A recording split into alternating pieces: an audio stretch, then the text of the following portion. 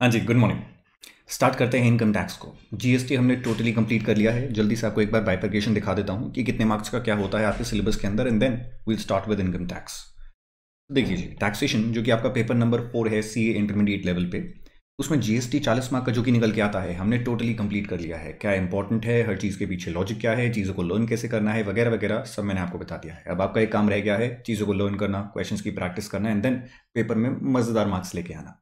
अब बात करते हैं इनकम टैक्स की, इसको कैसे कवर करने वाले हैं? पूरा का पूरा बारह सौ पेजेस का मॉड्यूल है आईसीआई का, जिसको मैंने कन्वर्ट कर दिया है टू थर्टी एट पेजेस के अंदर। जिनमें होगा क्या? इतना कैसे कम कर दिया गया है? ऐसा क्या काट दिया मैंने? क्या मैंने फॉन्ट साइज़ को छोटा करा है? नहीं। प्रॉपर फॉन्ट साइज़ है, यहाँ पे आपको देखने को मिल भी रहा है। यही बुक्स आपके पास पहुँच भी गई होंगी। यहाँ पे फॉन्ट साइज़ में बिल्कुल भी कट डाउन नहीं करा गया है, चीज़ों को क्लटर नहीं बनाया गया है। अच्छा खासा स्पेस है, सारी चीज़ें प्रॉपरली लेट डाउन है, बस क्वेश्चंस को हटा दिया गया है। क्यों? क्योंकि क्वेश्चंस की प्रैक्टिस डायरेक्टली आईसीए के स्टडी मैट से मैं आपको करवाऊँगा। इससे आपका कॉन्फिडेंस भी बनेगा कि क्लास में आपको जो भी पढ़ाया जा रहा है, उसमें कवरेज अच्छी हो रही है और आपको ये भी लगेगा कि आपने सारे के सारे क्वेश्चन कर लिया आईसीए के मटीरियल से। उससे भी अलग लेवल का कॉन्फिडेंस निकल के आता है। तो उसी वजह से इससे हम डायरेक्टली क्वेश्चन की प्रैक्टिस करेंगे। और एक और चीज़ होती है पेपर से अगर आप डेढ़ दिन पहले की बात करते हैं तो 1.5 डेज़ मिलती है आपको पूरा का पूरा सिलेबस रिवाइज करने के लिए। उस टाइम पे क्वेश्चंस आपको रीड नहीं करने होते। तो अगर आपको मैं यहीं से पढ़ाऊँगा तो आपको बार बार पेजेस फ्लिप करने पड़ेंगे, ढूंढना पड़ेगा कि क्वेश्चन के अलावा मटेरियल कहाँ पे है, जो कि मुझे लर्न करना है एंड देन उसको पढ़ना पड़ेगा। क्रूशल टाइम वेस्ट होगा पेपर से एक दिन पहले विच इज़ वाई आपको एक छोटा सा मटेरियल दिया गया है, इसमें सारी वो चीज़ें हैं जो भी आपके सिलेबस का पार्ट है, जो आपको लर्न करनी पड़ेंगी, समझनी पड़ेंगी, वगैरह वगैरह। सिर्फ़ क्वेश्चन हटाए गए हैं। तो यहाँ से आप सारी चीज़ें पढ़ेंगे, मेरे साथ क्लास के अंदर हर चीज़ के पीछे लॉजिक बताऊँगा, जैसे हमने जीएसटी में डिस्कस करा था।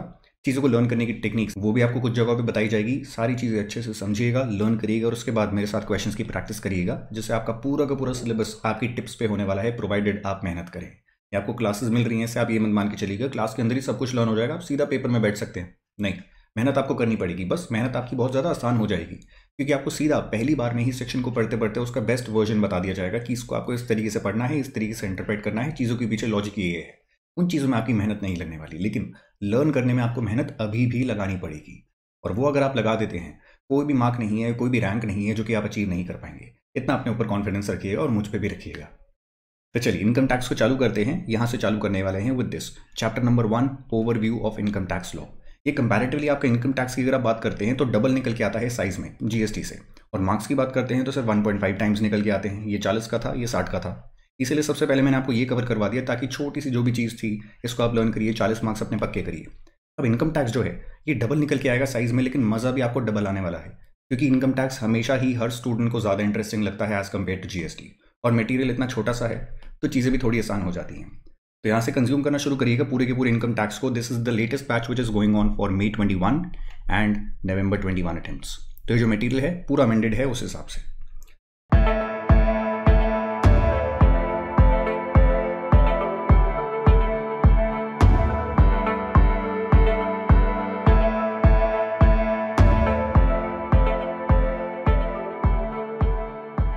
चलिए जी स्टार्ट करते हैं इस पूरी की पूरी जर्नी को। Chapter number one overview of income tax law सबसे पहले जानते हैं इनकम टैक्स के बारे में कुछ छोटी मोटी चीज़ें, कुछ बेसिक्स जो कि जानने के बाद हम आगे बढ़ पाएँगे। पहली चीज़, ये टैक्सेस लेवी क्यों करने पड़ते हैं? सरकार लेती क्यों है हमसे टैक्सेस इनको किस लिए चाहिए हमसे टैक्सेस तो ये क्वेश्चन उठ के आता है। सरकार ने बताया, भाई साहब, इसलिए चाहिए क्योंकि कुछ खर्चे होते हैं जो कि अगर हमने नहीं करे, तुम नहीं करने वाले और इन खर्चों का फ़ायदा तुम भी उठाओगे। जैसे कि taxes are levied by the government to meet common welfare expenditure of the society like defence education health care infrastructure वगैरह वगैरह. ये सारे ही खर्चे करने के लिए, चाहे आप एजुकेशन की बात करिए गवर्नमेंट स्कूल चलाए जाते हैं, खर्चा हमेशा ज़्यादा निकल के आता है रेवेन्यू से। क्यों? फ़ीस कितनी होती है? एक रुपये दो रुपये दस रुपये सौ रुपये इतनी निकल के आती है महीने की फ़ीस क्या उतने में खर्चा निकल जाएगा? स्कूल के इंफ्रास्ट्रक्चर का टीचर्स की फ़ीस का, वगैरह वगैरह, नहीं निकल पाएगा। तो सरकार को सब्सिडाइज करना पड़ता है अपने पैसे से। और वो अपना पैसा सरकार के पास आएगा कहाँ से? लोगों से आएगा। कैसे टैक्सेस के थ्रू प्रॉफिट्स के थ्रू वगैरह वगैरह। हेल्थ केयर की बात करिए गवर्नमेंट हॉस्पिटल्स चलते हैं अगेन बहुत ज़्यादा स्पेंडिंग करनी पड़ती है वहाँ पे। रोड्स बनानी है आपको और इंफ्रास्ट्रक्चर लोगों को प्रोवाइड करना है। ऐसे ही डिफेंस की बात करिए तो पुलिस आर्मी नेवी एयरफोर्स इनका खर्चा कहाँ से आएगा? ये सारी सर्विसेज़ फ्री होती हैं लोगों के लिए। तो उस केस में ये सारी सर्विसेज़ प्रोवाइड करने के लिए जो कि सरकार का खर्चा होता है कॉमन वेलफेयर का एक्सपेंडिचर है, लोगों के वेलफेयर के लिए एक्सपेंडिचर है। उसके लिए सरकार को पैसे की ज़रूरत पड़ेगी और टैक्सेस आज के टाइम पे अगर आप बात करते हैं तो these are one of the major sources of revenue for the government उनकी अपनी एंटिटीज़ भी हैं जहाँ से वो प्रॉफिट कमा के कमा सकती हैं पैसे बट मोस्टली गवर्नमेंट की एंटिटीज़ प्रॉफिट मेकिंग नहीं होती। तो वो टैक्सेस पे डिपेंड करते हैं अपने रेवेन्यूज़ आने के लिए ताकि वो खर्चे कर पाएँ जहाँ पे भी उनको खर्चे करने पड़ते हैं। बीस लाख करोड़ से ज़्यादा की कलेक्शन होती है सरकार को टैक्सेस के नाम पर हर साल। ठीक है जी, अब ये तो समझ गए इनकी ज़रूरत क्या है। अब बात करते हैं इस बारे में कि कितने टाइप के टैक्सेस होते हैं। डायरेक्ट टैक्सेस उनके ये ट्रेड्स होते हैं, ये कैरेक्टरिस्टिक्स होते हैं। इनडायरेक्ट टैक्सेस उनके ये कैरेक्टरिस्टिक्स होते हैं। इनको मार्क कर लीजिए पेंडिंग क्यों? अभी मैं आपको बताने लग जाऊँगा कि ये ट्रेड्स होते हैं, ये कैरेक्टरिस्टिक्स होते हैं डायरेक्ट टैक्सेस के, आपको समझ नहीं आएगा। क्योंकि अभी आपने पढ़ा नहीं है ना इसके बारे में तो मैं आपको थेरेटिकली चीज़ें बताऊँगा, मज़ा आएगा नहीं तो क्यों पढ़े उस चीज़ को इस तरीके से जिसमें मज़ा ना आए। अभी इसको पेंडिंग करते हैं, जैसे ही मैं पूरा सिलेबस कंप्लीट करवा दूँगा, तब आपको एनालिसिस रन करवाऊँगा दोनों के बीच में डिफरेंस का। बहुत अच्छे से अप्रिशिएट कर पाएँगे कि दोनों में डिफरेंस क्या है। डायरेक्ट टैक्स इनके कैरेक्टरिस्टिक्स क्या होते हैं और इनडायरेक्ट के क्या होते हैं। तो अभी मार्क कर लीजिए पेंडिंग मैं भी मार्क कर लेता हूँ अपने मटीरियल के अंदर pending chapter one page one जो भी चीज़ मैं आपकी डेफर करवाऊँगा, ताकि मैं भी ना भूल जाऊँ, उसको मैं भी लिखता रहूँगा और एंड में सारी की सारी चीज़ें आपकी कंप्लीट करवा दी जाएँगी। अच्छा एक चीज़ ध्यान रखिएगा। कुछ स्टूडेंट्स हो सकते हैं जिन्होंने सिर्फ़ इनकम टैक्स के लेक्चर्स लिए हों। तो आप जीएसटी का लेक्चर नंबर वन ऑनलाइन एक बार जाके देख लीजिएगा यूट्यूब पे, क्योंकि उसमें स्टार्टिंग में मैंने रफली एक घंटा लगा के आपको काफ़ी सारी चीज़ें बताई थी, जो कि आपको फॉलो करनी ही होंगी, चाहे आप इनकम टैक्स की क्लासेस लें, चाहे आप कॉस्टिंग की लें, चाहे आप अकाउंटिंग की लें, चाहे कोई भी क्लास लें। उसमें आपको रिविजन कैसे करनी है नोट मेकिंग कैसे करनी है, वगैरह वगैरह, वो कुछ छोटी मोटी चीज़ें मैंने आपको बताई थी, जो कि आपको इस बैच के अंदर भी फॉलो करनी होगी। तो इसके अंदर भी फॉलो करिएगा, वो सारी की सारी चीज़ें आपकी क्लास अच्छे से होने वाली है। क्लास से ना दिमाग में एक इंप्रेशन आने लग जाता है, हमको सब कुछ आ जाएगा, लेकिन ऐसा होता नहीं है। आपको खुद की भी मेहनत करनी पड़ेगी, तभी जाके चीज़ें समझ आएँगी, तभी जाके दिमाग में बैठेंगी। और वो खुद मेहनत कैसे करनी है, आपको क्या क्या करना होगा, मैं क्या क्या आपके लिए करके दूँगा, सारी चीज़ें आपको वहाँ पर एक्सप्लेन है। कोई भी डाउट आता है, मेरा नंबर आपके पास है ही मैसेज करिएगा, पूछिएगा, मैं वहीं पर सॉल्व कर दूँगा। चलिए जी, आगे बढ़ते हैं। इसको तो हमने डेवर कर दिया। नेक्स्ट पॉइंट पे आते हैं। Power to enact income tax act अब ये क्या क्वेश्चन है? ये छोटा सा एक क्वेश्चन है कि लेटेस्ट से मैं गाड़ी चला रहा था और मेरे को हवलदार ने रोक लिया और उसने बोला, भाई साहब, आप ना गाड़ी के स्टेयरिंग पे एक ही हाथ रख के गाड़ी को चला रहे थे, दोनों हाथ रखने चाहिए थे। निकालो पाँच हज़ार रुपये का चलान। मैं क्या बोलूँगा, ओ भाई, कहाँ पे लिखा है ऐसा कि दोनों हाथ पकड़ के गाड़ी को चलाना होता है, एक हाथ से नहीं चला सकते? ये मैं क्यों पूछूँगा? क्योंकि अगर ऐसा कहीं पर लिखा ही नहीं है तो तू चलान लगा कैसे रहा है? तेरे पास पावर कहाँ से आई? तो आप हवलदार से तो पूछ लेते हैं, बताओ ऐसा कहाँ पे लिखा है कि दोनों हाथ पकड़ने होंगे, दोनों हाथ से स्टेयरिंग को पकड़ना होगा। लेकिन सरकार से कभी आपने पूछा, जिसको आप इनकम टैक्स देते आ रहे हैं, कि तुम्हारे पास पावर कहाँ से है इनकम टैक्स कलेक्ट करने की? जस्ट बिकॉज़ तुमने बोल दिया इनकम का तीस परसेंट तुम्हें टैक्स की तरह देना पड़ेगा तो मैं क्यों दूँ? पावर कहाँ से आई तुम्हारे पास? तो सरकार को जब भी आप ये क्वेश्चन पूछेंगे, तुम्हारे पास पावर कहाँ से आई? वो आपको दिखाएँगे एक सुनहरा सा डॉक्यूमेंट जिसको बोला जाता है कॉन्स्टिट्यूशन कॉन्स्टिट्यूशन के अंदर पावर आती है किसी भी सरकार के पास, चाहे सेंट्रल गवर्नमेंट के पास, चाहे स्टेट गवर्नमेंट के पास, कोई भी काम करने के लिए जब आप पावर की बात करते हैं तो इस डॉक्यूमेंट से आती है। और इस डॉक्यूमेंट के, अगर आप इस आर्टिकल को देखते हैं आर्टिकल नंबर 265 कॉन्स्टिट्यूशन जो भी होता है, उसको आर्टिकल्स में डिवाइड करा जाता है। कोई भी एक्ट जो होता है, उसको सेक्शंस में डिवाइड करा जाता है। तो कॉन्स्टिट्यूशन के आर्टिकल नंबर 265 को देखते हैं तो वो क्या बोलता है? It provides that no tax shall be levied और collected except by authority of law यानी कि, ऊपर मैंने आपको लिखा शॉर्ट में law needs to be framed to do so यानी कि आप इनकम टैक्स कलेक्ट करना चाहते हैं किसी भी इंसान से या फिर कोई भी टाइप का टैक्स कलेक्ट करना चाहते हैं किसी भी काम पे, पहले आपको लॉ बनाना पड़ेगा, कोई ना कोई एक्ट पास करना पड़ेगा। जब आप वो कर देते हैं एंड अथॉरिटी होने के बाद वो काम करते हैं, तभी उस इंसान से आप टैक्स कलेक्ट कर पाएँगे। थोड़ा और डिटेल में समझाऊँगा, पहले इस चीज़ को पढ़ लीजिए।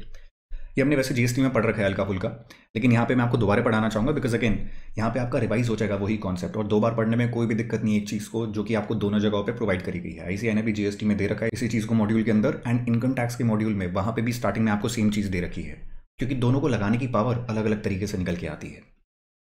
पढ़ते हैं यहाँ से seven schedule to the article 246 of constitution of India यहाँ पे देखिए अलग अलग आर्टिकल्स हैं। ये 265 था, ये 246 है। इसको लर्न कर लीजिएगा। ये वाला नंबर नहीं भी लर्न करेंगे, चल जाएगा। But this is very very important ये आपको लर्न करना पड़ेगा। Seven schedule to article 246 of the constitution of India वो कंटेन करता है तीन list union list state list concurrent list तीनों को डिटेल में पढ़ेंगे। इसमें तीन लिस्ट निकल के आती हैं which enumerate the matters on which parliament and the state legislatures have authority to make laws parliament का मतलब क्या होता है? तीन चीज़ें मिला के हमारा पार्लियामेंट बनता है। मैंने लिख के बताया आपको, यहाँ पे देखिए। लिखना चाहते हैं तो लिख सकते हैं।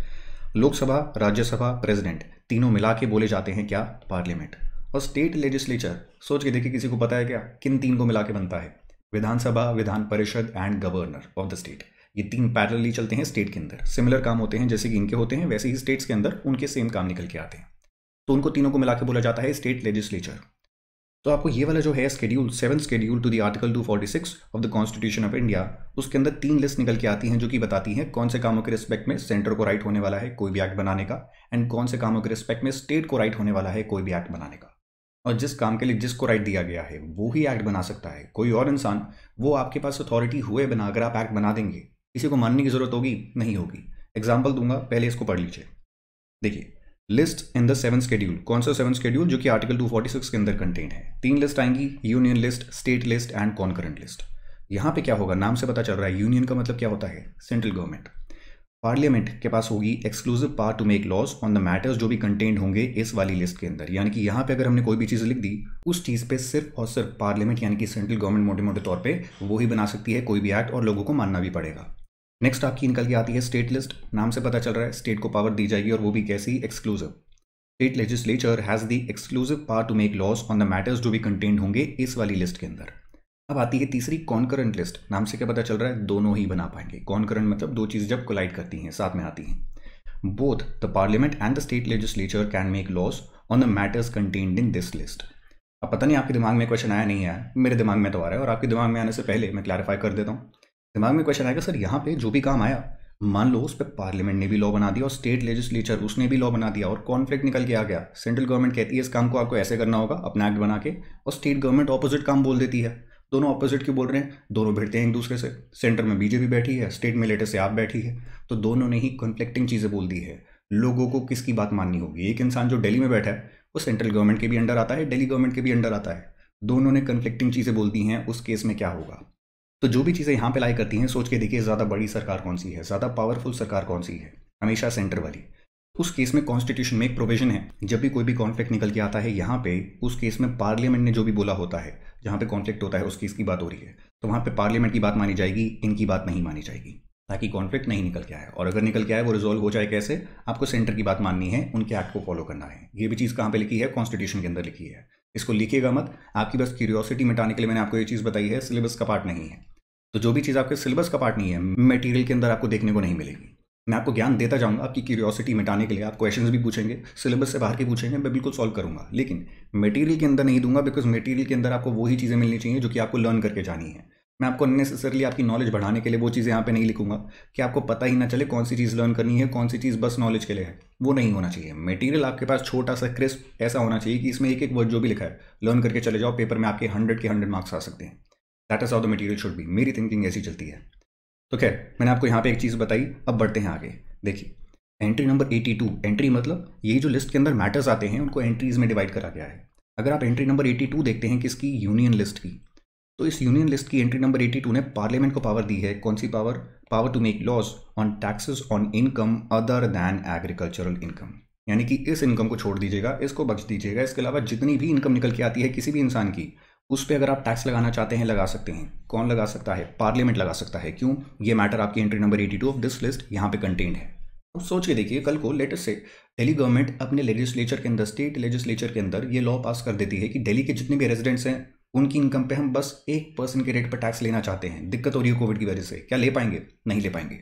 उन्होंने आठ कायदे से अगर पास कर भी दिया, तीनों जगहों से, विधानसभा, विधान परिषद एंड गवर्नर तीनों से पास करवा दिया, कुछ नहीं होगा। किसी को मानने की ज़रूरत नहीं है। क्यों? अबे तुम्हारे पास पावर ही नहीं थी। तुम एक्ट पास करके कर क्या रहे हो? तुम्हें कॉन्स्टिट्यूशन ही अलाउ नहीं करता। यहाँ पे जितने भी मैटर्स हैं, उन पर सिर्फ़ सेंट्रल गवर्नमेंट लॉ बना सकती है। तुम बना ही नहीं सकते थे। अगर तुमने बना दिया तो इस एक्ट को बोला जाता है। एक टर्म होती है लीगल अल्ट्रा वायर्स मतलब आपके पास पावर नहीं थी पावर के बियॉन्ड पावर के आगे जाके आपने कोई ना कोई काम कर लिया है जो कि लोगों को मानने की ज़रूरत नहीं है। क्यों? कॉन्स्टिट्यूशन आपको पावर ही नहीं देता था। तो आप वही काम करिएगा जिनके रिस्पेक्ट में आपको काम करने की पावर दी गई है। सेंटर आप वही काम करिएगा जिनके रिस्पेक्ट में आपको पावर दी गई है। और यहाँ पे जो भी काम निकल के आता है, दोनों आपसी सहमति से लॉ बना लीजिएगा सेम चीज़ पे। तो यहाँ पे आपको पूरा का पूरा नंबर लर्न करना पड़ेगा। कोई भी आपसे पूछेगा कि इनकम टैक्स एक्ट ये लगाने की पावर सरकार के पास कहाँ से आई है? तो आपका एक धुन में आंसर आना चाहिए entry number 82 of the union list which is contained in the seven schedule to the article 246 of the constitution of India ऐसे बोलिएगा कि थ्री इडियट्स के चतुर आप ही लगे कि ठीक है भाई, तोते की तरह रट के बैठा है। अब ये छोटी सी चीज़ है, रटनी पड़ेगी। इसमें कोई लॉजिक थोड़ी कि एंट्री नंबर 82 के अंदर क्यों आया? लेकिन ये सारी चीज़ों के पीछे जो लॉजिक था, वो मैंने आपको एक्सप्लेन करा। तो इसको आपको लर्न करना पड़ेगा। This is pretty important mark कर लीजिएगा। ऐसे मैं कुछ चीज़ आपको बताता रहूँगा। ये लर्न करिएगा, ये छोड़ दीजिएगा, वगैरह वगैरह। और हँसते खेलते पूरा का पूरा इनकम टैक्स हमारा कंप्लीट हो जाएगा। क्लास के साथ साथ रिविजन करते रहिएगा वन फोर्थ रूल फॉलो करते रहिएगा, सारी चीज़ें करते रहिएगा क्लास के साथ साथ चीज़ें आपको लर्न भी हो जाएँगी। और जैसे ही हमारा सिलेबस कंप्लीट होगा, वो कंप्लीट होते ही मैं आपके टेस्ट भी कंडक्ट करवा दूँगा। क्विजेज होंगे आपके एम सी क्यू क्विजेज होंगे, उसके साथ साथ मॉक टेस्ट होने वाला है हंड्रेड मार्कर अलग अलग तरीकों से आपकी जो प्रिपरेशन चल रही है, वो बिल्कुल ए वन लेवल तक पहुँचा दी जाएगी। चलिए जी, आगे बढ़ते हैं। हमने दो तीन चीज़ों की बात कर ली है। पहले तो हमने बात करी कि टैक्सेस तुम्हें चाहिए क्यों? दूसरी चीज़, तुम्हारे पास टैक्सेस कलेक्ट करने की पावर आ कहाँ से रही है? अब बढ़ते हैं आगे towards the third point components of the income tax law यानी कि यहाँ पे ऊपर आप टर्म देख रहे हैं, ऊपर टर्म थी इनकम टैक्स एक्ट नीचे बात हो रही है इनकम टैक्स लॉ की। अगर आप इस टर्म की बात करते हैं this is much more wider than the term income tax act अच्छा ये पढ़ाने से पहले एक और फीचर दिखाता हूँ आपको मटेरियल का। जीएसटी में आपके दिमाग में आ रहा होगा, सर, हम हर लाइन के अंदर कुछ ना कुछ मार्किंग कर रहे थे। यहाँ पे आप मार्किंग करवाई नहीं रहे हाईलाइट ही नहीं करवा रहे। क्यों नहीं करवा रहे? समझने की कोशिश करिए। जीएसटी में सारी चीज़ें लोअर केस में लिखी थी। तो जिस भी वर्ड पे मुझे आपका एम्फेसिस दिलवाना था कि इस वर्ड को ध्यान से पढ़ना, इसको भूल मत जाना, यही पूरे के पूरे पैराग्राफ की जान है। वहाँ पे मैं आपको मार्किंग्स करवाता था क्लास में और बोलता था, यही वर्ड्स मार्क करना और कुछ मार्क मत कर लेना। लेकिन जब आप इनकम टैक्स की बात करते हैं इनकम टैक्स का मटेरियल क्योंकि मैंने खुद ही बनाया है, यहाँ पे जहाँ पे भी मुझे एम्फेसिस डालना था स्टूडेंट्स का, उन चीज़ों को मैंने कैपिटलाइज कर दिया है। नॉर्मल इंग्लिश की अगर बात करेंगे ग्रामेटिकली बात करते हैं दिस इज़ इनकरेक्ट बीच में एक्सेप्ट को ऐसा नहीं होना चाहिए। लेकिन मुझे यहाँ पे आपकी इंग्लिश नहीं सुधारनी। मुझे बस आपको बताना है कौन सी चीज़ आपको एम्फेसिस के साथ पढ़नी है। पेपर में आप ऐसे थोड़ी लिखेंगे। लेकिन पढ़ने के टाइम पे आपका सीधा फोकस जाएगा इस वर्ड पे, इस वर्ड पे, उसके साथ साथ इस वर्ड पे। तो जो भी इंपॉर्टेंट वर्ड्स हैं, जो आपको हाईलाइट करने चाहिए थे ज़रूरत ही नहीं हाईलाइट करने की, मैंने सीधा मटेरियल के अंदर क्या कर दिया है? कैपिटलाइज कर दिया है। तो मटेरियल जब भी मैं आपको पढ़ाऊँगा पूरा का पूरा सारे टू थर्टी एट पेजेस करवाऊँगा। मेरा बिल्कुल फोकस नहीं होगा इन चीज़ों पर कि आप ये मार्क करो, वो मार्क करो। सब कुछ ऑलरेडी मार्क्ड है। चार्ट्स बनने हैं, बने हुए हैं। जितनी मेहनत होनी थी मटेरियल पे मैंने कर दी है। आपको छोटी सी मेहनत करनी है, चीज़ समझिए लर्न करिए पेपर में बैठिए। That's all that you need to do लेकिन वो चीज़ देखिए, आपको जुडिशियसली करनी ही पड़ेगी, नहीं तो मार्क्स नहीं आने वाले। अपने आप से नहीं आएँगे। चीज़ें समझिए लर्न करिए क्वेश्चंस की प्रैक्टिस करिए पेपर में बैठिए। और एक और चीज़ का ध्यान रखिएगा, आपकी स्पीड अच्छी होनी चाहिए। अगर स्पीड अच्छी नहीं होगी, आपको सब कुछ आता होगा। हंड्रेड मार्क्स का पेपर आता होगा अटेम्प्ट सत्तर मार्क का करके आएँगे मार्क्स आएँगे कहाँ से? पूरे हंड्रेड मार्क्स का पेपर अटेम्प्ट भी करना है स्पीड भी अच्छी होनी चाहिए। वही मैं आपको बोल रहा हूँ ना, वो एक वीडियो देख लीजिए। उस वीडियो के अंदर मैंने ऐसी मल्टीपल चीज़ें मेंशन कर रखी हैं, जो कि गलतियों की तरह स्टूडेंट्स कर जाते हैं क्लासेस लेने के बावजूद। आपको नहीं करनी है तो वो चीज़ें मत करिएगा, शानदार पेपर जाएगा, कोई दिक्कत नहीं है। चलिए जी, आगे बढ़ते हैं। इनकम टैक्स लॉ मैंने आपको क्या बताया, बहुत वाइड टर्म है। इसके अंदर एक्ट भी आता है रूल्स भी आते हैं, वगैरह वगैरह मल्टीपल चीज़ें आती हैं। अब दिमाग में क्वेश्चन उठ के आता है कि भाई साहब, सारी चीज़ें एक ही डॉक्यूमेंट में डाल देते ना। अलग अलग डॉक्यूमेंट्स बनाए क्यों हैं? मैं रूल्स भी देखता हूँ सर्कुलर नोटिफिकेशन लीगल डिसीज़न जो भी कोर्ट के निकल के आते हैं एक्ट सब कुछ पढ़ना पड़ता है यार। सब कुछ इतने इतने अलग अलग डॉक्यूमेंट्स पढ़ने पड़ते हैं, सब मिला के बनता है इनकम टैक्स लॉ तो सारे डॉक्यूमेंट्स जब मैं पढ़ूँगा, तभी मेरे को समझ आएगा इनकम टैक्स बोलता क्या है इनकम टैक्स एक्ट क्या बोलता है लॉ क्या बोलता है एंड तभी मैं किसी भी इंसान को समझा पाऊँगा इनकम टैक्स के बारे में। तो यार एक ही डॉक्यूमेंट में सारी चीज़ें डाल देते अलग अलग डॉक्यूमेंट्स बनाए क्यों? क्या उसके पीछे कोई पर्पस है? बिल्कुल है। अब चाहूँ तो मैं आपको सीधा बता सकता हूँ एक्ट ये बोलता है रूल ये बोलता है, रट के चले जाओ। लेकिन मज़ा कहाँ आएगा? और हमें क्या करना है? हमें समझना है सब्जेक्ट को। हमें बस रटना नहीं है कि यहाँ पे ये लिखा है, वहाँ पे ये लिखा है। हमें पहले जानना है अलग अलग डॉक्यूमेंट्स है क्यों? समझना शुरू करिए। बहुत शानदार रीज़न है इसके पीछे। देखिए जी इनकम टैक्स एक्ट 1961 पहली बार कब इन्फोर्स हुआ था? It came into force on first April 1962 यानी कि अगले साल की पहली तारीख से। एंड इसके अंदर सेक्शन है section one two section 298 and 14 schedules मतलब अगर आप एक्ट को खोल के देखेंगे मल्टीपल सेक्शंस देखने को मिलेंगे। वन टू थ्री फोर ऐसे करके टू नाइन्टी एट तक। बीच में कुछ सेक्शन हो सकता है, नहीं हो मतलब ज़रूरी नहीं है। वन टू थ्री फोर करके सारे नंबर मिल जाएँगे। कुछ सेक्शंस आज तक हटा दिए गए हैं, कुछ नए लाए गए हैं, वगैरह वगैरह। तो one two two ninety eight multiple sections देखने को मिलेंगे एंड जैसे ही सेक्शंस खत्म हो जाते हैं, कुछ स्केड्यूल्स आते हैं, जो कि साथ में अगर आप पढ़ेंगे, आपको पता चलेगा इनकम टैक्स लॉ बोलता क्या है। ठीक है जी? सब पढ़ेंगे सिलेबस के दौरान पढ़ेंगे। It is amended annually by the finance acts and also by multiple other acts like taxation laws amendment act अब इसको समझने की कोशिश करिए। हर साल फेबररी मंथ के अंदर हमारी चार्टर्ड अकाउंटेंट्स की इंपॉर्टेंस थोड़ी ज़्यादा ही बढ़ जाती है। हर इंसान फ़ोन करके बुला रहा होता है, भाई साहब इंटरव्यू दे दो, बता दो बजट में बोला क्या जा रहा है? ऐसा क्यों होता है? क्योंकि हर साल फेब मंथ के अंदर हमारा आता है प्यारा सा एक डॉक्यूमेंट जिसको बोला जाता है बजट जिसमें बताया जाता है फाइनेंस बिल के बारे में। हर साल आता है। और इसको फाइनेंस बिल क्यों बोला जाता है? क्योंकि ये अमेंडमेंट करता है चेंजेस लेके आता है कि इसमें हमारे फाइनेंशियल डॉक्यूमेंट्स में फाइनेंशियल सारे के सारे स्टैच्यूट्स के अंदर स्टैच्यूट मतलब एक्ट की बात हो रही है। और ये क्योंकि सिर्फ़ टैक्सेशन लॉज के अंदर चेंज नहीं लेके आता, बहुत सारे एक्ट्स के अंदर चेंज लेके आता है, इसलिए इसको टैक्सेशन लॉज अमेंडमेंट एक्ट नहीं बोला जाता फाइनेंस बिल बोला जाता है। क्योंकि फाइनेंस से रिलेटेड मल्टीपल एक्ट्स को अमेंड करता है, जिनमें से एक इनकम टैक्स एक्ट भी है। जीएसटी एक्ट वो भी इसी से अमेंड होता है कस्टम्स एक्ट वो भी इसी से अमेंड होता है कंपनीज़ एक्ट वो भी इसी से अमेंड होता है मल्टीपल एक्ट्स साल में एक बार में यहाँ पेमेंट होते हैं फेब मंथ के अंदर। पहले फेब के लास्ट डे में हुआ करते थे, आज के टाइम पे फ़र्स्ट डे पे होते हैं। ठीक है जी, वो सारी चीज़ आपको लर्न करने की ज़रूरत नहीं है, लेकिन क्या लर्न करने की ज़रूरत है? क्या दिमाग में डालना है? अभी बताने वाला हूँ। देखिए, मैंने आपको बताया था ना, कोई भी चीज़ को एक्ट बनने के लिए, कोई भी लॉ पास करने के लिए, आपको अगर पार्लियामेंट को वो लॉ पास करना है तो तीनों ही जो भी लेग्स निकल के आते हैं पार्लियामेंट के, तीनों जगह पे सेम चीज़ को पास करवाना होगा। तो मान लीजिए फाइनेंस बिल की बात करते हैं इनकम टैक्स बिल की बात करते हैं, किसी भी डॉक्यूमेंट की, किसी भी लॉ की बात करिए। स्टेजेस होती क्या हैं? सबसे पहले, वो लोकसभा के अंदर इंट्रोड्यूस होता है, यानी कि कोई ना कोई एमपी क्या करेगा? वो कहेगा, मुझे ये लॉ लेके आना है। मेरे हिसाब से ये चीज़ इंडिया में होनी चाहिए, लोगों को माननी चाहिए। तो जब वो प्रपोज करेगा किसी भी डॉक्यूमेंट को कि मैं इसको पास करवाना चाहता हूँ एक्ट बनाना चाहता हूँ, जब तक वो एक्ट नहीं बनता, इसको बोला जाता है बिल वो यहाँ भी प्रपोज हो सकता है, यहाँ भी हो सकता है, कब, कहाँ पे होता है प्रपोज आपको जानने की ज़रूरत नहीं है। वो कॉन्स्टिट्यूशन की डिटेल्स में जैसे ही आप जाएँगे, तब पता चलेगा, और वो आपको जानने की ज़रूरत नहीं है, आपके सिलेबस का पार्ट नहीं है। तो अभी मान के चलते हैं, पर एक सिंप्लिसिटी कि यहीं पर इंट्रोड्यूस होता है हमेशा। तो मान लीजिए यहाँ पे एक डॉक्यूमेंट इंट्रोड्यूस करा गया है, जिसको बोला जा रहा है क्या? कोई भी बिल, चाहे फाइनेंस बिल, चाहे इनकम टैक्स बिल, चाहे कुछ भी। यहाँ पे चर्चा होगी, सारे एम डिस्कस करेंगे, जिसको समझ आएगा वो समझ लेगा, नहीं तो वैसे ही अपनी पार्टी के मेंबर्स को देख के यस या नो वोट कर देगा। तो जो भी होने वाला है, यहाँ पे वोटिंग होगी। पहले चर्चा होगी डॉक्यूमेंट पे, उसके बाद वोटिंग होने वाली है। अगर वोटिंग में मेजोरिटी निकल के आ जाती है लोकसभा के अंदर, यहाँ पे पास हो जाता है बिल। अभी तक ये बिल है, किसी को मानने की ज़रूरत नहीं है। अभी बस इस पर चर्चा चल रही है। नेक्स्ट स्टेज आने वाला है राज्यसभा के पास। यहाँ पे भी सेम प्रोसेस होगा। वोटिंग होगी, चर्चा होगी। तो चर्चा होने के बाद वोटिंग जब हो गई, अगर ये यहाँ पे पास हो जाता है तो फाइनली वो जाता है प्रेसिडेंट के पास। प्रेसिडेंट एक आप कह सकते हैं लीगल फॉर्मेलिटी है। वैसे प्रेसिडेंट मोस्टली किसी भी बिल को मना नहीं करते। लेकिन ये भी एक स्टेज की तरह बनाई ज़रूर गई है कि यहाँ पे अगर सिग्नेचर नहीं लगेगा प्रेसिडेंट का किसी भी बिल पे, वो एक्ट में कन्वर्ट नहीं हो पाएगा। क्यों? ये भी पार्लियामेंट का ही पार्ट है। तो तीनों ही जगहों पे जब कोई भी बिल अप्रूव हो जाता है विद ऑल द चेंजेस जो भी किसी भी स्टेज पे आते हैं, सारे चेंजेस होने के बाद जब फाइनली प्रेसिडेंट का सिग्नेचर लगता है किसी भी डॉक्यूमेंट पे, वो कन्वर्ट हो जाता है from a bill to an act तो जैसे ही बिल यहाँ पे प्रपोज करा गया था, यहाँ पे भी बिल रहा, यहाँ पे भी बिल रहा, और यहाँ पे सिग्नेचर लगने के बाद वही डॉक्यूमेंट कहलाएगा एक्ट और जैसे ही वो एक्ट बन जाता है इट इज़ लीगली एनफोर्सेबल हर इंसान को मानना पड़ेगा। तो इनकम टैक्स एक्ट ये भी आपका ऐसे ही बना था। फाइनेंस एक्ट जो बनता है, वो भी ऐसे ही बनता है। हमेशा क्या होता है, पहले बिल प्रपोज करा जाता है, तीनों जगहों से होकर निकलता है और उसके बाद जैसे ही प्रेसिडेंट का सिग्नेचर लग जाता है डॉक्यूमेंट पे, वो एक्ट बन जाता है और लोगों को मानना पड़ता है। प्रोसेस समझ में आ गया? दिमाग में बैठ गया? अब बढ़ते हैं आगे। अच्छा एक और चीज़ देखिए, ये पूरा प्रोसेस होने के लिए होना क्या पड़ेगा? सारे एम को साथ में बैठना पड़ेगा, लोकसभा में सारे एम को साथ बैठना पड़ेगा, राज्यसभा के अंदर प्रेसिडेंट का सिग्नेचर आना होगा। क्या ये हर रोज़ बैठते हैं इन पर्टिकुलर असेंबलीज के अंदर? नहीं। साल में तीन चार बार बैठते हैं, कुछ दिनों के लिए बैठते हैं। तो इसलिए जो प्रोसेस है, किसी भी एक्ट को पास करने का, क्या बहुत आसान प्रोसेस होगा? नहीं। टाइम टेकिंग प्रोसेस है टाइम लगता है, यहाँ पे एम डिस्कस करते हैं, यहाँ पे डिस्कस करते हैं, यहाँ पे पास होता है। तो कोई भी चेंजेस जो भी आपको एक्ट में पास करने होंगे, क्या इतनी आसानी से पास हो जाते हैं? नहीं। इस चीज़ को अपने दिमाग में रखिएगा, समझने में हेल्प करेगा कि अलग अलग डॉक्यूमेंट्स क्यों बनाए गए। बढ़ते हैं आगे, देखिए।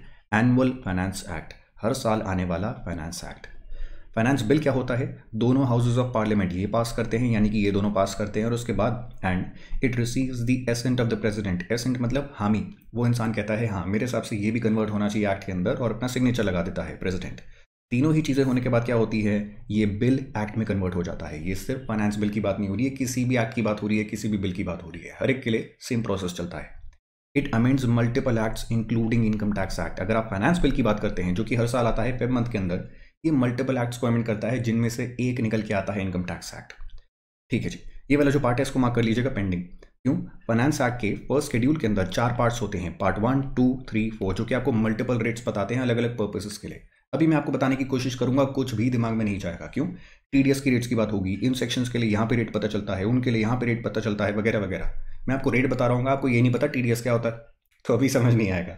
इसको भी हम पेंडिंग करते हैं पेज नंबर मार्क कर लेते हैं। Page number one point two. इसको भी करेंगे कब? जब टीडीएस हमारा कवर हो जाएगा। तो one point one and one point two. दोनों में कुछ ना कुछ हमने पेंडिंग छोड़ा है, कोई दिक्कत नहीं है, बाद में करेंगे। तो मैं आपको तब करवाऊँगा। अभी पढ़ाने की कोई सेंस ही नहीं बनती, आपको समझ नहीं आने वाला। और आपको इन सारी चीज़ों की टेंशन बिल्कुल लेने की ज़रूरत नहीं कि कौन सी चीज़ को पेंडिंग छोड़ा, कौन सी को नहीं छोड़ा, सारी मेरी रिस्पॉन्सिबिलिटी है, मुझे पता है कौन सी चीज़ आपको कब पढ़ानी है ताकि बेस्ट तरीके से आपके दिमाग में घुसे। चलिए जी, आगे बढ़ते हैं। नेक्स्ट आपका डॉक्यूमेंट निकल के आता है इनकम टैक्स रूल्स तो इनकम टैक्स रूल्स क्या करते हैं? देखिए इनकम टैक्स रूल्स 1962 इनफैक्ट इसको पढ़ने से पहले मैं आपको एक और चीज़ दिखाना चाहूँगा। इनकम टैक्स एक्ट 1961 मैंने आपको क्या बताया? इसको अमेंड करा जाता है अलग अलग तरीकों से। पहला तो ये एनुअली अमेंड होता है, हर साल अमेंड होता है कैसे फाइनेंस एक्ट से, जो कि मैंने आपको बताया कब आता है वेब मंथ के अंदर, आजकल फ़र्स्ट वेब को आता है। तो यहाँ पे फाइनेंस बिल प्रपोज करा जाता है लोकसभा के अंदर। उसके बाद वो राज्यसभा जाता है प्रेसिडेंट के पास जाता है सिग्नेचर होता है दो तीन महीने का प्रोसेस होता है, जिसके अंदर ये एक्ट में कन्वर्ट हो जाता है, लोगों को मानना पड़ता है। विच इज़ वाई जैसे ही बजट आता है, लोगों में हलचल हो जाती है, बताओ, क्या चेंज प्रपोज करा गया है, क्या चेंज होने वाला है? कम टैक्स देना पड़ेगा, ज़्यादा देना पड़ेगा, वगैरह वगैरह। और हमें डी के लिए बुलाया जाता है। लेकिन आज के टाइम पर बहुत लोग डी कर रहे होते हैं चार्टर्ड अकाउंटेंट्स के अलावा भी। ठीक है भाई? सबको पता होना चाहिए सारी चीज़ों के बारे में, आपकी लाइफ को इफ़ेक्ट करने वाला है, कोई दिक्कत नहीं है उसमें। आगे देखिए। पहले तो इनकम टैक्स एक्ट को कैसे अमेंड करा जाता है फाइनेंस एक्ट के थ्रू लेकिन also by multiple other acts जैसे कि टैक्सेशन लॉज अमेंडमेंट एक्ट ये क्या बोल दिया गया? समझिए। मैंने आपको बताया ना, ये जो एक्ट है, जो भी पास करा जाता है हर साल फेब मंथ के अंदर, ये तो हमारी एक रीत है। एक प्रथा है जो कि चलते आ रही है कस्टम है कि हर फेब मंथ के अंदर ये बजट आने ही वाला है, जिसमें मल्टीपल चेंजेस आएँगे मल्टीपल एक्ट्स के अंदर। कम चेंजेस हो सकते हैं, ज़्यादा हो सकते हैं, लेकिन होने ज़रूर वाले हैं। अब बात करते हैं साल के बीच में। मान लीजिए यहाँ पे आपको लगा कि मैंने एकदम से डीमोनेटाइजेशन कर दी है। डीमोनेटाइजेशन करते ही कोई ना कोई दिक्कत होने वाली है अगर एक्ट अमेंड नहीं करा गया तो। तो हम वेट नहीं कर सकते। भाई साहब, अगला फेब निकल के आएगा। तो अब हम बजट में चेंजेस पास करेंगे। नहीं रुका जा सकता। मुझे अभी के अभी कोई ना कोई चेंज करना है या फिर मान लीजिए इकोनॉमी धड़ाधड़ किसी ना किसी तरीके से गिर रही है। जीडीपी बहुत ज़्यादा गिर रही है। चेंजेस अभी के अभी करने होंगे। नवंबर मंथ चल रहा है। फेब तक वेट नहीं करा जा सकता। तो यहाँ पे कोई चेंजेस करने हैं इनकम टैक्स एक्ट में या फिर किसी भी एक्ट में? वेट करते रहोगे क्या? नहीं। आपके जो सेशंस चलते हैं पार्लियामेंट में, ये अलग अलग टाइम पे चलते रहते हैं। तो आप क्या करेंगे? या तो कोई ना कोई सेशन चल रहा होगा तो उसमें पास कर दीजिएगा किसी भी एक्ट को to amend any other act या फिर आप एकदम से इमरजेंसी सेशन बुलाते हैं, या फिर ऑर्डिनेंस के थ्रू अलग अलग तरीके होते हैं। अगेन मैं कॉन्स्टिट्यूशन में घुस जाऊँगा, कोशिश करेंगे मुझे रोक लीजिएगा, अपने घर पर बैठे बैठे रोक लीजिएगा। क्योंकि जितना मैं कॉन्स्टिट्यूशन में घुसने लग जाऊँगा I dive into polity जो कि आपका सिलेबस का पार्ट है नहीं। आईएएस के लोग पढ़ते हैं सिविल सर्विस की प्रिपरेशन करने वाले लोग पढ़ते हैं, आपको पढ़ने की ज़रूरत नहीं है। तो स्टिल मैं आपको कम से कम पढ़ा के ज़्यादा से ज़्यादा पढ़ा दूँगा जो कि आपके सिलेबस को इम्पैक्ट करता है, आपको जानने की ज़रूरत है। So basically what is going to happen is मुझे साल के बीच में किसी भी पर्टिकुलर डेट पे अगर चेंजेस लाने की ज़रूरत है तो मैं लेके आऊँगा। लेकिन क्योंकि अब जो मैं चेंज लाने की बात कर रहा हूँ, इस पर्टिकुलर डेट पे ये सिर्फ़ टैक्सेशन लॉज के अंदर चेंज लेके आने वाला है। अब जो भी मैं एक्ट पास करूँगा यहाँ पे, उसका मैं नाम ही रख दूँगा। टैक्सेशन लॉज अमेंडमेंट एक्ट क्यों? इससे मैं सिर्फ़ इनकम टैक्स एक्ट को टारगेट कर रहा हूँ। सारे एक्ट्स को टारगेट नहीं कर रहा कि कंपनीज़ एक्ट भी चेंज करूँगा कस्टम्स भी चेंज करूँगा इनकम टैक्स भी चेंज करूँगा और बाकी अदर जो भी एक्ट्स निकल के आते हैं, उनको भी चेंज करूँगा। वो तो साल में एक बार करता हूँ फाइनेंस एक्ट के थ्रू करता हूँ। यहाँ पे जब टारगेट ही टैक्सेशन लॉज एक्ट को करा जा रहा है तो टैक्सेशन लॉज के एक्ट को अमेंड करने के लिए जो भी एक्ट बनाया जाता है, साल के बीच में जो निकाला जाता है, उसको बोला जाता है टैक्सेशन लॉज अमेंडमेंट एक्ट ये हर साल नहीं आता, लेकिन जब भी साल के बीच में ज़रूरत पड़ जाती है, कोई भी बड़े चेंजेस लाने की, इस एक्ट को पास करा जाता है। तो मोटे मोटे तौर पे मैंने आपको यहाँ पे क्या बताया? इनकम टैक्स एक्ट पहली बार कब आया था? 1961 में। लेकिन तब से लेके अब तक हम, क्योंकि इंडियंस हैं नेचुरली हमारे खून के अंदर है टैक्स एविजन करना। तो हमने अलग अलग तरीके निकालते रहे हम टैक्स एविजन करने के, सरकार उनको रोकने के लिए अमेंडमेंट ला दी गई, ताकि लोग टैक्स एविजन ना कर पाए। और अमेंडमेंट्स 1961 से इस पर्टिकुलर एक्ट में जो लाई जा रही हैं, वो कैसे लाई जाती हैं? एक तो एनुअली हर साल फेब मंथ के अंदर फाइनेंस एक्ट के थ्रू लाई जाती हैं एंड उसके साथ साथ कभी कभी टैक्सेशन लॉज अमेंडमेंट एक्ट ये भी पास कर दिया जाता है, जो कि साल के दौरान पास करा जाता है। छोटी छोटी चीज़ें देख रहे हैं, हर चीज़ के पीछे लॉजिक है इनका नाम ऐसा क्यों है, इनका नाम ऐसा क्यों है, वगैरह वगैरह। बस लॉजिक जानने के पीछे आपकी इच्छा होनी चाहिए कि मुझे लॉजिक जानना है, मेरा मन है। ये नहीं कि मुझे तो बस रटवा दो, मैं सारी की सारी रट के चीज़ें आगे बढ़ जाऊँगा। रटने लग जाएँगे तो इतना सारा सिलेबस है सीए कोर्स के अंदर रट नहीं पाएँगे। और एक बार सीए बन भी गए, ना तो सामने वाले इंसान को समझा पाओगे, ना ही खुद समझ पाओगे। तो प्रैक्टिस कैसे करोगे? उसका फ़ायदा कैसे उठाओगे उस नॉलेज का जो कि आपने कंज्यूम करी है? सीए का सर्टिफिकेट किसी भी इंसान को ना तो काम दिला पाया है, ना ही दिला पाएगा। वो बस एक ज़रिया होगा जॉब फेच करने का, फिर बिज़नेस स्टार्ट करने का। उसके बाद आपकी नॉलेज ही काम आएगी, चाहे आप जॉब में चले जाएँ, चाहे आप बिज़नेस में चले जाएँ। तो नॉलेज पे मेहनत नहीं करेंगे। तो टंगाते रहो सर्टिफिकेट जितने भी आपको दीवारों पर टंगाने हैं। फ़ायदा कुछ नहीं होने वाला उन सर्टिफिकेट्स का। Because at the end of the day knowledge matter करती है। तो उस पर काम करिए, मेहनत करिए। और अभी तो आपने स्टार्ट करी है जर्नी सी इंटरमीडिएट लेवल पे टैक्सेशन पढ़ने की। जितने इंटरेस्ट से पढ़ेंगे, जितने लॉजिक के साथ चीज़ें पढ़ेंगे, उतना ही मज़ा आने लग जाएगा। कल को मन करेगा इसमें करियर बनाने का। ये नहीं होगा यार सी बन गए। लेकिन कोई भी सब्जेक्ट समझ ही नहीं आया, पसंद ही नहीं आया। आप कुछ और ही काम ढूंढते हैं। वो नहीं होने वाला। चलिए जी, आगे बढ़ते। तो ये दोनों चीज़ों के बारे में हमने बात कर ली। अब हम जाने वाले हैं किसके बारे में? इनकम टैक्स रूल्स के बारे में जानने वाले हैं। इनकम टैक्स रूल्स 1962 में पास करे गए थे। कौन निकालती है, क्यों निकालती है, वगैरह वगैरह डिस्कस करते हैं। सीबीडीटी यानी कि central board of direct taxes देख लीजिए।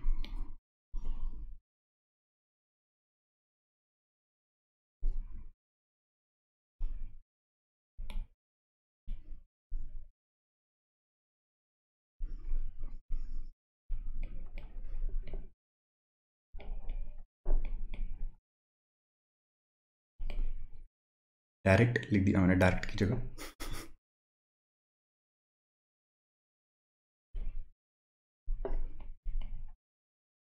ये देखिए, एक बॉडी बनाई गई सरकार के द्वारा। क्यों बनाई गई, समझने की कोशिश करिए। सरकार ने कहा एम ने स्पेसिफिकली कहा कि भाई साहब, हम लॉ तो चलो बना देंगे। आई या बाकी सारे जो भी नॉलेजेबल ऑफिसर्स हैं, उनसे जान की कि कौन से टैक्स के लॉस बनाने की ज़रूरत है, क्या प्रोविज़न बनाना है, वगैरह वगैरह। बिल पास करेंगे, बिल को सब जगहों पे पास करवा के एक्ट बना देंगे, लोगों को मानना पड़ेगा। लेकिन ये एक्ट को इंप्लीमेंट करने के लिए डेली बेसिस पे छोटी छोटी चीज़ें लानी पड़ेगी, जैसे कि ये फॉर्म है, इससे रिटर्न फ़ाइल करो, इस डेट तक फ़ाइल कर देना, वगैरह वगैरह।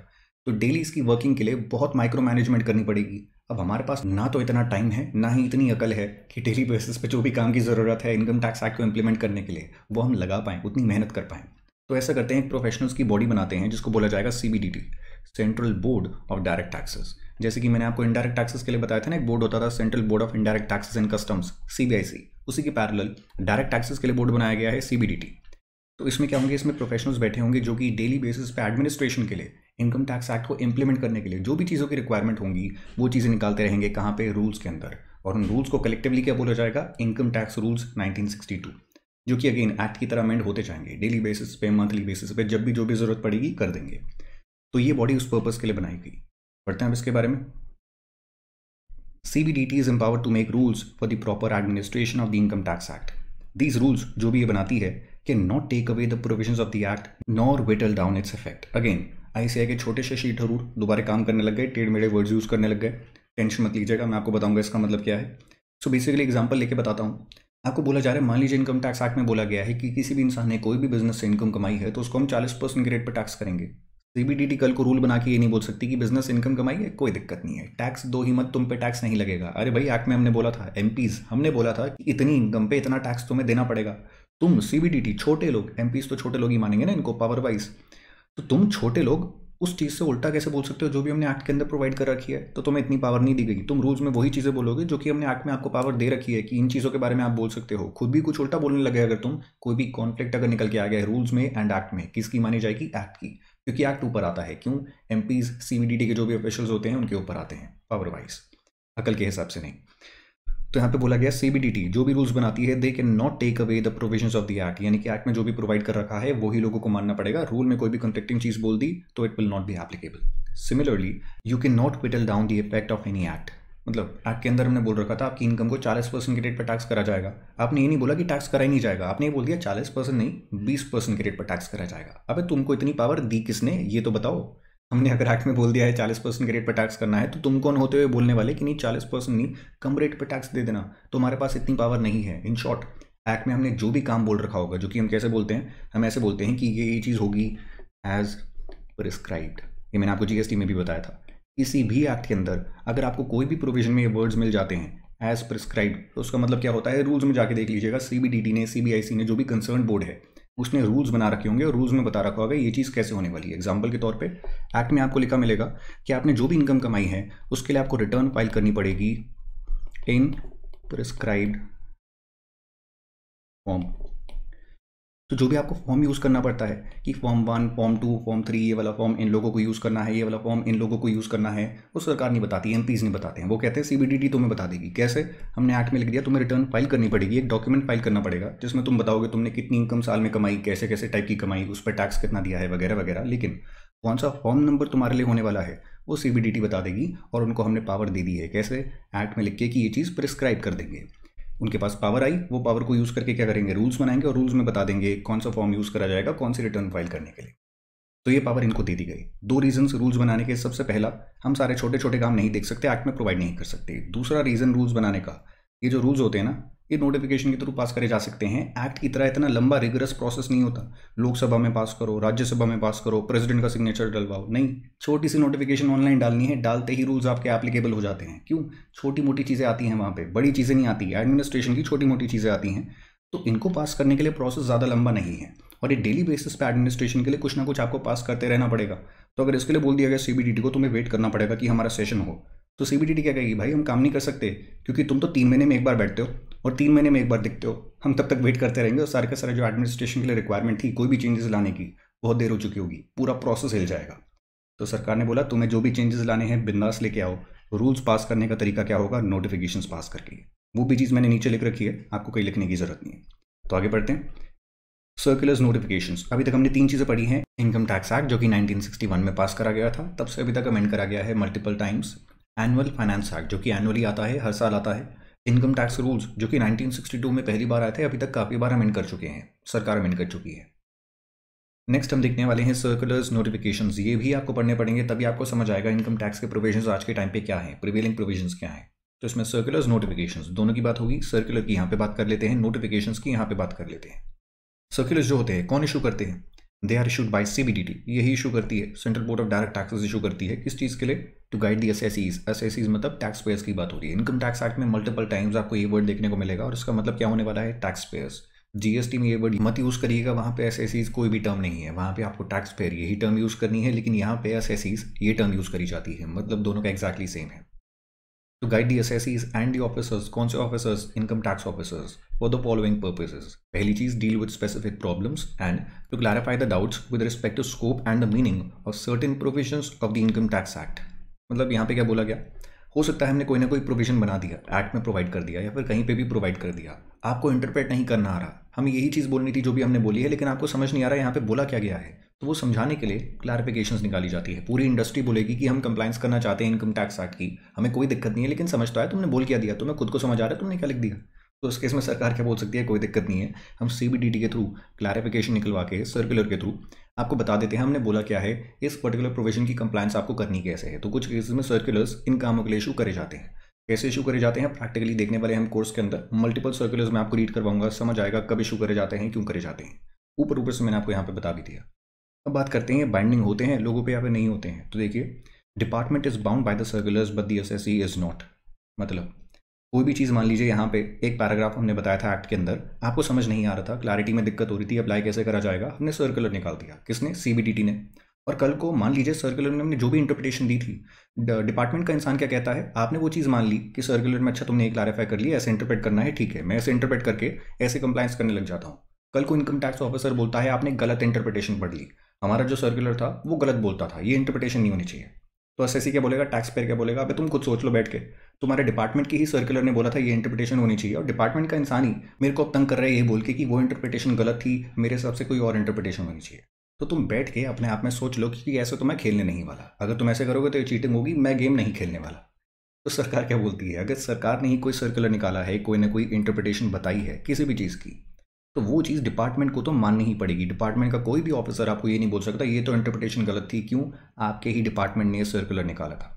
लेकिन अगर एक्ट में कोई चीज़ की इंटरप्रिटेशन देने के लिए डिपार्टमेंट ने सीबीडीटी ने एक इंटरप्रिटेशन निकाल दी कि हमारे हिसाब से ये इंटरप्रिटेशन होनी चाहिए, आपको सही नहीं लगती, क्या आप कोर्ट में जाके चैलेंज कर सकते हो उस इंटरप्रिटेशन को? मेरे हिसाब से तुमने गलत बोल दिया है, ये इंटरप्रिटेशन बनती नहीं है एक्ट में एम ने कुछ और ही बोला था। क्या आप ऐसा कर सकते हैं? बिल्कुल कर सकते हैं, क्यों? सर्कुलर आपने नहीं निकाला है। तो सर्कुलर में अगर आपको लगता है कोई गलत इंटरप्रिटेशन हो गई है, आप उल्टा काम करिए, कोई दिक्कत नहीं है। कोर्ट में आपको जाना पड़ेगा, कोर्ट में जाके लड़ना पड़ेगा डिपार्टमेंट से, लेकिन अगर कोर्ट को भी लगा आपका स्टैंड सही है, आप जीत सकते हैं। आपके पास कोर्ट में लड़ने की ऑप्शन होती है, लेकिन डिपार्टमेंट कोर्ट में नहीं जा सकता, वो ये नहीं बोल सकता, मेरे हिसाब से यहाँ पे गलत इंटरप्रिटेशन ले ली गई है। क्यों? अबे तेरे डिपार्टमेंट नहीं बोला है, ये इंटरप्रिटेशन होनी चाहिए। तू बहस नहीं कर सकता, तू बाउंड है सर्कुलर से, हम बाउंड नहीं है टैक्स पेस बाउंड नहीं है। तो ये चीज़ निकल के आती है किसके रिस्पेक्ट में? सर्कुलर के रिस्पेक्ट में। आगे देखिए नोटिफिकेशन की बात करते हैं। Notification are issued by C यानी कि central government to give effect to the provisions of the income tax act यानी कि इनकम टैक्स एक्ट में कुछ जगहों पे आपको लिखा मिलेगा कि ये इंसान जो भी कोई भी पैसा बोरो करता है और उस पर इंटरेस्ट पे कर रहा होता है, मान लीजिए ये इंसान है, यहाँ पे बोरोवर है और यहाँ पे कौन है? लेंडर है। तो लेंडर क्या करता है? पैसा देता है और ये क्या करता है? बदले में पैसे के साथ साथ इंटरेस्ट भी वापस करता है। तो यहाँ पे इनकम कौन कमाएगा? ये कमाएगा। सरकार कुछ केसेस में सेक्शन में लिख के बोल देगी कि अगर इस इंसान ने, किसी भी नोटिफाइड इंसान ने इंटरेस्ट की इनकम कमाई है तो उसकी इनकम पे हम टैक्स कलेक्ट नहीं करने वाले। क्यों? इंसेंटिवाइज करने के लिए कि तुम पैसा दो, इस इंसान को दो, हम तुम्हें इंसेंटिव देंगे इंटरेस्ट पर टैक्स कलेक्ट नहीं करेंगे। तो लैंग्वेज एक्ट में क्या यूज़ करी गई है? अगर किसी भी नोटिफाइड इंसान ने कोई भी पैसा लेंड करा है, हम इंटरेस्ट पे टैक्स नहीं कलेक्ट करने वाले। और सरकार ने ऐसा क्यों करा? एक्ट के अंदर ही नाम क्यों नहीं लिख दिया इंसान का? क्योंकि एक्ट के अंदर अगर तुम नाम लिख दोगे तो दिक्कत क्या हो जाएगी? बार बार तुम्हें एक्ट को ही अमेंड करना पड़ेगा। ये पूरा का पूरा लंबा प्रोसेस लगा के किसी भी नए इंसान को एग्ज़ाम करने के लिए या फिर किसी भी पुराने इंसान से एग्जामेशन छीनने के लिए। और डेली बेसिस पे हो सकता है आप नए लोगों को एग्ज़ाम करना चाहें या फिर पुराने लोगों को हटाना चाहें। तो बार बार आपको ये पूरा का पूरा प्रोसेस लगाना पड़ेगा एक्ट को चेंज करने के लिए। सिंपल सा तरीका है एक्ट में लिख दो। कोई भी नोटिफाइड इंसान जो भी होगा उस इंसान को ये फ़ायदा मिल जाएगा। क्या? आपकी interest income will not be subject to income tax अब आपको क्या करना है? अब आपको बस नोटिफिकेशन निकालनी है जो कि रातों रात निकाली जा सकती है सेंट्रल गवर्नमेंट के द्वारा। बस ऑनलाइन अपडेट करनी है। ये पूरा प्रोसेस करने की ज़रूरत नहीं है कि यहाँ यहाँ यहाँ तीनों से पास करवाओ। तो कितना आसान हो गया मेरे लिए? अब मैं रातों रात किसी इंसान की इंटरेस्ट इनकम को एग्ज़ाम करना चाहता हूँ नोटिफिकेशन निकालूँगा एग्ज़ाम कर दूँगा। हटाना चाहता हूँ एग्जामेशन को नोटिफिकेशन निकालूँगा, बोलूँगा, आज से इनकम एग्ज़ाम नहीं है। समझे ना प्रोसेस कौन सी चीज़ नोटिफिकेशन में लिखी जा रही है मोर इंपॉर्टेंटली क्यों लिखी जा रही है? सारी चीज़ें एक्ट के अंदर क्यों नहीं भर दी गई? हर चीज़ के पीछे रीज़न है। तो मैंने आपको एग्जांपल दिया प्रैक्टिकल की नोटिफिकेशंस के थ्रू सेंट्रल गवर्नमेंट क्या कर सकती है? एक्ट के जो भी प्रोविजंस हैं, उनको इफ़ेक्ट दे सकती है। जहाँ पे भी एक्ट में आपने लिखा है, ये काम नोटिफिकेशन से होगा सेंट्रल गवर्नमेंट वो काम नोटिफिकेशन से कर सकती है। सिमिलरली कुछ केसेस में नोटिफिकेशन सीबीडीटी ये भी इशू करती है। कब करती है, क्यों करती है? टू मेक और amend the income tax rules मैंने आपको बताया था ना रूल्स जब भी बनाए जाते हैं, कैसे बनाए जाते हैं नोटिफिकेशन निकाल के, कौन निकालती है सीबीडीटी निकालती है। तो ये क्या करेगी, कोई भी नोटिफिकेशन निकालेगी, बोलेगी, आज से ये वाला काम जो भी करने के लिए हमारे पास पावर थी, क्योंकि एक्ट बोलता था ये वाला काम होगा प्रिस्क्राइब तरीके से। वो काम ऐसे होने वाला है एडमिनिस्ट्रेशन एक्ट की ऐसे होने वाली है। कैसे? हमने बोल दिया है नोटिफिकेशन निकाल के, और नोटिफिकेशन निकालने के लिए भी लंबा प्रोसेस नहीं है, छोटा सा प्रोसेस है। तो आप कोई भी चीज़ अगर नोटिफिकेशन निकाल के बोलते हैं, ऐसे होने वाली है रूल बना देते हैं तो वो रूल इफ़ेक्टिव हो जाएगा। क्यों? सी ने नोटिफिकेशन निकाली है। सिमिलरली कोई नोटिफिकेशन से आप अगर चेंज करना चाहते हैं रूल को, वो भी कर सकते हैं। तो कोई भी रूल मुझे चेंज करना है, नई नोटिफिकेशन निकाल दूँगा, बोल दूँगा कि पुराने रूल के अंदर जो भी लिखा था, आज से पढ़ना बंद कर दीजिएगा, नया रूल ये होने वाला है, या फिर पुराना रूल बस मैं हटा देता हूँ, वो पढ़ने की ज़रूरत नहीं है। तो जो भी तरीका है, उससे रूल्स बनाए भी जा सकते हैं एंड अमेंड भी करे जा सकते हैं चेंज भी करे जा सकते हैं। उसके लिए नोटिफिकेशन ये निकालती है एंड एक्ट के प्रोविजंस को इफ़ेक्ट देने के लिए कभी कभी नोटिफिकेशन निकाली जाती हैं सीजी के द्वारा। कौन सी नोटिफिकेशन प्रैक्टिकली इशू करी गई है, कौन से रूल्स बनाए गए हैं, सब पढ़ने वाले हैं। चैप्टर वन में बस आपको ढांचा बताया जा रहा है स्ट्रक्चर बताया जा रहा है कि भाई साहब, ये सारे डॉक्यूमेंट्स आपको देखने को मिलेंगे। अभी जब हम पढ़ाई करेंगे, मैं आपको बताऊँगा एक्ट के सेक्शन में ये लिखा है रूल के इस रूल के अंदर ये लिखा है सर्कुलर ये निकाला गया था, इस इस नंबर के सर्कुलर ने ये प्रोवाइड करा था, इस इस नोटिफिकेशन ने ये प्रोवाइड करा है। तो एक तो तरीका मैं आपको बस बताते जाऊँ, आप रटते जाएँ। दूसरा तरीका ये है, आपके दिमाग में साथ साथ क्लिक करें कि अच्छा ये चीज़ नोटिफिकेशन में इसलिए डाली गई है। ज़्यादा आसान होगा नोटिफिकेशन निकालना, हटाना, वगैरह वगैरह, ये चीज़ एक्ट के अंदर इसलिए डाली गई है। अच्छा रूल निकाले गए हैं तो सी ने निकाले होंगे एम ने नहीं निकाले होंगे, वगैरह वगैरह। स्ट्रक्चर आपके दिमाग में होना चाहिए, और चीज़ों के पीछे रीज़न भी आपके दिमाग में होना चाहिए। ठीक है जी। नोटिफिकेशंस की बात करते हैं, किस पे बाइंडिंग होते हैं, ये दोनों पे ही बाइंडिंग होते हैं। डिपार्टमेंट पे भी एंड एसएससी पे भी। दोनों को ही मानना पड़ेगा नोटिफिकेशन में जो भी मेंशन है। कोई भी इंसान ये नहीं बोल सकता कि मुझे तो ऐसा ही नहीं लग रहा नोटिफिकेशन में जो भी बोला गया है, चाहे इसने बोला हो, चाहे इसने बोला हो। मुझे सही नहीं लग रहा, मैं तो कोर्ट में जाकर लड़ना चाहूँगा और कोर्ट में जज को बोलना चाहूँगा भाई साहब, ये सही नहीं है। इसको चेंज कर दो। नहीं। जज कोर्ट में कोई भी इंसान डिपार्टमेंट एस कोई भी चेंज नहीं करवा सकता उस चीज़ को, जो भी नोटिफिकेशन के अंदर लिखा है। सिमिलरली मान लीजिए एक्ट में कोई भी चीज़ लिखी है, आप कोर्ट में जाके बहस नहीं कर सकती कि मेरे हिसाब से ये नहीं होना चाहिए। अगर वो चीज़ इलीगल है कॉन्स्टिट्यूशन राइट नहीं देता था आपको करने की, आप बहस कर सकते हैं कोर्ट में जाके। बट अगर लीगल तरीके से एम ने कोई भी चीज़ एक्ट के अंदर लिख दी है नोटिफिकेशन के अंदर लिख दी है, वगैरह वगैरह, किसी भी जगह पर लिख दी है, आप कोर्ट में जाकर बहस नहीं कर सकती कि जज साहब बचा लो। जज क्या कहेगा, मैं कुछ नहीं कर सकता, मैं सिर्फ़ इंटरप्रिटेशन कर सकता हूँ स्टैच्यूट्स की, मैं खुद से नहीं बना सकता लॉ को कि मेरे हिसाब से ये चीज़ होनी चाहिए थी, नहीं होनी चाहिए थी। मैं बस ये चेक कर सकता हूँ, चीज़ कॉन्स्टिट्यूशनली वैलिड है एक्ट के हिसाब से वैलिड है, वगैरह वगैरह। उसके अलावा कुछ नहीं कर सकता आपका कोर्ट भी। अब बात करते हैं फाइनली किस पे लीगल डिसीज़न ऑफ़ कोर्ट्स पे। ये भी इनकम टैक्स लॉ का पार्ट फॉर्म करते हैं। किसी भी इंसान को आपको लॉ समझाना होगा, ये भी पढ़ना पड़ेगा। उसके बाद ही समझा पाएँगे। अब ये क्यों आई समझी? जब भी एम ने लॉ बनाया प्लस सी ने रूल्स बनाए उसी चीज़ को समझाने के लिए या फिर एडमिनिस्टर करने के लिए। उन्होंने कहा, भाई साहब इंडिया की आबादी का एक बार ख्याल रखना, अपने दिमाग में सोच के रखना फिगर कितनी है? 130 करोड़ लोग हैं। अब 130 करोड़ लोग लाखों टाइप की इनकम्स कमाते हैं, लाखों तरीकों से टैक्स एवेजन करते हैं। हर एक का अगर हम प्रोविज़न बनाने लग गए कि इस फ़ील्ड में इनकम को ऐसे टैक्स करा जाएगा, उस फ़ील्ड में ऐसे टैक्स करा जाएगा, हमें कोई दिक्कत नहीं है। पचास हज़ार पेजेस का डॉक्यूमेंट बन जाएगा, पढ़ लेना। और सीरीज़ तुम पढ़ लेना इस चीज़ को। उसके बाद समझाने की कोशिश कर लेना। प्रैक्टिकली पॉसिबल नहीं है। तो हम हर चीज़ को प्रोवाइड नहीं कर सकते, ना ही एक्ट के अंदर, ना ही रूल्स के अंदर, ना ही सर्कुलर्स में, ना ही नोटिफिकेशन में। कुछ चीज़ें ऐसी होने वाली हैं जो कि साइलेंट होने वाली हैं। आपको खुद से इंटरप्रेट करनी पड़ेगी कि आपके केस में कैसे लगने वाला इनकम टैक्स एक्ट और वहाँ पे, जहाँ पे भी चुप्पी साधा किया हमने हमने साइलेंस ऑब्ज़र्व कर रखा है, वहाँ पे डाउट निकल के आएगा कि अप्लाई करा कैसे जाए एक्ट को। तो हो सकता है आपकी कोई ओपिनियन हो एक्ट को ऐसे अप्लाई करना है इनकम टैक्स डिपार्टमेंट उसकी उल्टी ओपिनियन हो और जहाँ पे भी कॉन्फ्लिक्ट ऑफ़ ओपिनियन निकल के आएगा, दोनों में लड़ाई होगी। टैक्स पेयर बोलेगा, मेरे हिसाब से कम टैक्स बनता है इस इंटरप्रिटेशन के हिसाब से। डिपार्टमेंट बोलेगा, हमारे हिसाब से ज़्यादा टैक्स बनता है इस इंटरप्रिटेशन के हिसाब से। और दोनों की ही इंटरप्रिटेशन दोनों में से कोई भी सही हो सकती है। क्यों? एक्ट साइलेंट है एक्ट नहीं प्रोवाइड कर रहा था इस केस के बारे में। तो क्योंकि एक्ट कुछ नहीं प्रोवाइड कर रहा था, यहाँ पे आएगा कौन? कोर्ट और कोर्ट में केस जाने के बाद जज साहब का काम होगा कि वो बताएँ कि ये जो एक्ट में चीज़ साइलेंट थी एक्ट नहीं बता रहा था इस चीज़ के बारे में कि यहाँ पे क्या होना चाहिए। यहाँ पे टैक्स डिपार्टमेंट की जो भी एजम्पन थी, उनकी जो भी ओपिनियन थी इंटरप्रिटेशन थी, वो सही है या फिर टैक्स पेयर उसकी इंटरप्रिटेशन सही है? दोनों में से जिसकी इंटरप्रिटेशन को सही बोला जाएगा कोर्ट के द्वारा, वही सही मानी जाएगी, अगर एक्ट को चेंज ना कर दिया जाए तो। अब एक्ट को चेंज करने वाली बात अभी दिमाग से निकाल दीजिए, आगे आपको बता दूँगा बट कोर्ट को उस केस में बताना पड़ता है कि एक्ट या फिर लॉ पूरा को पूरा, ये सारे डॉक्यूमेंट्स मिला के जो भी सरकार ने ही निकाले हैं, ये सब मिला के इस केस में आंसर नहीं दे पा रहे कि क्या होना चाहिए। तो कोर्ट को बताना पड़ेगा इस केस में एक्चुअली क्या होना चाहिए। इनको बोला जाता है legal decision of the courts only those matters go to court on which the law is silent और एम्बिगुअस एम्बिगुअस मतलब टेढ़ी मेढ़ी चीज़ें बोल रहा है, सीधा जवाब नहीं दे पा रहा कि इस केस में क्या होने वाला है। अगर कोई चीज़ लॉ क्लियरली प्रोवाइड करता है तो उस केस में आप कोर्ट में जाकर बहस नहीं कर सकते, मुझे तो ये सही नहीं लग रहा। नहीं। उस केस में आपको वही फॉलो करना पड़ेगा, चाहे लॉजिकल लगे, चाहे नहीं लॉजिकल लगे। लेकिन अगर लॉ साइलेंट है किसी भी चीज़ पे एम्बिगुअस है, आपकी इंटरप्रिटेशन अलग निकल के आ रही है डिपार्टमेंट की अलग निकल के आ रही है, दोनों जाके लड़ सकते हो, और ये लड़ाई होने के बाद कोर्ट का डिसीज़न आएगा कि दोनों में से कौन सही है और वो दोनों को ही मानना पड़ेगा। अदरवाइज़ आप क्या कर सकते हैं हायर कोर्ट में जाके दोबारा लड़ाई चालू रख सकते हैं। तो देखिए, वही मैटर्स कोर्ट में जाने वाले हैं जहाँ पे लॉ यानी कि इनकम टैक्स लॉ वो साइलेंट है या फिर एम्बिगुअस है। Decision of the supreme court उसको कंसिडर करा जाता है लॉ ऑफ़ द लैंड क्यों? Supreme court judgment is as good as something written in the law किसी भी चीज़ पे लॉ साइलेंट था. केस में आप लड़ते लड़ते district court high court supreme court वगैरह वगैरह एक एक कर करके सुप्रीम कोर्ट तक पहुँच चुके हैं. सुप्रीम कोर्ट ने बोल दिया, इस केस में जहाँ पे लॉ साइलेंट था, ये इंटरप्रिटेशन होनी चाहिए. तो सुप्रीम कोर्ट की जो जुरिस्डिक्शन होती है, वो कहाँ की होती है? दिल्ली की, महाराष्ट्र की, राजस्थान की कहाँ की? पूरी कंट्री की होती है. सुप्रीम कोर्ट पूरी कंट्री का एक ही होता है. दिल्ली के अंदर है, लेकिन उसकी जुरिस्डिक्शन पूरी की पूरी कंट्री की है. तो उन्होंने जो भी चीज़ बता दी, पूरे इंडिया को माननी पड़ेगी। तो इसलिए बोला जाता है, इन्होंने जो भी डिसीज़न सुना दिया है, उसको बोला जाता है लॉ ऑफ़ द लैंड ये माना जाएगा एक्ट का ही पार्ट अब बन चुका है। अनलेस सरकार एक्ट को मॉडिफाई करके कोई उल्टी चीज़ बोलते अगर सरकार ने ऐसा कर दिया, सुप्रीम कोर्ट की रूलिंग को वो हटवाना चाहते हैं, कर सकते हैं। कैसे? इनके डिसीज़न आने के बाद अगर आपको वो सही नहीं लगता एक्ट को चेंज कर दीजिए और एक्ट में प्रोवाइड कर दीजिए अपनी वाली इंटरप्रिटेशन जैसे ही वो कर देंगे, इनकी डिसीज़न बेकार हो जाएँगे। लेकिन जब तक आप कोई भी कॉन्ट्राडिक्टरी चीज़ लॉ के अंदर प्रोवाइड नहीं करते, इनके जो भी डिसीज़न होते हैं, उनको बोला जाता है लॉ ऑफ़ द लैंड सबको मानने पड़ेंगे, पूरे की पूरी कंट्री को मानने पड़ेंगे। सिमिलरली अगर आप हाई कोर्ट के डिसीज़न की बात करते हैं, मान लीजिए दिल्ली हाई कोर्ट ने कोई भी डिसीज़न सुनाया है कि इस केस में ये होना चाहिए। लॉ साइलेंट था, हम बता देते हैं इंटरप्रिटेशन ये होनी चाहिए। तो इन्होंने जो भी इंटरप्रिटेशन दी है, वो सिर्फ़ रिस्पेक्टिव जुरिस्डिक्शन में लगेगी। मुंबई के इंसान को मानने की ज़रूरत नहीं है। क्यों? दिल्ली हाई कोर्ट की जो जुरिस्डिक्शन है, वो बॉम्बे वाले इंसान पे, मुंबई वाले इंसान पे नहीं लगती है। तो उनको अपने कोर्ट वाली माननी है, हमें अपने कोर्ट वाली माननी है।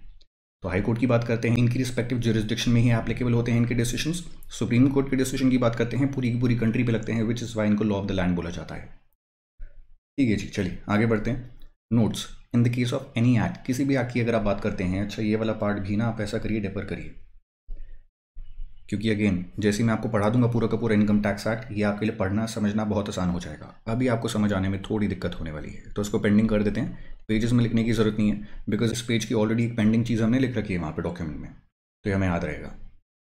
आगे देखिए in general income tax act जो होता है, वो अमेंड करा जाता है एनुअली हर साल अमेंड करा जाता है फाइनेंस एक्ट के द्वारा, जो कि पार्लियामेंट पास करता है। हाउ एवर समटाइम्स गवर्नमेंट क्या करती है टैक्सेशन लॉज अमेंडमेंट एक्ट ये भी लेके आ जाती है for amending the provision of income tax act ये चीज़ हमने ऊपर पढ़ी ली थी तो नीचे काटी भी जा सकती है सेम चीज़ आपकी नीचे लिखी हुई है। आगे ये देखिए, ये छोटी सी चीज़ लिख लीजिएगा। Anything can be change in the same way it was introduced hence pass an act to change an act यानी कि कोई भी एक्ट के अंदर आपने कोई भी चीज़ प्रोवाइड कर रखी थी लेटेस्ट इनकम टैक्स एक्ट 1961 इसकी बात करते हैं। यहाँ पे मैंने कुछ भी लिखा था, मुझे चेंज करना है। कोई नई चीज़ यहाँ पे डालनी है, कोई पुरानी चीज़ यहाँ पे डिलीट करनी है या फिर सब्सटीट्यूट करनी है कोई भी पुरानी चीज़ विद न्यू प्रोविज़न तो उस केस में मुझे क्या करना पड़ेगा? एक्ट में चेंज लेके आना है ना, नया एक्ट पास करना पड़ेगा। चाहे फाइनेंस एक्ट पास करूँ, चाहे taxation laws amendment act pass करूँ, किसी भी नाम से एक्ट को पास कर लूँ, नया एक्ट ही पास करना पड़ेगा। क्यों? नया एक्ट ही किसी पुराने एक्ट को चेंज कर सकता है। और ये सिर्फ़ इनकम टैक्स एक्ट की बात नहीं हो रही, हर एक्ट की बात हो रही है जीएसटी एक्ट कस्टम्स एक्ट वगैरह वगैरह। कोई भी एक्ट के अंदर अगर आपको चेंज लेके आना है, नया एक्ट ही पास करना पड़ेगा, चाहे किसी भी नाम से करिए। और नया एक्ट क्या बोलेगा? इस पुराने एक्ट के, इस सेक्शन के अंदर ये चेंज करना है या फिर ये नया सेक्शन इस वाले एक्ट के अंदर इंट्रोड्यूस करना है, वगैरह वगैरह। आगे आपको प्रैक्टिकली मैं दिखा भी दूँगा। सिमिलरली आप बात करिए नोटिफिकेशन की, कोई पुरानी नोटिफिकेशन में अगर मुझे चेंज लेके आना है, किसी भी पुरानी नोटिफिकेशन या रूल में अगर चेंज लेके आना है I will have to pass the notification क्यों? कोई भी नोटिफिकेशन या फिर रूल नोटिफिकेशन के थ्रू ही पास होते हैं। तो इनमें अगर चेंज लेके आना है सिमिलर चीज़ आपको पास करनी पड़ेगी नोटिफिकेशन लानी पड़ेगी। नई नोटिफिकेशन में बोलूँगा, पुरानी जो नोटिफिकेशन थी, उसमें ये ये चेंज आने वाला है अब से। सो अगेन सेम चीज़ करनी पड़ेगी। जिस तरीके से किसी भी चीज़ को पास करा गया था, उसी तरीके से उसको चेंज करा जा सकता है। इसको चेंज करने के लिए मैं एक्ट पास नहीं कर सकता। इसको चेंज करने के लिए मैं नोटिफिकेशन पास नहीं कर सकता। अपने दिमाग में प्रोसेस डालिएगा। सिमिलरली कोई भी सर्कुलर को चेंज करना है, जो भी आपने पास करा था, आपको नया सर्कुलर पास करना पड़ेगा। चलिए जी, आगे बढ़ते हैं। तो concept of income under the income tax act 1961 income का मतलब क्या होता है? जानना क्यों इंपॉर्टेंट है? क्योंकि उसी पे तो टैक्स लगेगा। नाम क्या है एक्ट का? इनकम टैक्स इनकम पे लगने वाला टैक्स तो पहले ये तो जान लो इनकम का मतलब क्या होता है यहाँ पे? इवन इरेगुलर और कैजुअल इनकम्स जैसे कि winnings from lotteries crossword puzzles वगैरह वगैरह दे आर टैक्सेबल क्यों? पूरे एक्ट में ऐसा कहीं नहीं लिखा कि आपने बिज़नेस इनकम कमाई है या फिर एम्प्लॉयमेंट में सैलरी वाली इनकम कमाई है, उसी को टैक्स करेंगे।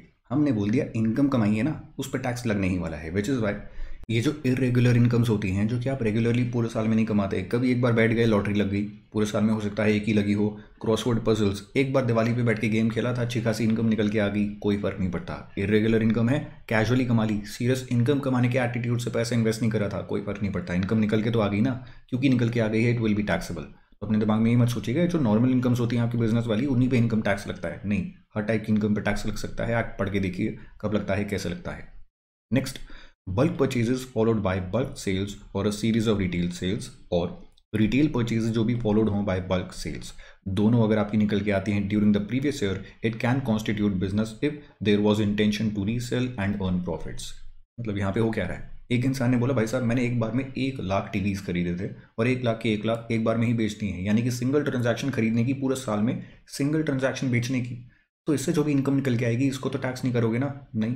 सरकार ने बोला, क्यों करेंगे हम टैक्स इनकम ये तो आपकी इरेगुलर तरीके से निकल के आई है। और हमने इरेगुलर में तो आपको बोल रखा था, हम टैक्स नहीं कलेक्ट करेंगे। ऐसा हुआ था क्या? नहीं। पूरे एक्ट में कहीं पे नहीं लिखा है रेगुलरली इनकम कमाओगे तो ही टैक्स कलेक्ट करा जाएगा। तो यहाँ पे एग्ज़ाम्पल के तरीके से भी एक्सप्लेन कर दिया गया।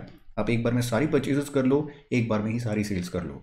कोई फ़र्क नहीं पड़ता। पूरी की पूरी इनकम आपकी इंडिया में टैक्स होगी। चाहे आपने एक बार में एक लाख पीसेस खरीद के, एक लाख के एक लाख एक ही ट्रांजैक्शन में बेच दियो या फिर हज़ार हज़ार करके, सौ सौ करके, एक एक पीस करके मल्टीपल रिटेल सेल्स में बेचा हो, कोई फ़र्क नहीं पड़ता। दोनों ही केसेस में इनकम आपकी टैक्सेबल निकल के आएगी। हो सकता है आपने क्या करा हो, खरीदा तो एक एक करके हो, सौ सौ पीसेस करके खरीदा हो, लेकिन बेचा एक बार में हो सारे के सारे माल को। दोनों ही केसेस में अगर आपकी इंटेंशन थी इस चीज़ को रीसेल करने की, आपकी इनकम इंडिया में टैक्स हो जाएगी। ये सारी चीज़ें जितनी भी मैं आपको यहाँ पे बता रहा हूँ, इनको बहुत बाय हार्ट लर्न करने की ज़रूरत नहीं है। इससे बस आइडिया ले लीजिए। कौन सी इनकम इंडिया में टैक्स होती है, कौन सी नहीं होती है, वो तो डिटेल में हम पढ़ने ही वाले हैं। आगे जाके मेन चैप्टर्स में। इस चैप्टर का नाम क्या है? Overview of income tax law start करने से पहले इस जर्नी को थोड़ा सा जान जाइए एक्ट के बारे में। थोड़ा सा बस इसके बारे में एक जिस्ट ले लीजिए, अपने दिमाग के अंदर बिठा लीजिए। उसके बाद मेन डिटेल्स में जाने वाले हैं। ठीक है जी, चलिए आगे बढ़ते हैं। Transactions which are entered in the course of business with the intention of earning profit are called revenue receipts. मतलब अगर आपने कोई भी ट्रांजैक्शन करी और वो करने से पहले ही आपके दिमाग में क्या था, मैं प्रॉफिट के लिए ट्रांजैक्शन कर रहा हूँ, खरीदी किस चीज़ के ले रहा हूँ, बेचने के लिए तो वो मेरी, क्योंकि ये बिज़नेस ट्रांजैक्शन निकल के आती है, इसको बोला जाता है रेवेन्यू रिसीट्स जो भी इनकम निकल के आई है, उसको बोला जाता है रेवेन्यू इनकम और जैसे ही रेवेन्यू इनकम बोला जाएगा इंप्लीकेशन क्या निकल के आएँगी? They are always chargeable to income tax कहाँ पे सेक्शन ट्वेंटी में होती है? आगे जाके डिटेल में देखेंगे। Example sale of the shares by share broker इसका काम क्या होता है? शेयर्स खरीदना, बेचना और जितना भी प्रॉफिट बीच में निकल के आ जाता है, वो इसकी इनकम होती है।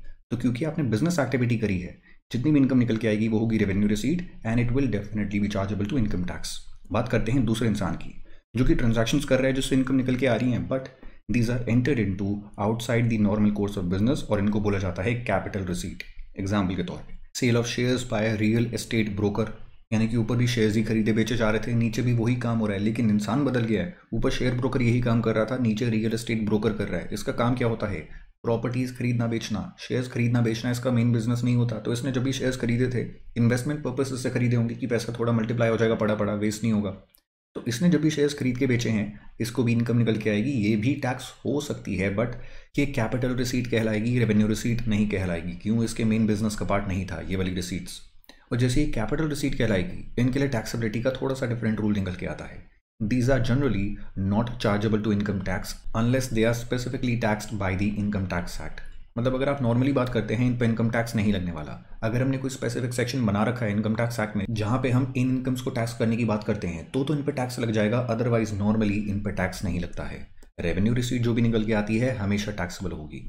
कैपिटल रिसीट्स नॉर्मली नहीं टैक्स होने वाली। स्पेसिफिकली लिख के बोल दिया है कि टैक्स करना चाहेंगे तो होने वाली है। और इनके एग्जाम्पल्स क्या क्या निकल के आ जाते हैं? Sale of the shares by real state broker receipt of liquidated damages on delayed procurement of a capital asset अब ये क्या होता है? लिक्विड का मतलब क्या होता है? मनी फॉर्म और लिक्विडेटेड डैमेजेस का मतलब क्या होता है? आपने कोई भी कॉन्ट्रैक्ट इंटर इनटू करा for the procurement of a capital asset latest से मैंने किसी इंसान को बोला, मुझे मशीनरी चाहिए दस करोड़ रुपए की मेरी फैक्ट्री में लगाने के लिए और ये तो मुझे दो महीने तक तैयार करके दे दियो मेरी रिक्वायरमेंट्स के हिसाब से। उसने बोल दिया, कर दूँगा, दस करोड़ रुपये मुझे दे देना। मैंने कहा, ठीक है, ये ले दस करोड़ रुपये अभी के अभी पकड़, मेरी मशीन बनानी चालू कर दे। और दो महीने के अंदर दे दियो। मैंने किसी इंसान को इनाग्रेशन के लिए बुला रखा है लेट नहीं होनी चाहिए फैक्ट्री स्टार्ट होने में। दो महीने के अंदर दे देगा ना, उसने बोल दिया, पक्का दे दूँगा, दो महीने क्या? दस दिन पहले ही दे दूँगा। आप पैसे दे दो। पैसे मैंने दे दिए। भाई साहब ने तीन महीने तक मशीन तैयार करके नहीं दी। और जिसको मैंने इनाग्रेशन के लिए बुलाया था, वो अब आने भी नहीं वाला। तो मैं क्या करूँगा? मैं इसको सू करने वाला हूँ लीगली कि तूने कॉन्ट्रैक्ट के हिसाब से काम नहीं करा है, तुझे मुझे पेनल्टी देनी पड़ेगी। पहला तरीका तो क्या होगा? कॉन्ट्रैक्ट में मैं नहीं लिखूँ पेनल्टी के बारे में। तो हम कोर्ट में लड़ते रह जाएँगे पेनल्टी होनी कितनी चाहिए? मैं ज़्यादा से ज़्यादा कोशिश करूँगा वो कम से कम करवाने की कोशिश करेगा। दूसरा समझदारी वाला तरीका क्या है? कॉन्ट्रैक्ट एंटर इंटू करने के टाइम पे ही मैं मेंशन कर दूँ। अगर तूने दो महीने में मशीनरी नहीं दी तो मैं इतने डैमेजेस तो चलूँगा। दो करोड़ रुपये के लेटर से हम एक पेगर डिसाइड कर लेते हैं, उतने डैमेजेस तो चलूँगा। अगर मैंने मेंशन कर दिया अमाउंट उसके अंदर कॉन्ट्रैक्ट के अंदर, उसको बोला जाता है लिक्विडेटेड डैमेजेस क्यों? मैंने मनी फॉर्म में बता दिया कितना पैसा लेने वाला हूँ। तो यही लिक्विड डैमेजेस दो करोड़ के जब मुझे मिल जाते हैं इस इंसान से, क्योंकि इसने टाइम पे कॉन्ट्रैक्ट नहीं करा फुलफिल तो ये जो रिसीट हुई है, क्या मेरी बिज़नेस रिसीट है? नहीं, मेरा ये बिज़नेस नहीं है लोगों के साथ कॉन्ट्रैक्ट एंटर इंटू करता हूँ मशीन खरीदने के लिए, फिर वो टाइम पे काम नहीं कर पाते, मेरे पास इनकम आ जाती है। वो मेरा बिज़नेस नहीं है विच इज़ वाई मुझे रिसीट हुई है इनकम आई है, लेकिन इसको बोला जाएगा capital receipt not a revenue receipt because this receipt is outside the normal course of my business अभी वाली जो रिसीट है, ये कैपिटल रिसीट है, इस पर लॉजिक क्या लगने वाला है? अगर स्पेसिफिकली कोई सेक्शन मिल जाता है जो कि इस इनकम को टैक्स करने की बात करता है it will get tax otherwise it will not get tax अब कौन सी टैक्स होती हैं, कौन सी नहीं होती हैं, देखेंगे कैपिटल गेंस वाले चैप्टर में. Next compensation on the termination of agency आप किसी इंसान के एजेंट थे और लेटेस्ट आपको दो साल का कॉन्ट्रैक्ट मिल रखा था कि दो साल तक आप ही मेरी एजेंट रहेंगे, आपसे ही हम माल बिकवाएँगे आगे जाके। लेकिन वो इंसान क्या कहता है, दो महीने के अंदर ही बोलता है, मैं कॉन्ट्रैक्ट को टर्मिनेट करना चाहूँगा किसी भी एक्सवाइजी रीजन से। तो आप उससे कॉम्पनसेशन डिमांड कर सकते हैं। आपको जो भी कॉम्पनसेशन मिला on the termination of your agency उस कॉम्पनसेशन को भी बोला जाएगा कैपिटल रिसीट बिकॉज़ ये कॉम्पनसेशन रिसीव करना वो आपका बिज़नेस नहीं होने वाला। तो ये भी जो आपको मिला, ये टैक्सेबल होगा, लेकिन कब? जब स्पेसिफिकली कोई ना कोई प्रोविज़न हो, जो कि इसको टैक्स करता हो इनकम टैक्स एक्ट के अंदर। सिमिलरली मान लीजिए आपको गिफ्ट मिल जाता है, पूरे साल में मिला के आप कहते हैं, मुझे तीन करोड़ रुपए के गिफ्ट मिल गए। इस इस इंसान ने दिए हैं, बदले में मैंने कोई काम नहीं करा, तभी इसको गिफ्ट बोला जा रहा है और इतनी की पेमेंट्स मेरे पास आ चुकी हैं। सरकार कुछ केसेस में इस कैपिटल रसीद को भी टैक्स कर लेती है, कहाँ पे? Section fifty six two ten में। अभी जानने की ज़रूरत नहीं है, आगे जाके बहुत डिटेल में पढ़ने ही वाले हैं। अभी बस क्या जानने की ज़रूरत है? किसको बोला जाता है? कैपिटल रिसीट किसको बोला जाता है? रेवेन्यू रिसीट ये हमेशा टैक्सेबल होने वाली है। पीजीपीपी हेड में होती है सेक्शन ट्वेंटी में होती हैं। अभी मत लिखिएगा इन सारी चीज़ों को, आगे डिटेल में देखेंगे। और ये जो होती हैं कैपिटल रिसीट्स अगर कोई स्पेसिफिक प्रोविज़न है टैक्स करने वाला एग्ज़ाम्पल के तौर पर ये सारे के सारे सेक्शंस जो कि टैक्स करते हैं कैपिटल रिसीट्स को तो ऐसा कोई स्पेसिफिक प्रोविज़न होगा तो ये टैक्स हो जाएगी, नहीं तो टैक्स नहीं होने वाली। और ये सारे एग्जाम्पल्स जो मैंने आपको बताए हैं, आपके मॉड्यूल के अंदर हैं आई के मॉड्यूल के अंदर तो ये मत सोचिएगा लर्न करने की ज़रूरत नहीं है। लर्न करिएगा और लॉजिक के साथ करिएगा। लॉजिक भी मैंने आपको बताया है चीज़ के पीछे। नेक्स्ट चीज़ देखिए illegality of a business does not exempt its profit from tax example के तौर पे, मैं मान लीजिए एक नया बिज़नेस स्टार्ट करता हूँ कल से टीचिंग और कंसल्टेंसी के साथ। मैं आपको कुकिंग बेचना शुरू कर देता हूँ। तो मैं जो आपको कुकिंग बेचूँगा, उससे भी मुझे इनकम आएगी। जितनी भी इनकम आएगी, क्या मैं उसमें ये बोल सकता हूँ, ये तो इलीगल इनकम है। अगर पकड़ा गया तो जेल में चले जाऊँगा, लेकिन इनकम टैक्स तो नहीं देने वाला ना? नहीं, सरकार कहती है, ये जो इनकम है this will also be subject to income tax क्यों? हमने पूरे एक्ट में आपको कहीं पर नहीं बोला कि सिर्फ़ लीगल इनकम्स को टैक्स करेंगे। इनकम टैक्स एक्ट में ये वाली इनकम से भी टैक्स होंगी, लेकिन होगा क्या? जो भी इलीगल इनकम कमा रहा है, वो कभी डिक्लेयर नहीं करेगा। वो बताएगा नहीं, सरकार को कोकेन की इनकम मेरी इतनी है, मैं ठीक है, गलत काम कर रहा हूँ। पुलिस के लिए गलत काम कर रहा हूँ, लेकिन हमारा जो इनकम टैक्स डिपार्टमेंट है, उसको मैं चीट नहीं कर सकता, मैं प्रॉपर इनकम टैक्स पे करूँगा। अरे भाई, तूने किसी भी साल में अगर पे कर दिया इस पर इनकम टैक्स सरकार को पता चल जाएगा, अगले दिन तू जेल में होगा। तो प्रैक्टिकली कोई भी इंसान डिक्लेयर नहीं करेगा, लेकिन एक बार पकड़ा जाए तो उसको जेल में भी डाला जाएगा बिज़नेस करने के लिए, उससे इनकम टैक्स भी कलेक्ट करा जाएगा, उसकी सारी की सारी इनकम पे। क्योंकि आपकी इलीगल इनकम्स पे भी इनकम टैक्स लग जाता है। एज सिंपल इज़ दैट ठीक है जी, चलिए। थोड़ा तो जाने हम इनकम टैक्स एक्ट 1961 के बारे में और डिटेल में जानेंगे आने वाले चैप्टर्स के अंदर। आगे बढ़ते हैं towards the next heading which is some of the important definitions अब डेफिनेशंस की अगर आप बात करते हैं इनकम टैक्स एक्ट में तो मल्टीपल डेफिनेशंस आपको देखने को मिलेंगी। तो मल्टीपल डेफिनेशंस में कुछ हम यहाँ पे पढ़ने वाले हैं, जो कि पूरे के पूरे एक्ट के लिए रेलिवेंट होने वाली हैं। If any specific definition is given to a word in the income tax act we use that definition only मतलब हो सकता है पूरा पूरा एक्ट पढ़ने के टाइम पे आपको कुछ वर्ड्स देखने को मिले, जिनका मतलब आपके दिमाग में कुछ ना कुछ हो ऑलरेडी हो। जैसे कि इनकम अब आपको पता है इनकम का मतलब क्या होता है? जो भी पैसा आपने कमाया रेवेन्यू माइनस एक्सपेंडिचर ये तो नॉर्मल अंडरस्टैंडिंग है हमारी। हो सकता है एक्ट में वो चाहते हो इनकम वर्ड को आप अपनी नॉर्मल अंडरस्टैंडिंग से मत पढ़िएगा। जैसे हम पढ़वाना चाहते हैं, जो मीनिंग हम देना चाहते हैं, वो ही मीनिंग दीजिएगा। और सरकार ने वैसा कर भी रखा है। उसके लिए एक सेक्शन बना रखा है जहाँ पे उन्होंने डिफाइन कर रखा है इनकम का मतलब क्या होगा। तो क्योंकि उन्होंने स्पेसिफिकली लिख के एक्ट में बता रखा है कि हमारे पूरे एक्ट के लिए इस वर्ड को ऐसे इंटरप्रेट करिएगा तो हमें ऐसे ही इंटरप्रेट करना होगा। हम खुद की इंटरप्रिटेशन नहीं लगा सकते कि, अरे भाई इनकम हमें पता है क्या होता है? ये थोड़ी होता है इनकम का मतलब? उन्होंने जो बोल दिया इनकम वो ही मानना पड़ेगा। अगर उन्होंने बोल दिया, आपने जो खर्चे करे हैं, उनको इनकम बोला जाएगा, आपको मानना पड़ेगा, जबकि वो लॉजिकल नहीं है। बट क्योंकि उन्होंने स्पेसिफिकली लिख के बोल रखा है, आपको मानना पड़ेगा। एज सिंपल इज़ दैट वही चीज़ आपको यहाँ पे बताई गई, अगर किसी भी वर्ड की स्पेसिफिक डेफिनेशन आपको देखने को मिल जाती है पूरे एक्ट में, आपको वही माननी पड़ेगी, कोई और इंटरप्रिटेशन आप नहीं ले सकते with respect to that word however if the word has not been defined in the whole act कोई वर्ड आपको समझ नहीं आ रहा, पूरे के पूरे एक्ट में डिफाइंड नहीं है, आप क्या कर सकते हैं? आप जनरल क्लॉजेस एक्ट या तो इसको देख सकते हैं, या फिर डिक्शनरी मीनिंग इसको देख सकते हैं। अब ये क्या है अतरंग की चीज़?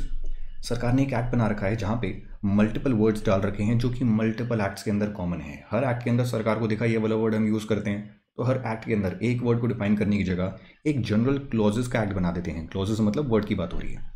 तो जनरली जो भी हम मल्टीपल एक्ट्स के अंदर वर्ड्स यूज़ करते हैं, सारे हमने यहाँ पे डिफाइन कर रखे हैं। तो बेसिकली मेरे दिमाग में प्रोसेस क्या चलेगा? पहले मैं चेक करूँगा कोई भी वर्ड इनकम टैक्स एक्ट में उसकी डेफिनेशन है क्या? अगर है तो वैसे ही मानना पड़ेगा, नहीं तो मुझे उस वर्ड की डेफिनेशन चेक करनी पड़ेगी यहाँ पे। अगर यहाँ पे उसकी कोई डेफिनेशन है, वैसे ही मानना पड़ेगा। अगर वहाँ पे भी नहीं मिलती है तो नॉर्मली जो भी डिक्शनरी मीनिंग में उस वर्ड का मतलब निकल के आता है, वो ही आप मान सकते हैं। उसी तरह से आप एक्ट को इंटरप्रेट कर सकते हैं।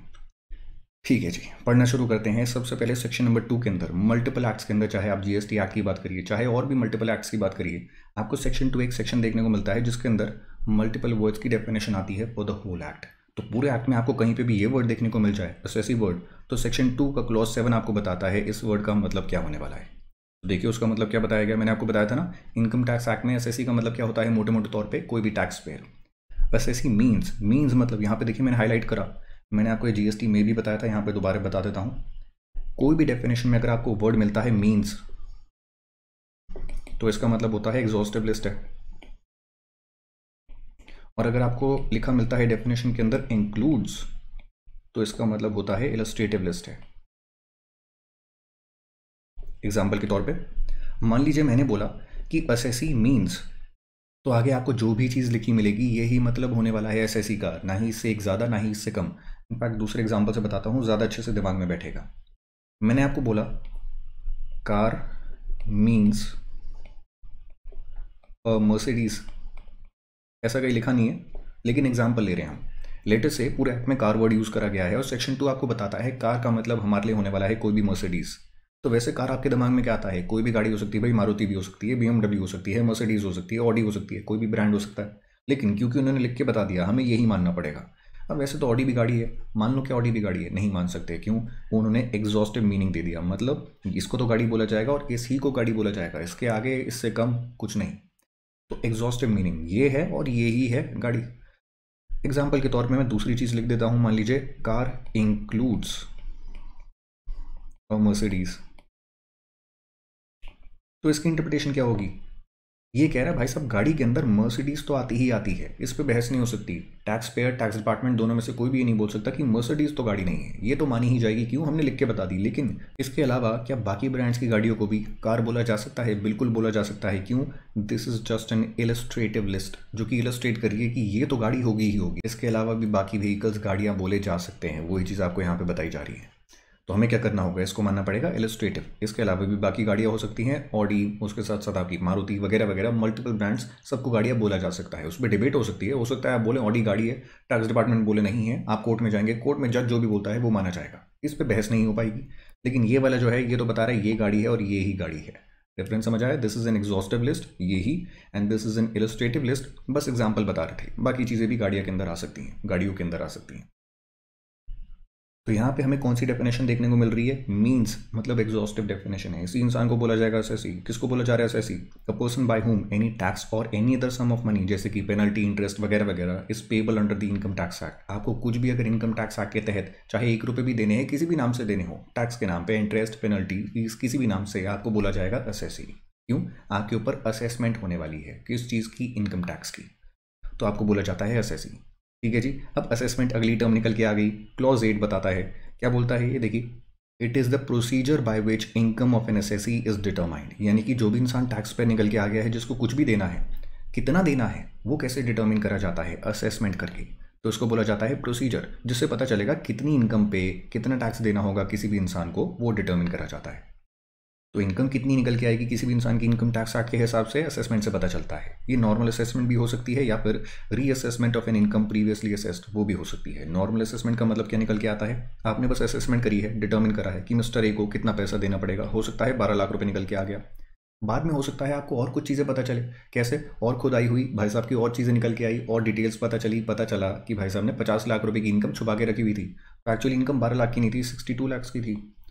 तो बाद में जब आपको पता चला कि इस इंसान की बारह लाख की इनकम नहीं थी, पहली बार तो आपने असेसमेंट करी थी, तब इनकम पता चली थी कितनी होनी चाहिए। दूसरी बार जब री असेसमेंट हुई, ज़्यादा इनकम निकल के आ गई है। तो असेसमेंट रीअसेसमेंट दोनों ही तरीकों से आपने निकाला क्या है? इंसान की इनकम निकाली है which is why this whole process is called as assessment ठीक है जी, आगे बढ़ते हैं इनकम की बात करते हैं। बेकार डेफिनेशन क्यों बेकार है समझाता हूँ। सेक्शन 224 के अंदर कंटेंट है, जो कि बोलता क्या है? Section four levies charge under the income tax act on income इस सेक्शन को बोला जाता है चार्जिंग सेक्शन जो कि करता क्या है? इनकम टैक्स लगाता है किसी भी इंसान पे। सबसे खतरनाक सेक्शन है। सबसे छोटा, सबसे खतरनाक। क्यों? अगर ये सेक्शन नहीं होगा इनकम टैक्स एक्ट के जितने भी सेक्शन हैं, सब बेकार हो जाएँगे।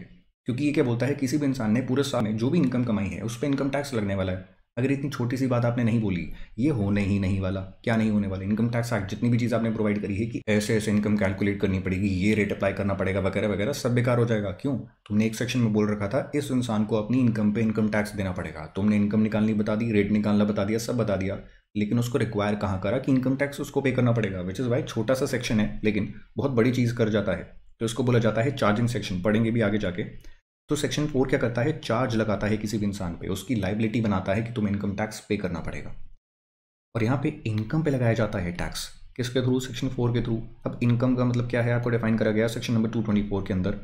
How since the definition is inclusive definition and not an exhaustive definition we need not learn it separately as even those incomes not specifically mention under section two twenty four can be construed to be income अब यहाँ पे क्या बोल दिया गया? मैंने बोला, भाई साहब इनकम की अगर आप डेफिनेशन देखने लग जाएँगे सेक्शन 224 की काफ़ी बड़ी डेफिनेशन है। रीड करने की भी ज़रूरत नहीं है। क्यों? सेम इनकम्स आप आगे जाके चैप्टर्स में देखने ही वाले हैं कि उनको टैक्सेबल बनाया गया है। यहाँ पे डेफिनेशन में क्यों डाल दिया गया है? ताकि बहस ना हो पाए टैक्स पेयर ये ना बोल पाए कि ये तो इनकम है ही नहीं। तो इस पर तुमने जो भी बोला है इनकम को ऐसे कंप्यूट करो, ये रेट अप्लाई करो, इतना इनकम टैक्स दो। मैं तो कहता हूँ, ये इनकम ही नहीं है। सरकार ने बोला क्लैरिफाई कर देते हैं किस तरीके से इंक्लूसिव डेफिनेशन बना के। तो उन्होंने इस तरीके से बोला income includes all of these और ऑल ऑफ़ दीज में लंबी सी लिस्ट बना दी। उन सारी इनकम्स की जो कि आने वाले चैप्टर्स में हम देखने ही वाले हैं कौन सी कौन सी इनकम्स टैक्स होती हैं, ताकि कोई भी इंसान उन टैक्सेबिलिटी के ऊपर डाउट ना रेस कर पाए कि ये जो टैक्सेबिलिटी है, जो भी तुमने किसी भी इनकम की बताई है, मैं तो कहता हूँ ये इनकम ही नहीं है, वो ना हो पाए। तो इंक्लूसिव डेफिनेशन दे दी, लेकिन डेफिनेशन में क्या क्या चीज़ें आती हैं, क्या आपको रटनी चाहिए, नहीं रटनी चाहिए, क्योंकि जो चीज़ें नहीं भी आती, वो भी इनकम बोली जा सकती हैं because this is an inclusive definition Mercedes तो गाड़ी है ही ऑडी भी है मारुति भी है, बाकी भी हो सकती हैं। अगर आपने एग्जॉस्टिव डेफिनेशन दी होती ना तो तो मुझे सारी चीज़ें रटनी पड़ती। यही चीज़ें इनकम बन सकती हैं, यही चीज़ें टैक्स हो सकती हैं। लेकिन इंक्लूसिव डेफिनेशन है, बहुत बड़ी है इग्नोर करना चाहें, कर सकते हैं, कोई दिक्कत नहीं होगी। Which is why what I done is material में यहाँ पे आपको प्रोवाइड नहीं करी गई है। लेकिन अगर आप आईसीए का मटेरियल खोल के देखते हैं 224 डिटेल में आपको प्रोवाइडेड है, एक एक डेफिनेशन के अंदर कौन सी कौन सी चीज़ें आती हैं, खोल के देख लीजिएगा, कोई दिक्कत नहीं है, कहीं भी डाउट आता है, पूछ लीजिएगा। पेपर में आने के चांसेस ऑलमोस्ट नेग्लेजेबल हैं। पूछा ही नहीं जा सकता कि क्या क्या चीज़ें आती हैं। क्यों? आगे वाले चैप्टर्स के अंदर ये सारी चीज़ें आ ही जाती हैं, जो भी टैक्स होने वाली हैं। अब मैं आपको एक और चीज़ दिखाना चाहूँगा कि बेर एक्ट मान लीजिए आपका मन करता है टू ट्वेंटी फोर आप खोल के देखना चाहते हैं कि बेर एक्ट में कैसा दिखता है चेक करना चाहते हैं, ऐसे एक मटेरियल खोले बिना, कभी भी कोई भी सेक्शन को देखना चाहते हैं कि लेटेस्ट पोजीशन है क्या आज के टाइम पे। कोई देख सकते हैं आप, आपके पास कोई सोर्स है फ्री सोर्स बिल्कुल है। वो दिखा देता हूँ। देखिए जी। ये देखिए ये आपकी इनकम टैक्स की वेबसाइट खुल गई है। ऊपर यूआरएल क्या आ रहा है? Income tax India dot G O V dot in यहीं पर आपको जाना है। पॉपअप दिख जाएगा नाम शनाम चीज़ें दिख रही होंगी, सबको इग्नोर मारिएगा, थोड़ा नीचे आइएगा। यहाँ पे देखिए, यहाँ पे आपको क्या देखने को मिल रहा है? देखिए, मैं कहाँ पे गया हूँ? समझ गए? तो यहाँ पे आपको देखने को मिल रहे हैं टैक्स लॉस एंड रूल्स यहाँ पे आप एक्ट देखना चाहते हैं रूल देखना चाहते हैं सर्कुलर्स देखना चाहते हैं नोटिफिकेशन देखना चाहते हैं, कुछ भी देखना चाहते हैं, जो भी मैं आपको क्लास में पढ़ाता हूँ, अगर आप बेयर नोटिफिकेशन बेयर एक्ट इन सबको देखना चाहते हैं कि नोटिफिकेशन क्या बोलती है एक्ट क्या बोलता है, हमें इंटरप्रिटेशन बाद में देखेंगे, हमें तो बेयर लैंग्वेज देखनी है, सरकार ने क्या बोला था एक्ट के अंदर, देख सकते हैं कैसे, देखिए खोल के दिखाता हूँ मैं आपको एक्ट खोला मैंने, जैसे ही इस पर क्लिक करूँगा, थोड़ा टाइम लगेगा, क्योंकि इंटरनेट यहाँ पर स्लो चल रहा है, क्योंकि चलना नहीं चाहिए। चलिए क्या, खुल गया। इसमें देखिए, आपको सिर्फ़ इनकम टैक्स एक्ट नहीं, बहुत सारे एक्ट्स देखने को मिल रहे हैं। कोई भी देखना चाहते हैं, देख सकते हैं, लेकिन सबसे शानदार तरीके से यहाँ पे income tax act laid down है। कैसे दिखाता हूँ? मैंने क्लिक करा इनकम टैक्स एक्ट पे। और जैसे ही क्लिक करा है, इसके बाद विंडो खुलेगी खुल जा। खुलने के बाद देखिए यहाँ पे लेफ़्ट में। Income tax act 1961 as amended by this this finance act इतना प्रिसाइजली आप इससे पूछ सकते हैं, जैसे कि मान लीजिए मैं देखना चाहता हूँ सेक्शन टू वो आपका 2013 के बाद कैसे दिखता था? उसके बाद भी चेंजेस आए हैं, हर साल आते हैं फाइनेंस एक्ट से। मुझे 2013 के बाद जितनी भी अमेंडमेंट्स आई हैं, वो नहीं दिखनी है। मुझे क्लाइंट का केस सॉल्व करना है, जहाँ पे 2013 में उसका कोई केस खुला था डिपार्टमेंट कह रहा है उसने गलत इनकम ऑफ़र करी थी टैक्सेशन के लिए। मैं देखना चाहता हूँ एक्ट उस टाइम पे क्या बोलता था। क्या मैं देख सकता हूँ? बिल्कुल। मैं यहाँ पे जाऊँगा और डालूँगा मैं कि 2013 वो वाला जो फाइनेंस एक्ट था, उसने जो भी अमेंडमेंट करी थी, वो करने के बाद एक्ट कैसा दिखता था, वो मुझे दिखाओ। तो जैसे ही मैंने वो क्लिक करा, देखिए पूरी की पूरी विंडो चेंज हो गई और सारे सेक्शंस वैसे दिखने लग जाएँगे, जैसे कि फाइनेंस एक्ट 2013 के बाद दिखते थे। उसके बाद जितनी भी अमेंडमेंट्स आई थी सेक्शन के अंदर नहीं दिखने वाली। मैं लेटेस्ट देखना चाहता हूँ, मैं क्या कर दूँगा? फाइनेंस एक्ट 2020 के बाद जैसा दिखता है, वैसा दिखाओ। तो खैर एनी अब इसी को देख लेते हैं। सेक्शन टू डेफिनेशन को मैंने खोला। खुलेंगी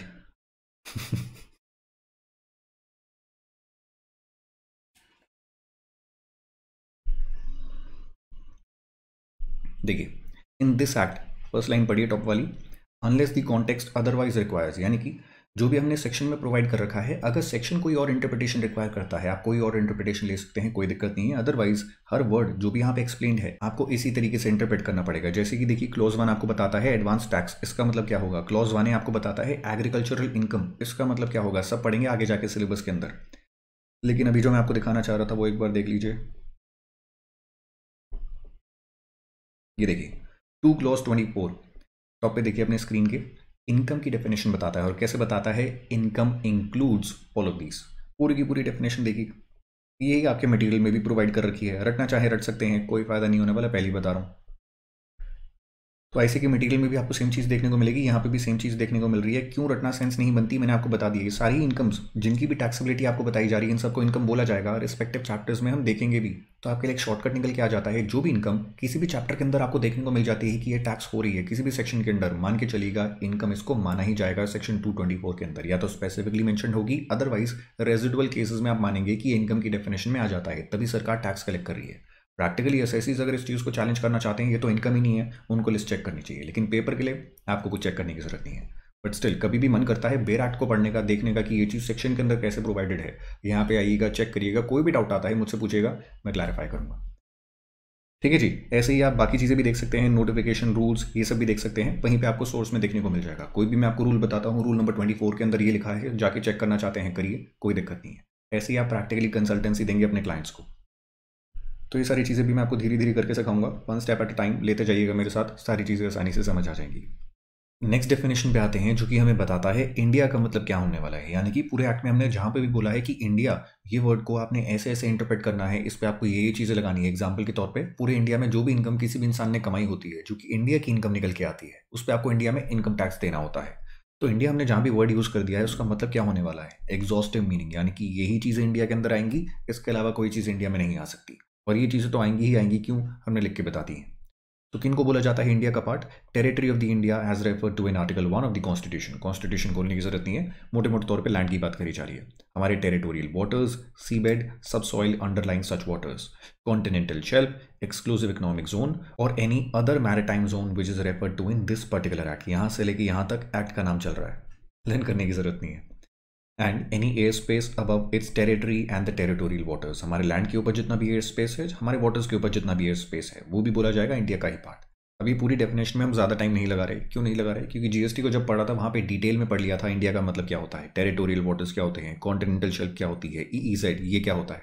तो यहाँ पे दोबारा सेम चीज़ पे टाइम लगाना doesn't make a lot of sense अगर आपने जीएसटी का वो पार्ट नहीं देखा था, मुझे बता दीजिएगा, मैं आपको बता दूँगा कहाँ पे डिस्कस करा था, वहाँ से आप दोबारा एक बार देख सकते हैं. लेकिन इसको हमने डिटेल में देख रखा है. तो हम आगे बढ़ सकते हैं. नेक्स्ट वर्ड पे आते हैं विच इज़ असेसमेंट ईयर पहली बार आप देख रहे हैं इस वर्ड को। जीएसटी में नहीं पढ़ा था, इसके बारे में हमने कुछ भी। This is something which is very specific to income tax पढ़ते हैं। सेक्शन टू नाइन बताता है, पूरे एक्ट में आपको ये वर्ड बहुत जगह देखने को मिलेगा, हर जगह यही मतलब आपको मान के चलना है इस पर्टिकुलर वर्ड का। क्या मतलब बताया गया?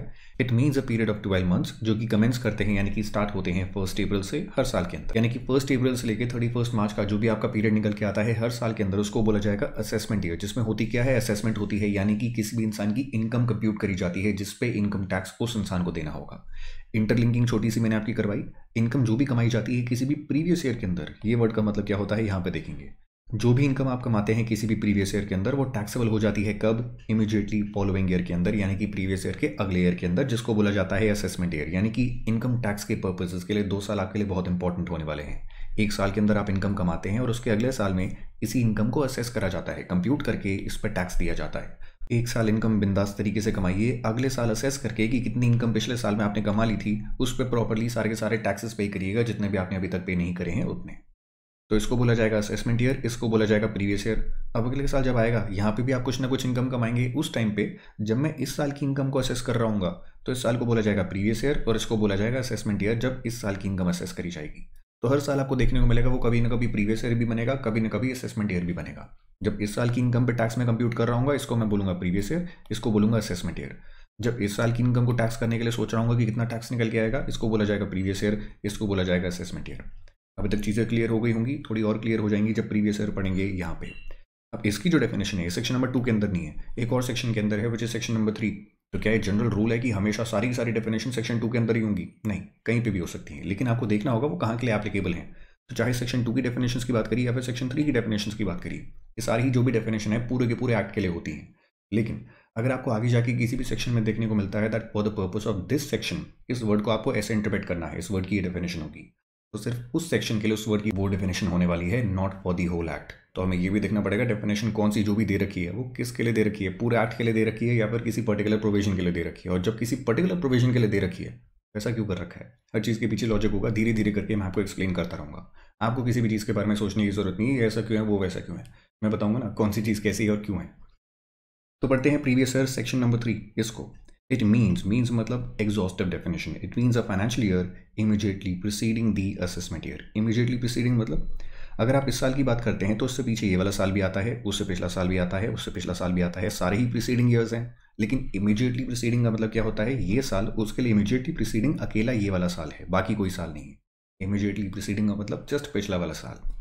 तो असेसमेंट ईयर हमने आपको बता दिया, हर बारह महीने जो भी यहाँ से स्टार्ट होते हैं, उनको बोला जाता है असेसमेंट ईयर इस साल से इमीडिएटली प्रिसीडिंग जो भी साल होता है, यानी कि ये वाला साल उसको बोला जाएगा कि इस असेसमेंट ईयर के लिए ये प्रीवियस ईयर होगा, जिसमें प्रीवियस ईयर के दौरान कमाई गई इनकम्स पे आपको टैक्स देना पड़ता है कब? असेसमेंट ईयर के अंदर। कुछ ना कुछ एक्सेप्शन निकल के आती हैं इसकी, जब आपको प्रीवियस ईयर में कमाई गई इनकम पे प्रीवियस ईयर में ही टैक्स देना पड़ता है, लेकिन वो सारी चीज़ें कहाँ पे पढ़ेंगे आगे जाके डिटेल में पढ़ने वाले हैं। So it means the financial year immediately preceding the assessment year लेकिन एक्सेप्शन है। एक्सेप्शन मतलब नॉर्मली तो यही होने वाला है कि ये साल आपका असेसमेंट ईयर बोला जाएगा, इस पूरे साल को प्रीवियस ईयर बोला जाएगा, लेकिन कुछ केसेस में छोटे पीरियड को बोला जाता है प्रीवियस ईयर कब, कैसे, क्यों, पढ़ते हैं, तब समझ आएगा। In the case of business और प्रोफेशन जो कि नया नया सेटअप करा गया है, और अ सोर्स ऑफ़ इनकम जो कि पहली बार एग्जिस्टेंस में आ रही है, यहाँ पे पहले समझिए दिक्कत क्या होती है, फिर आपको समझ आएगा एक्सेप्शन प्रोवाइड क्यों करी गई है। देखिए जी लेटेस्ट से आप अभी अभी क्वालिफाई हुए हैं अभी अभी आप स्टूडेंट से एक चार्टर्ड अकाउंटेंट में कन्वर्ट हुए हैं। अभी तक कुछ भी नहीं कमा रहे थे, सीए बनते ही कमाने लग जाएँगे। हाइपोथेटिकली मान के चलते हैं, आप कन्वर्ट होते ही कमाने लग जाएँगे। अगर जॉब करेंगे तो तो कमाने ही लग जाएँगे। बिज़नेस में थोड़ा टाइम लग जाता है। मान के चलते हैं, आप जॉब करने वाले हैं। तो लेटेस्ट से ही मेरा पूरा का पूरा साल चलना स्टार्ट हुआ था फ़र्स्ट अप्रैल से यहाँ पे, और उसके बाद आफ्टर लेटेस्ट से फ़र्स्ट अप्रैल में चालू हुआ था, मैं जान के अंदर चार्टर्ड अकाउंटेंट बना। स्टूडेंट से एकदम से चार्टर्ड अकाउंट में कन्वर्ट हो गया। अब होगा क्या इन दो महीनों के लिए? Jan Feb March. दो तीन महीनों के लिए। जब मेरे पास पहली बार चार्टर्ड अकाउंटेंट की कैपेसिटी में कोई इनकम आनी शुरू होगी, मेरी एक नई नई इनकम आएगी into existence as a result of which मुझे इनकम टैक्स कंप्लाइंसेस करनी पड़ेंगी। अब यहाँ पे एक चीज़ निकल के क्या आएगी? अभी तक आप स्टूडेंट थे, आपने कोई भी कंप्लाइंसेस नहीं करी होंगी।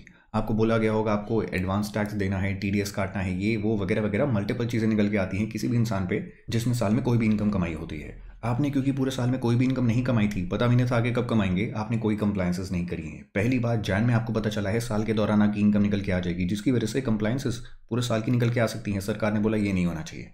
नहीं तो ये इंसान जैसे ही कुछ भी इनकम कमाएगा, इतने पीरियड के लिए बोल दिया जाएगा, आपने कंप्लाइंसेस नहीं करी हैं, जिसकी वजह से फ़ीस पेनल्टी इंटरेस्ट वगैरह वगैरह मल्टीपल कॉम्प्लिकेशंस निकल के आ सकती हैं। तो सरकार ने बोला, इस इंसान के लिए, जिसने पहली बार मान लीजिए यहाँ पे बिज़नेस स्टार्ट करा है, साल के बीच में पहली बार या फिर पहली बार कोई भी सोर्स ऑफ़ इनकम एग्जिस्टेंस में आई है, चाहे वो सैलरी इनकम है, चाहे वो लॉटरी इनकम है, कुछ भी है। बेसिकली मोटे मोटे तौर पे पहली बार आपने साल के बीच में इनकम कमानी शुरू करी है। द इंपॉर्टेंट वर्ड इज़ पहली बार। तो उस केस में हम क्या बोलेंगे, आपके लिए प्रीवियस ईयर यहाँ से स्टार्ट होगा, यहाँ से स्टार्ट नहीं होगा, ताकि कंप्लायंस की रिक्वायरमेंट्स आपके ऊपर यहाँ से ना आने लग जाए, यहाँ से आने लग जाए। यहाँ से इनकम कमाने लग गए हैं कंप्लायंस करनी चालू कर दीजिएगा। यहाँ पे कंप्लायंस नहीं करी होंगी, कोई दिक्कत नहीं होगी।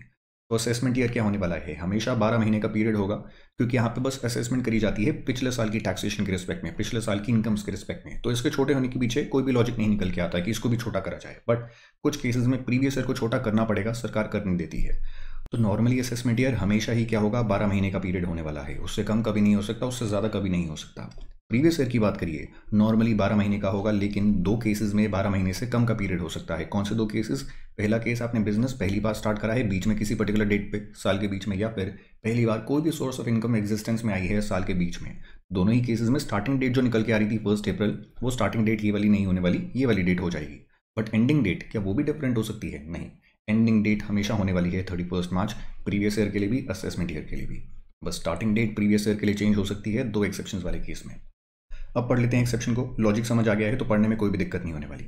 In the case of business profession जो भी आपने पहली बार नया नया सेटअप करा है, और a source of income newly coming into existence in the said financial year उस पर्टिकुलर फाइनेंशियल ईयर के दौरान, जिसको हम बोल रहे हैं previous year the previous year shall be the period beginning with the date of setting up of the business और profession यानी कि जिस डेट पे आप बिज़नेस प्रोफेशन को पहली बार सेटअप करते हैं साल के बीच में, वहीं से आपका प्रीवियस ईयर चालू हो जाएगा। खत्म कब होगा? खत्म नॉर्मली होगा थर्टी फ़र्स्ट मार्च को। या फिर अगर ये वाला केस आपका निकल के आ रहा था तो पहली बार जब भी डेट आपकी निकल के आती है on which the source of income newly comes into existence पहली बार जब एग्जिस्टेंस में आई थी, कोई भी सोर्स ऑफ़ इनकम आपके एग्ज़ाम्पल में जो कि मैंने लिया था, पहली बार सैलरी आप जिस डेट से कमानी शुरू कर देते हैं, वहाँ से चालू होगा आपका previous year and not from this date which is first April तो वहाँ से चालू होगा रिस्पेक्टिवली एंड खत्म कब होने वाला है? खत्म तो उसी डेट पे होगा जो कि यहाँ पे हो रहा था, यानी कि thirty first March of the said financial year financial year का मतलब भी वही होता है फ़र्स्ट अप्रैल से लेकर थर्टी फ़र्स्ट मार्च का पीरियड ठीक है जी प्रीवियस ईयर असेसमेंट ईयर दोनों ही समझ आ गए हैं, हर साल प्रीवियस ईयर भी बनेगा असेसमेंट ईयर भी बनेगा. अगर इसकी इनकम असेस करी जा रही है, इसकी इनकम देखी जा रही है, कितना टैक्स लगेगा, कितना नहीं लगेगा तो इस साल को बोला जाएगा प्रीवियस ईयर इसको बोला जाएगा असेसमेंट ईयर एंड जब आप इस साल को देखने लग जाएँगे, इसकी इनकम की टैक्सेबिलिटी देखने लग जाएँगे, ये बन जाएगा प्रीवियस ईयर ये बन जाएगा असेसमेंट ईयर ठीक है जी? अभी तक थोड़ी थोड़ी चीज़ें क्लियर हुई। पचास परसेंट, सत्तर परसेंट अगर दिमाग में बैठ गई है, बहुत है। आगे जाके और डिटेल में आपके दिमाग में चीज़ें बैठेंगी। अभी हो सकता है थोड़ा एफर्ट डालना पड़ रहा हो दिमाग पे असेसमेंट या समझने में प्रीवियस समझने में। थोड़ी देर में आपके खून के अंदर घुस जाएँगी सारी की सारी चीज़ें, थोड़े चैप्टर्स करने के बाद। आपको सोचना भी नहीं पड़ेगा किसको प्रीवियस ईयर बोला जाता है, किसको असेसमेंट ईयर बोला जाता है। क्योंकि ऑटोमेटिकली आपके प्रोसेस का पार्ट बन जाएगी, जिस तरीके से आप चीज़ें सोचते हैं। अभी तो पहली बार इनकम टैक्स पढ़ रहे हैं। थोड़ा टाइम लगेगा ग्रास्प करने में, लेकिन यहीं पे मेरी हेल्प की आपको ज़रूरत होगी। मुझसे कोई भी डाउट अगर आपके दिमाग में आता है, उसको छोटा डाउट बड़ा डाउट मत सोचिएगा। ये मत सोचिएगा कि डाउट इतना छोटा है, पता नहीं सर को कैसा लगेगा। ये डाउट पूछना बनता भी है, नहीं बनता है, जो भी डाउट है, छोटे से छोटा, बड़े से बड़ा, मुझसे पूछ लीजिए।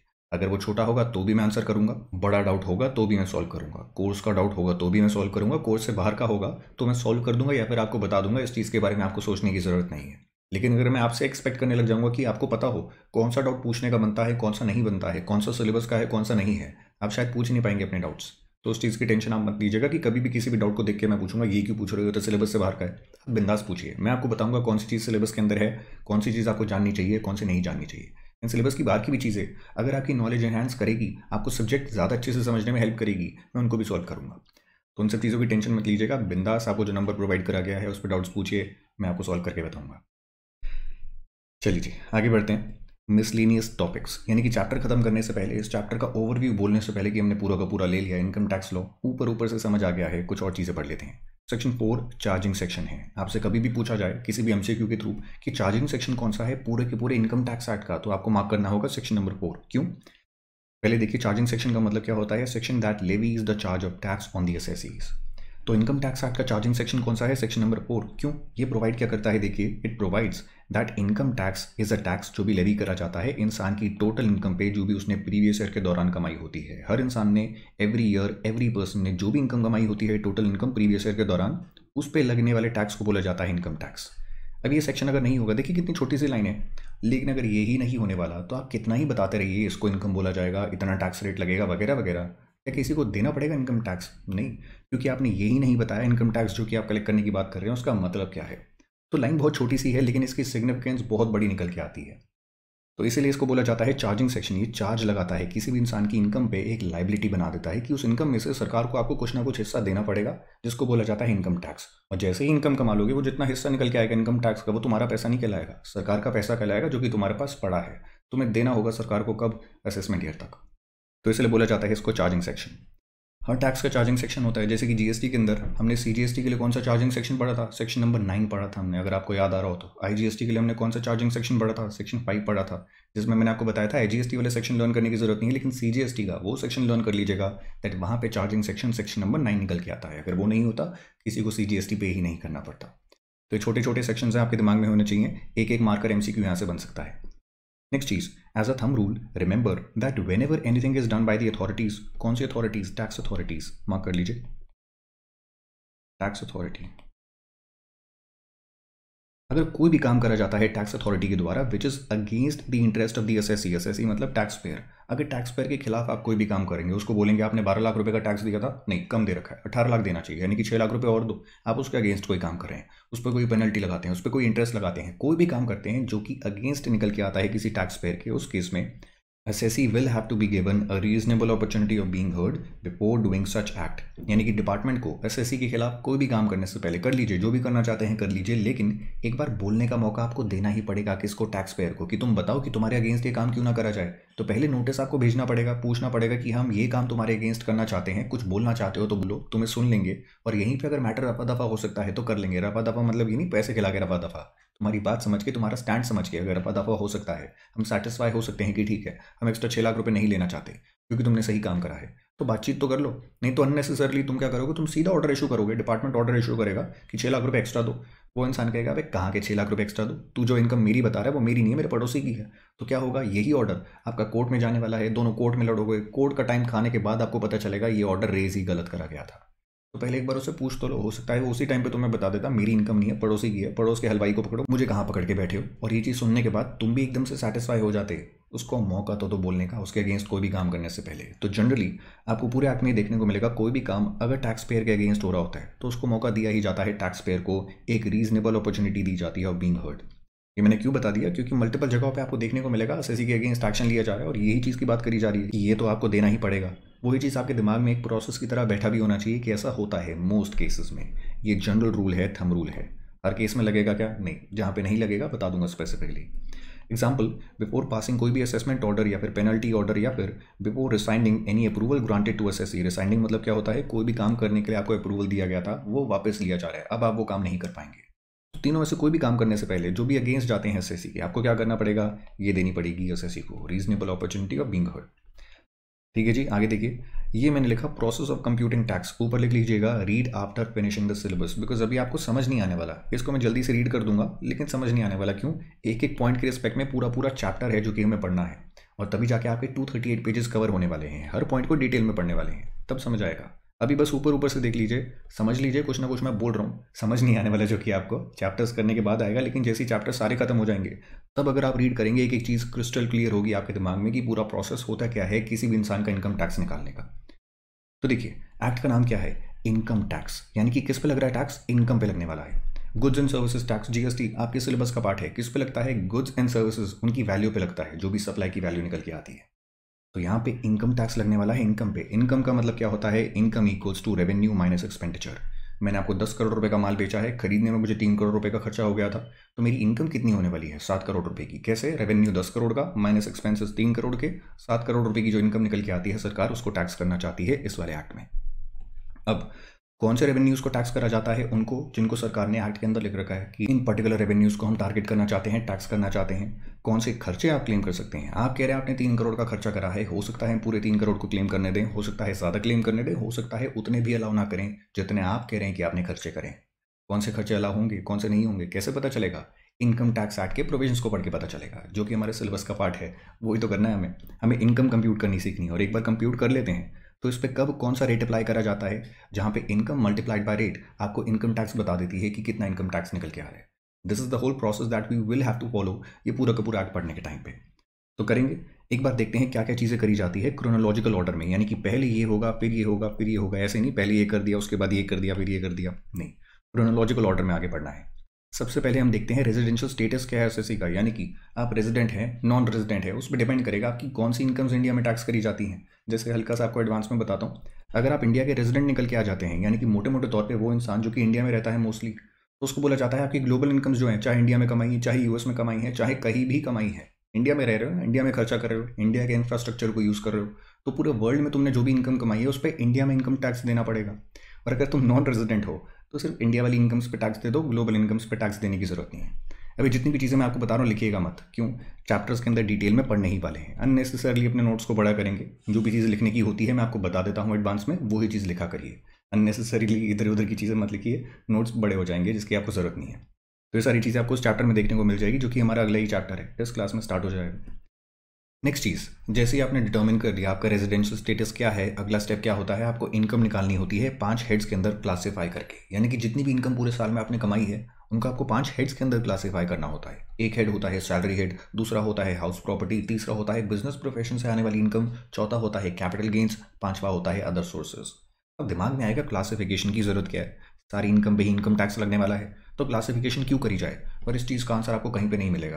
आपको सीधा बता दिया जाएगा, पाँच हेड्स में क्लासीफाई कर दो, ऐसे ऐसे करा जाता है, ऐसे टैक्स कंप्यूट करा जाता है। अरे भाई, क्यों?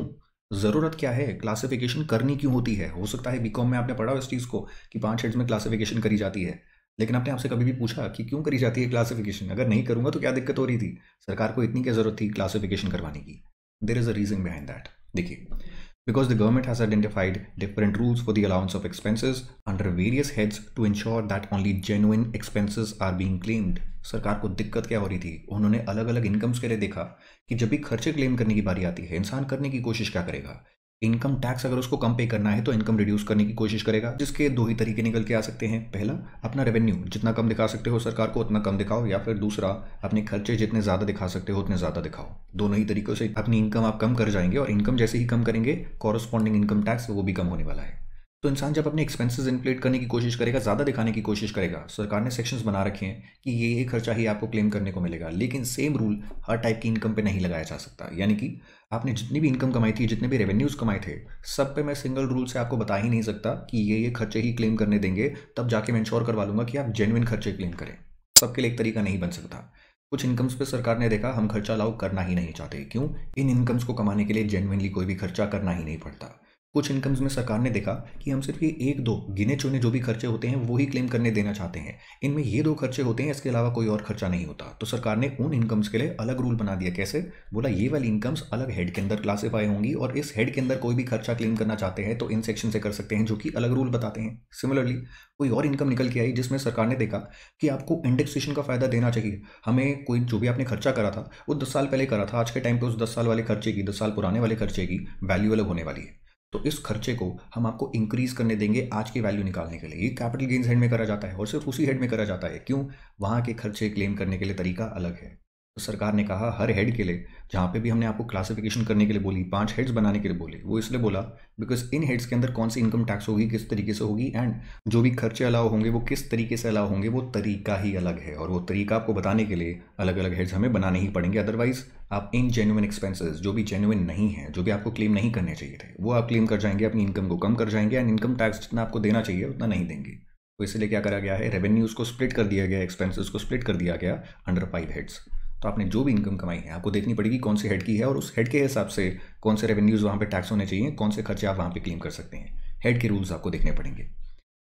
आगे देखिए compute the income under each head as per the provisions of the act यानी कि पाँचों हेड में क्लासिफिकेशन करने के बाद देखिएगा कौन से रेवेन्यूज यहाँ पे टैक्सेबल हैं, कौन से खर्चे क्लेम करे जा सकते हैं। पूरा प्रोसेस लगा के इनकम कंप्यूट करिएगा कहाँ पे? हर हेड के अंदर।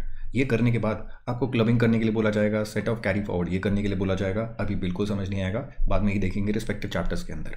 देन आपकी एक इनकम निकल के आ जाती है, जिसको बोला जाता है ग्रॉस टोटल इनकम यानी कि कोई चीज़ माइनस करने से पहले की इनकम ग्रॉस टोटल इनकम कौन सी चीज़ अभी तक माइनस नहीं करी गई है? कुछ डिडक्शंस जो कि आपको अलग अलग चीज़ों पे इंसेंटिवाइज करने के लिए दी जाती हैं। यहाँ पे इन्वेस्ट कर दो, ये खर्चा कर दो, ये वाली इनकम कमा रहे हो, वगैरह वगैरह। तो आपकी इनकम जो कि नॉर्मली टैक्स होनी चाहिए थी, उसमें कुछ अमाउंट हम टैक्स नहीं करने वाले। कैसे? इसको रिड्यूस कर देंगे by the amount of deductions जो भी हमने आपको एक्ट में प्रोवाइड कर रखी है।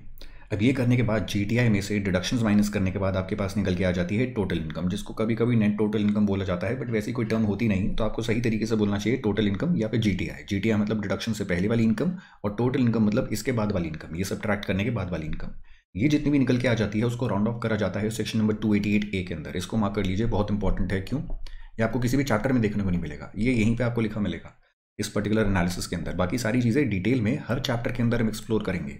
बट ये जो राउंडिंग ऑफ़ वाली बातें हैं टू एटी एट ए वाली या फिर टू एटी एट बी वाली, ये कहीं और नहीं लिखी है, इसलिए इसको मार्क कर लीजिए, यहीं से आपको पढ़ना होगा।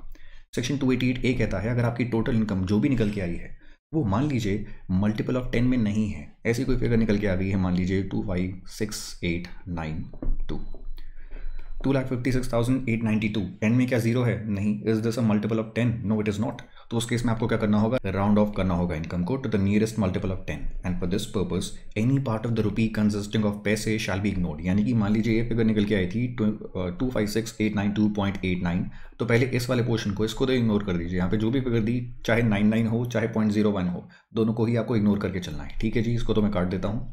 उसके बाद क्या बोला जा रहा है? देखिए देर आफ्टर अगर अमाउंट जो भी आपका निकल के आ रहा है, वो मल्टीपल ऑफ़ टेन नहीं है which in our case is not a multiple of ten तो फिर आप क्या करेंगे? लास्ट फिगर चेक करिए, ये जो निकल के आ रही है यूनिट्स प्लेस पे।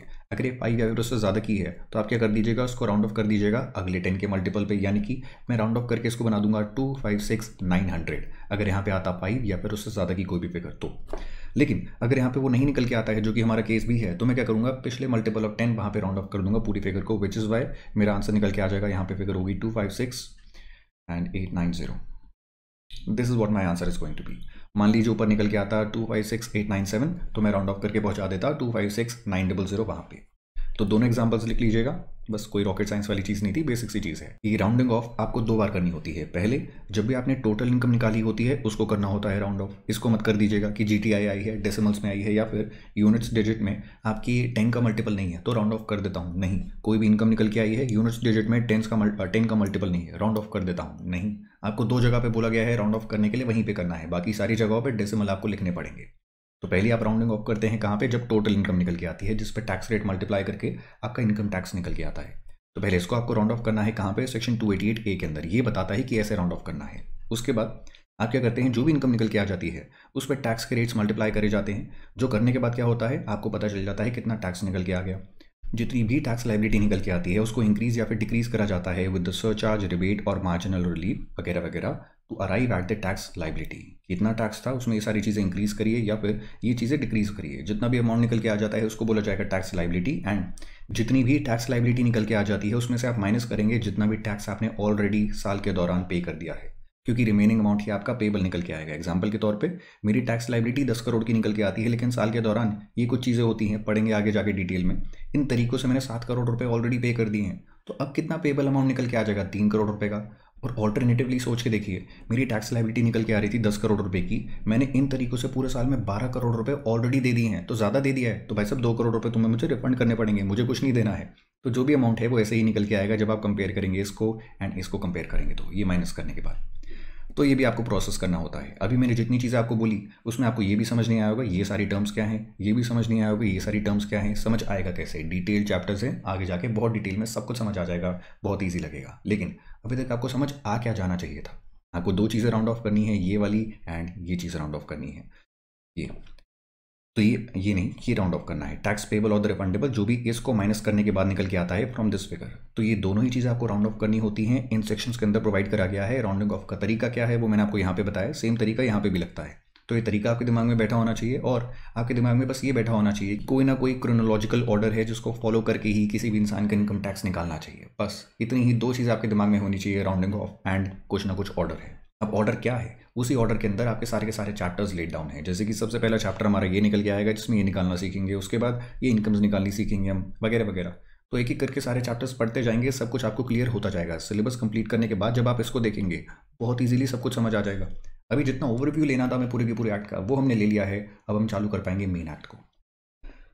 और कोई चीज़ रह गई है क्या? ये देखिए प्रेजेंटेशन टिप्स ये भी आपको मेरे मटेरियल के अंदर देखने को मिलेगी और काफ़ी सारे चैप्टर्स में एंड में, आपको कुछ मैंने टिप्स ये भी दे रखी हैं कि आई के क्वेश्चन सॉल्व करने के लिए कौन सी कौन सी चीज़ें हैं जो कि आपको एक्स्ट्रा पता होनी चाहिए। एक्ट में नहीं है सर्कुलर नोटिफिकेशन किसी भी लॉ के अंदर कहीं पर भी आपको लिखी नहीं मिलेगी। लेकिन अगर आपको क्वेश्चन सॉल्व करने हैं तो कुछ एक्स्ट्रा चीज़ें हैं जो कि आई ने आपको ट्रिक करने के लिए यूज़ कर रखी हैं कन्फ्यूज़ करने के लिए यूज़ कर रखी हैं। वो भी मैंने आपको चैप्टर्स के एंड में दे रखी हैं। अब ये तो ओवरव्यू वाला चैप्टर था, इसके कोई क्वेश्चन अपने आप में नहीं होते विच इज़ वाई यहाँ पे आपको ऐसा कोई देखने को नहीं मिल रहा है ऐसा कोई प्रोविज़न ये चीज़ आपको टिप्स की तरह बताई जा रही है क्वेश्चन सॉल्व करने के लिए। लेकिन बाकी सारे चैप्टर्स में, आपको चैप्टर के एंड में some tips to solve questions ऐसा वाला एक पोर्शन मिलने वाला है जहाँ पे आपको मल्टीपल ट्रिक्स देखने को मिलेंगी जो कि आपको ऐसे कंफ्यूज करने की कोशिश करेगी। मैंने आपको पहले ही बता दी है तो पेपर में घुसने से पहले जब आप मॉड्यूल को पढ़ रहे होंगे, वो भी चीज़ें आप पढ़ के जाएँगे as a result of which आप गलतियाँ नहीं करने वाले, जहाँ पे आई एक्सपेक्ट करती है कि आप गलतियाँ करने वाले हैं। तो हम एक स्टेप आगे होकर चलेंगे ताकि पेपर में दिक्कत ना हो। कुछ प्रेजेंटेशन टिप्स देख लीजिए। You do not have to necessarily write the bare act language in the exam यानी कि स्टूडेंट का क्वेश्चन उठ के आता है कभी कभी कि, सर, यहाँ पे हमने जो लैंग्वेज यूज़ कर रखी है, मैंने बेर एक्ट खोल के देखा बेर एक्ट में थोड़ी डिफरेंट लैंग्वेज है। या मुझे वही लैंग्वेज लिखनी होगी या फिर ये लैंग्वेज लिख के काम चल जाएगा? वही मैंने आपको बताया बेर एक्ट की जो लैंग्वेज होती है। यानी कि जो भी डॉक्यूमेंट पास करा जाता है एक्ट नोटिफिकेशन सर्कुलर उसकी कोई एक लैंग्वेज होती है, जिसको एनालिसिस करके बहुत डीप तरीके से चार्ट फॉर्मेट में या फिर किसी भी फॉर्मेट में आपको समझाया जाता है मटीरियल्स के अंदर। दिमाग में आएगा, अगर मैंने वही लैंग्वेज फॉलो नहीं करी वर्ड बाय वर्ड सेम चीज़ नहीं लिखी, कहीं मेरे मार्क्स तो नहीं कट जाएँगे। डाउट बिल्कुल वैलिड है। इसीलिए मैंने कहा पहली क्लास के अंदर, पहले चैप्टर में ही आपको वही चीज़ समझाई जाए कि आपको वो फॉर्मेट यूज़ करने की ज़रूरत नहीं है। और इसी चीज़ को बैक करने के लिए, मेरी स्टेटमेंट को बैक करने के लिए मैंने आपको बोला आई का मटेरियल एक बार खोल के देखिएगा। बेराट मैंने आपको बता दिया, कहाँ से देखने को मिल जाएगा आई का मटेरियल भी खोल के देखिएगा। आपको देखने को मिलेगा मल्टीपल सेक्शंस के अंदर आईसीए ने बेराट की लैंग्वेज को यूज़ नहीं कर रखा। बस टेक्निकल वर्ड्स जो भी हैं, उस पर्टिकुलर बेर एक्ट के अंदर सेम कॉपी करे जाते हैं आई के मटेरियल में, यहाँ पे भी आपको आईसीआई के मटेरियल की ही लैंग्वेज मिलने वाली है। लेकिन क्या वर्ड बाय वर्ड आपको सेम चीज़ लिखनी है पेपर में? नहीं that is not required refer the bare acts of any section and then see how I has presented them in their material to reassure yourself that modifying the language a bit to make thing simpler is allowed till the time you do not change the intent और the meaning of the provision आपको intention change नहीं करनी provision की meaning change नहीं करना। Words जो भी technical words हैं वो आपको यूज़ करने ही पड़ेंगे, इस मटेरियल में भी मिलेंगे आई के मटेरियल में भी मिलेंगे। उनको आप चेंज नहीं कर सकते, उनको आप स्किप नहीं कर सकते। लेकिन बाकी जो चीज़ें हैं, उन वर्ड्स को आप थोड़ा बहुत प्ले कर सकते हैं, उसमें कोई दिक्कत नहीं होने वाली। वर्ड बाय वर्ड आपको चीज़ें रटने की ज़रूरत नहीं है। इतने बड़े जो सब्जेक्ट्स होते हैं, यहाँ पे आई को रट्टू तोते नहीं चाहिए होते। लेकिन ई आई एस ऐसे सब्जेक्ट की बात करेंगे, वहाँ पे आई को चाहिए, आप रट्टू तोते बने। जो भी हमने पॉइंटर्स बना दिए हैं हेडिंग्स बना दी हैं, उनमें आप एक वर्ड भी ऊपर नीचे करके देखिएगा मार्क्स कट जाएँगे। क्यों? 200 पेजेस का पूरा मॉड्यूल है। और उसमें सिर्फ़ रटने वाली चीज़ें हैं। तो ऐसे कहती है, इतना बेसिक सा मटेरियल है, यहाँ पे रट के जाओ चीज़ें। पॉइंट के अंदर की चीज़ें चेंज करनी है, कर दो हेडिंग चेंज नहीं कर सकते। लेकिन टैक्सेशन जैसा सब्जेक्ट जहाँ पे सारी इतनी लॉजिकल चीज़ें हैं लर्न करने वाली चीज़ें और इतना बड़ा सब्जेक्ट है, यहाँ पे प्रैक्टिकली पॉसिबल ही नहीं है कि आप वर्ड बाय वर्ड चीज़ें लर्न कर भी लें। अगर मैं आपको बोल भी दूँगा ना कि पूछा जाएगा वर्ड बाय वर्ड तो भी नहीं कर पाएँगे। आप क्या? मैं भी नहीं कर सकता। और यहाँ पे एक्सपेक्ट भी नहीं करा जाता। हमें प्रोफेशनल्स बनना है, जिनको पता होना चाहिए टैक्सेशन लॉज के अंदर प्रोवाइडेड क्या है। हमें रट्टू तो नहीं बनना, जो कि वर्ड बाय वर्ड सेम चीज़ रिपीट कर सकते हैं। तो आप जब तक सारी की सारी चीज़ें जानते हैं, सही टेक्निकल वर्ड्स यूज़ करते हैं प्रेजेंटेशन का आपका तरीका सही है, आपको प्रोविज़न सही से पता है। आपके कोई इंसान मार्क्स नहीं काट सकता, कोई काटना चाहेगा भी नहीं। वो चीज़ अपने दिमाग में डालिएगा। और चीज़ों के लॉजिक्स चीज़ों को प्रेजेंट करने का तरीका क्वेश्चन की प्रैक्टिस सारी चीज़ें हम कहाँ पे करने वाले हैं? क्लास के अंदर करने वाले। तो बेफिक्र होकर सारी की सारी क्लासेस अटेंड करिए। लॉजिक समझिए सारी चीज़ों के, मज़े आएँगे आपको पढ़ने में भी और पेपर में भी जब मार्क्स निकल के आएँगे, लगेगा सारी सारी मेहनत वाई थी। चलिए आगे देखिए। Out this material you will observe that important stress words are highlighted by capitalising them and certain sentences are put in between inverted commas जैसे कि ये देखिए। फ्रॉम टैक्स लाइबिलिटी यहाँ पे इन्वर्टेड कॉमर्स है।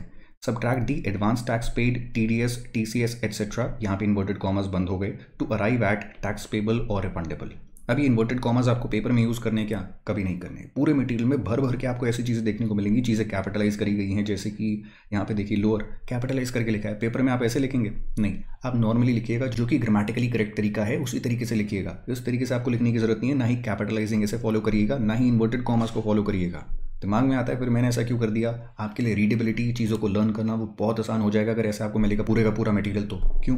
कैपिटलाइज जहाँ पे भी कर रखा है। आप इसको स्ट्रेस से पढ़ेंगे ऑटोमेटिकली आपका दिमाग ही वैसे पढ़ने वाला है। तो आपका एम्फेसिस जाएगा इन सारे सारे वर्ड्स पे, जहाँ पे जाना चाहिए। और दूसरी चीज़, ये इन्वर्टेड कॉमर्स से क्या होता है? आप सेंटेंसेस को जैसे ब्रेक कर करके पढ़ना चाहिए, चीज़ों को अच्छे से इंटरप्रेट करने के लिए, वैसे कर पाएँगे।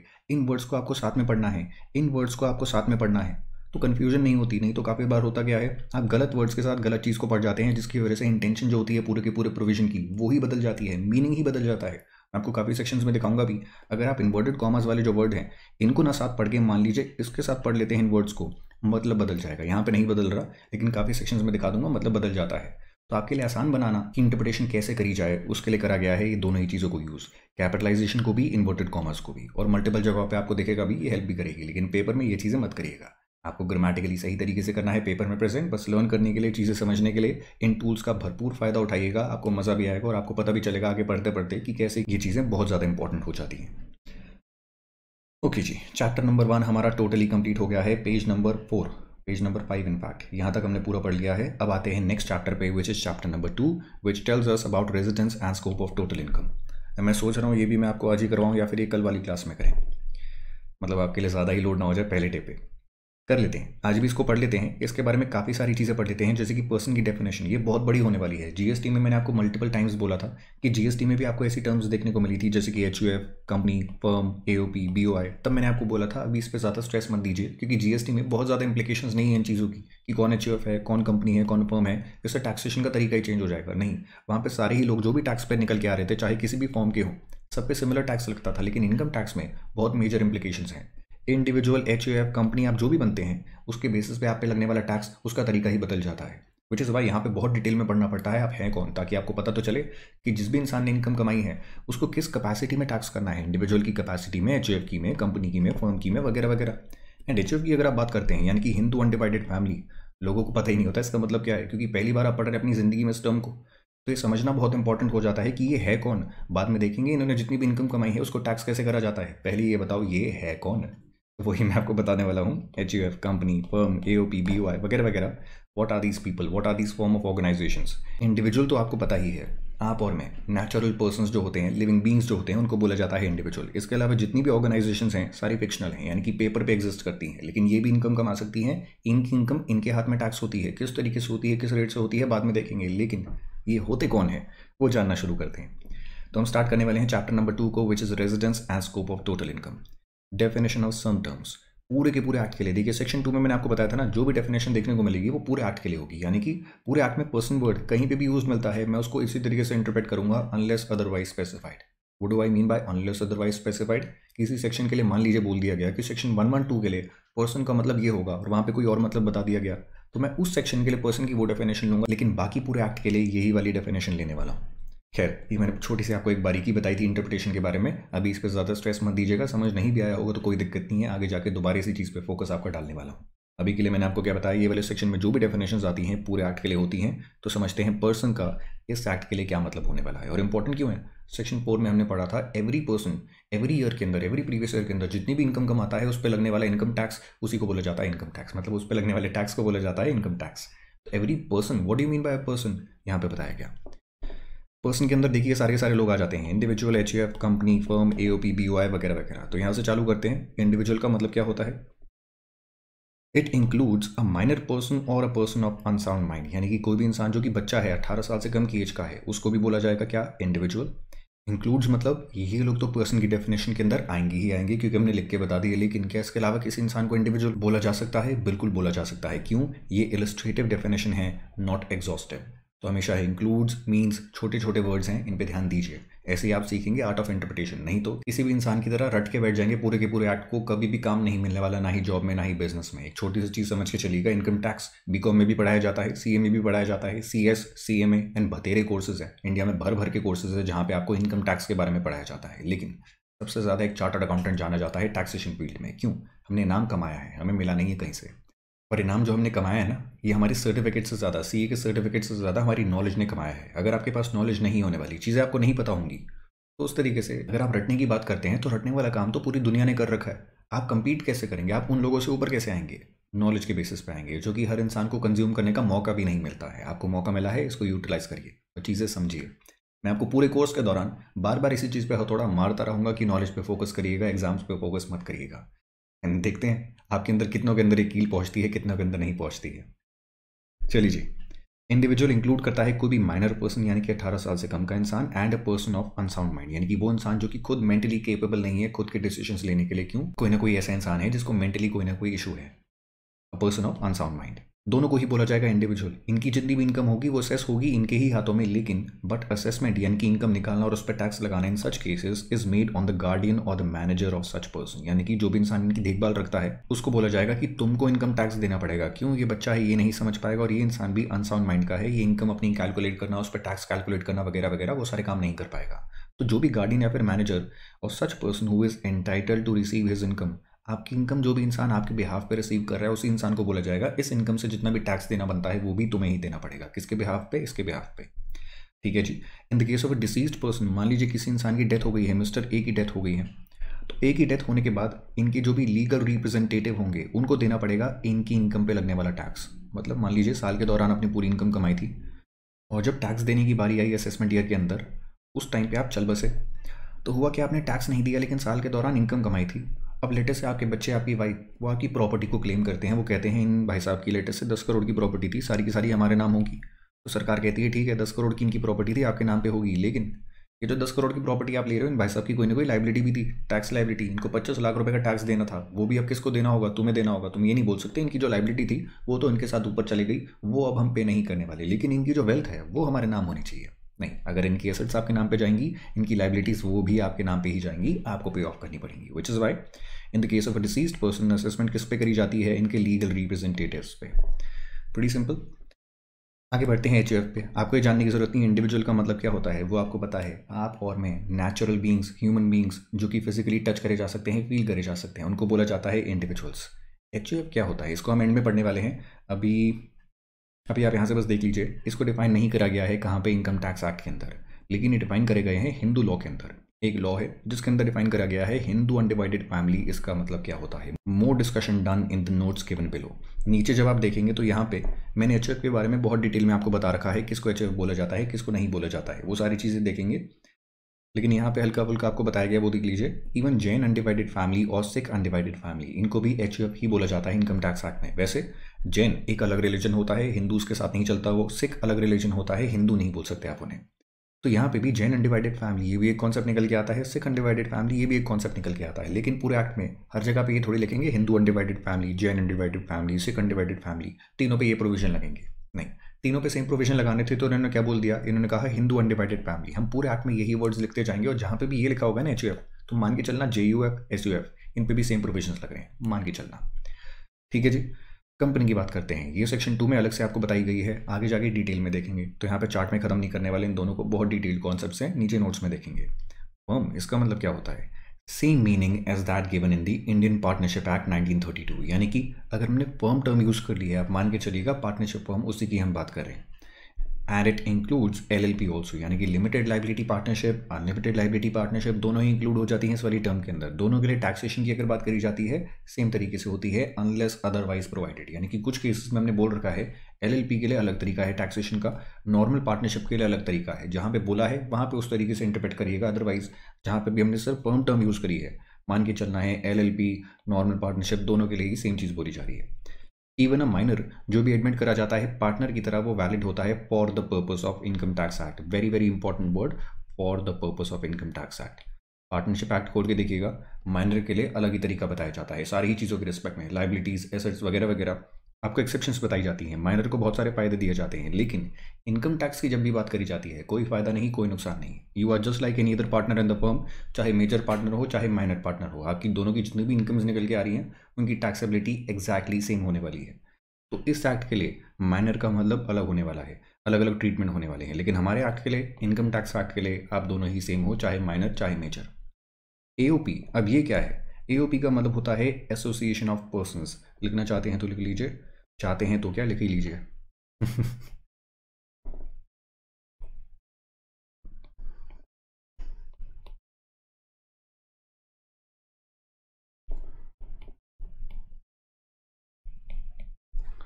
और इसका मतलब होता है body of individuals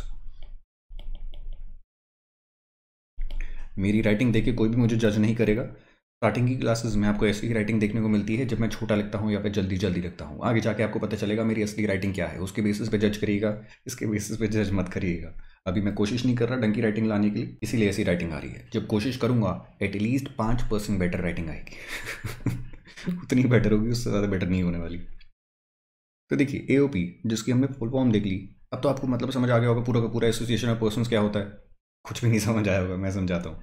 association of person तोड़ के पढ़ने की कोशिश करते हैं। इंग्लिश में पर्सन का मतलब क्या होता है? वो तो हम देख ही रहे हैं। किसी को भी पर्सन बोला जा सकता है, चाहे ह्यूमन बींग चाहे बाकी ऑर्गेनाइजेशन जो कि पेपर पे एग्जिस्ट करती हैं। एसोसिएशन का मतलब क्या होता है? दो या फिर उससे ज़्यादा लोगों का साथ आना। तो अगर मैं एसोसिएशन ऑफ़ पर्सन साथ में पढ़ता हूँ, क्या ऐसा बोला जा सकता है? इंडिविजुअल एच कंपनी मान लीजिए साथ में आके कोई भी काम करते हैं इनकम कमाते हैं, साथ मिलकर तो वो बोली जाएगी एओपी की इनकम बिल्कुल ऐसा बोला जा सकता है। कुछ कुछ कॉन्सेप्ट आपके दिमाग में आ गया होगा। जितनी भी चीज़ें मैंने बोली, आपके भी दिमाग में आए होंगे। चलो, ये तो शायद मैंने ज़्यादा बोल दिया, आपके दिमाग में नहीं आए होंगे, लेकिन अब तो आ गया होगा दिमाग में बोलने के बाद। एसोसिएशन ऑफ़ पर्सन मतलब तीनों मिला के चारों मिला के कोई भी कॉम्बिनेशन मल्टीपल लोगों का मिला के जो भी साथ में आके काम करते हैं इनकम कमाने के लिए, इन्होंने साथ में जो भी इनकम कमाई है, वो टैक्स होती है एओपी के हाथ में। यानी कि बोला जाता है एओपी ने कोई भी इनकम कमाई है। और डिटेल में यहाँ पर पढ़ाता हूँ, ज़्यादा अच्छे से समझ आएगा। पर्सन नॉट जस्ट इंडिविजुअल्स सिर्फ़ इंडिविजुअल्स नहीं है कि मल्टीपल इंडिविजुअल्स आप ही साथ में आ सकते हैं, कोई भी साथ में आ सकते हैं इंडिविजुअल्स भी हो सकते हैं इंडिविजुअल और कंपनी भी हो सकती है इंडिविजुअल कंपनी फर्म कोई भी कॉम्बिनेशन हो सकता है। इसलिए यहाँ पे वर्ड यूज़ करा गया है पर्सन नॉट इंडिविजुअल्स नीचे देखिए वर्ड क्या यूज़ करा गया है इंडिविजुअल्स ऊपर बोला गया है पर्सन इसलिए वाइडर है। Persons who get together for a common purpose or action and object must be to produce income यानी कि तीनों आप क्या कर रहे हैं? तीनों चारों जितने का भी आपने कॉम्बिनेशन बनाया था, सारे के सारे साथ आए हैं। कॉमन पर्पस के लिए कॉमन एक्शन के लिए कॉमन गोल अचीव करने के लिए, जो कि बिज़नेस करना हो सकता है फिर कोई भी चीज़ हो सकती है। एंड आपका ऑब्जेक्टिव क्या होना चाहिए? कि आप इनकम कमाएँ। ये नहीं कि बस साथ आ गए इनकम वैसे ही हो गई, वैसे ही हो गई नहीं, सोचा था, साथ आए ही इसलिए थे ताकि इनकम हो पाए, किसी न किसी तरीके से इनकम कमा पाए। तो आप सबके साथ आने को बोला जाएगा association of person example coheirs codonees वगैरह वगैरह, जो कि ज्वाइन होते हैं for a common purpose they are assessable as an association of person coheirs का मतलब क्या होता है? मान लीजिए कोई इंसान थे मिस्टर ए उनके बच्चे थे बी एंड सी एंड उनकी वाइफ थी लेटेस्ट से डब्ल्यू इनकी डेथ हो जाती है और इनकी डेथ होने के बाद किनकी डेथ हो जाती है? इनकी डेथ हो जाती है। इनकी चांदनी चौक में एक दुकान थी, जो कि चांदनी चौक की दुकान बहुत शानदार चलती थी। नाम बन चुका था, इनको जाने की ज़रूरत नहीं थी, किसी को भी जाने की ज़रूरत नहीं थी, अपने आप दुकान चलती थी। अब इनकी डेथ हो चुकी है और इनकी डेथ होने के बाद ये जो चांदनी चौक की दुकान है, ये बच्चों में वाइफ में, सब में बटेगी। और जब बटेगी, मान लीजिए सबने बोल दिया, मुझे तो अपना हिस्सा चाहिए। आपको दुकान बेचनी पड़ेगी क्योंकि एक दुकान तीन लोगों में डिवाइड नहीं करी जा सकती। बेचनी पड़ेगी और जितना भी पैसा निकल के आया, मान लीजिए फोर्टी फाइव करोड़ निकल के आते हैं तो तीनों को पंद्रह पंद्रह करोड़ मिल जाएँगे, या फिर जिस भी तरीके से बंटवारा होगा वो हो जाएगा। बट बंटवारा करना पड़ेगा। और ये जो आपके पास कैश काउ थी, जो कि बैठे बैठे आपको इतनी सारी इनकम दे रही थी, अभी तो आप बंटवारा कर लेंगे, पूरा का पूरा पैसा ले लेंगे, लेकिन आने वाले टाइम में इनकम नहीं आने वाली। क्यों? आपने दुकान बेच दी है किसी और इंसान को, और ये जो इतना बड़ा नाम बनाया था आपके पापा ने, वो आपने ख़त्म कर दिया है। तो यहाँ पर ज़्यादा समझदारी वाली बात क्या होगी? आप क्या करिए, सारे के सारे लोग? अब सारे के सारे मिल के इनकी प्रॉपर्टी को रखिए अपने पास, चांदनी चौक वाली जो भी दुकान थी आपकी, उसको वैसे ही चलने दीजिए और इसको एसोसिएशन ऑफ़ पर्सनस की तरह चलाइएगा, जहाँ पे आप दोनों लोग साथ आ गए हैं किस चीज़ के लिए? आप दोनों तीनों जो भी लोग हैं, सब साथ आ गए हैं और साथ आए किस लिए हैं? इनकम कमाने के लिए। ऑब्जेक्टिव क्या था? टू प्रोड्यूस इनकम तो साथ आ गए हैं, आपकी जितना भी शेयर निकल के आता था इस प्रॉपर्टी में one third one by two जो भी था, उसको आपने पुल इन कर दिया कि ठीक है, दुकान को चलने दो, हमें बंटवारा नहीं करना है, ये दुकान इनकम कमाएगी और जो भी इनकम कमाएगी, वो किसके हाथ में टैक्स करी जाएगी? वो क्वेश्चन उठ के आता है। सरकार इसको बोले, पूरा का पूरा इस दुकान की इनकम से तुम्हें टैक्स देना पड़ेगा। नहीं। इसको बोले, तुम्हें देना पड़ेगा। नहीं। इसको बोले, तुम्हें देना पड़ेगा। नहीं। इनकम पे तीनों ही हाथ खड़े कर देंगे, अकेली मेरी इनकम थोड़ी है तो पूरी इनकम पे मैं क्यों टैक्स दूँ? सरकार ने बोला, ये हम बोलेंगे, तुम में से तीनों की, किसी की भी इनकम नहीं है। तुम तीनों की एसोसिएशन है। एसोसिएशन ने इनकम कमाई है इस दुकान से। एसोसिएशन को बोला जाएगा कि तुम्हें टैक्स देना पड़ेगा। और एसोसिएशन चलाने के लिए तीनों में से जो भी रिस्पॉन्सिबल होगा फिजिकली आप रिस्पॉन्सिबल हो जाएँगे टैक्स देने के लिए। लेकिन सरकार टैक्स किसको करेगी? एसोसिएशन को करेगी, जिसके नाम पर दुकान चल रही होगी।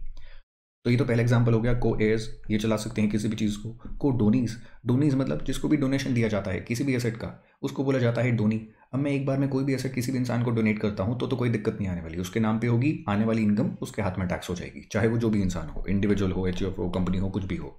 लेकिन अगर मैंने मल्टीपल लोगों को एक बार में डोनेशन दे दिया है, मैंने कोई डोनेशन दिया है जिसमें डोनेशन के ओनर्स कौन होने वाले हैं? मल्टीपल लोग, कोई भी कॉम्बिनेशन हो सकता है। Multiple individuals individual H company कुछ भी हो सकता है। तो यहाँ पे रिसिपेंट जो है, अगर ये साथ आते हैं उस पर्टिकुलर एसेट को यूज़ करने के लिए, उससे इनकम कमाने के लिए, दोनों ही चीज़ें भाई साहब, बीच में एंड लिखा है और नहीं लिखा। या तो आप साथ आए हों, या फिर आप इनकम कमाना चाह रहे हो। नहीं, दोनों चीज़ें साथ भी आए हों और उसके साथ साथ इनकम भी कमाना चाहते हों।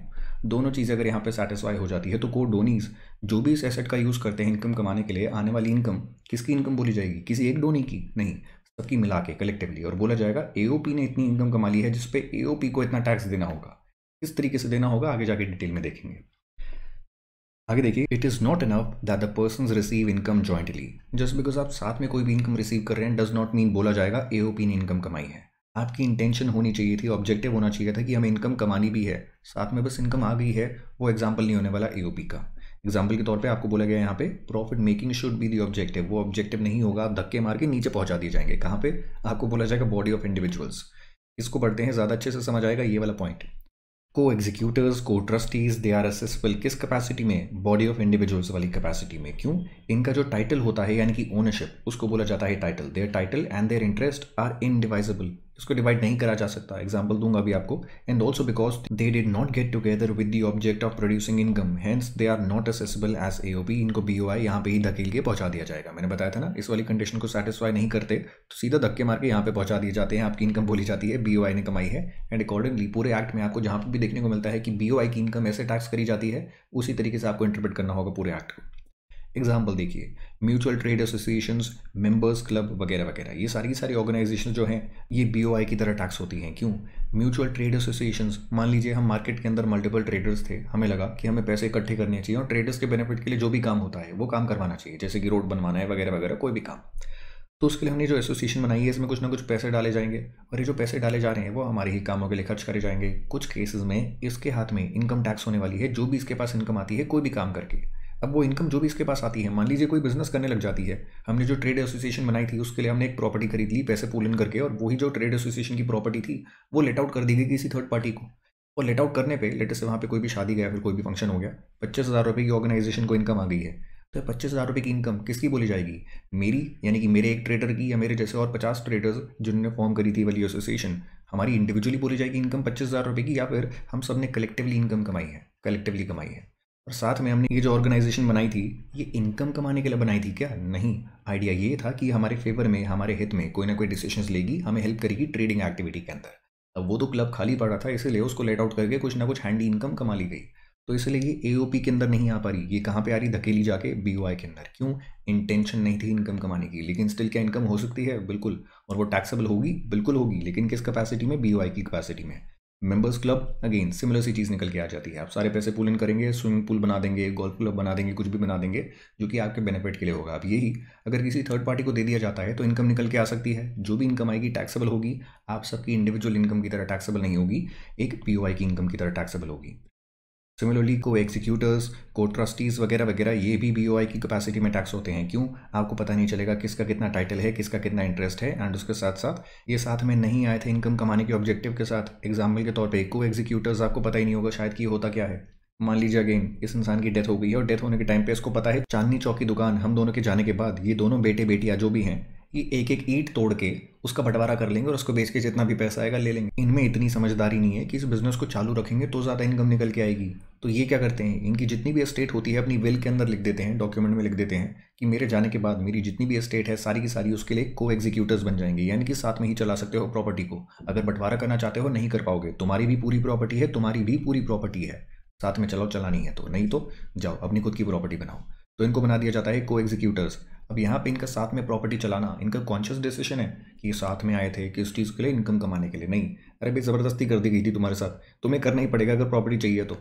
तो यहाँ पे जो भी तुम काम कर रहे हो, अपनी खुद की ओन फ्री विल के साथ नहीं कर रहे कि हम साथ में आए हैं इनकम कमाने के लिए। नहीं, तुम डाल दिए गए हो साथ में और यहाँ पे अब तुम्हारे पास इनकम आ रही है कॉन्सिक्वेंशली साथ में डाल जाने की वजह से। तो अब जो भी तुम इनकम कमाओगे, बोली जाएगी BOI की इनकम है और BOI के हाथ में टैक्स कर दी जाएगी, उसके बाद तुम इनकम निकाल सकते हो। कैसे टैक्स करी जाएगी बी के हाथ में, कैसे निकाल सकते हो, सब कुछ बताऊँगा आने वाले चैप्टर्स में। सिमिलरली को ट्रस्टीज़ अब ये भी कॉन्सेप्ट होता है।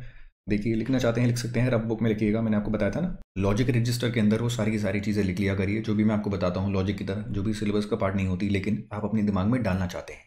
पूरा सिलेबस खत्म करिए, उसके बाद पूरा का पूरा रजिस्टर गो थ्रू करिएगा कि इस रजिस्टर में कोई ऐसी चीज़ है, जो कि मेरे दिमाग में अभी तक नहीं बैठी और बैठनी चाहिए थी। अगर ऐसी कोई चीज़ है, उसको रहने दीजिए। जो भी चीज़ दिमाग में बैठ गई है, पूरा सिलेबस करते करते उनको एंड में काट दीजिएगा, लेकिन लिखिए ज़रूर। क्योंकि अगर लिखते ही नहीं है उन चीज़ों को, जो कि मैं बोल रहा हूँ लिखने के लिए तो देखिए आगे जाके दिक्कत हो सकती है। तो ऐसा मत करिएगा अपने साथ।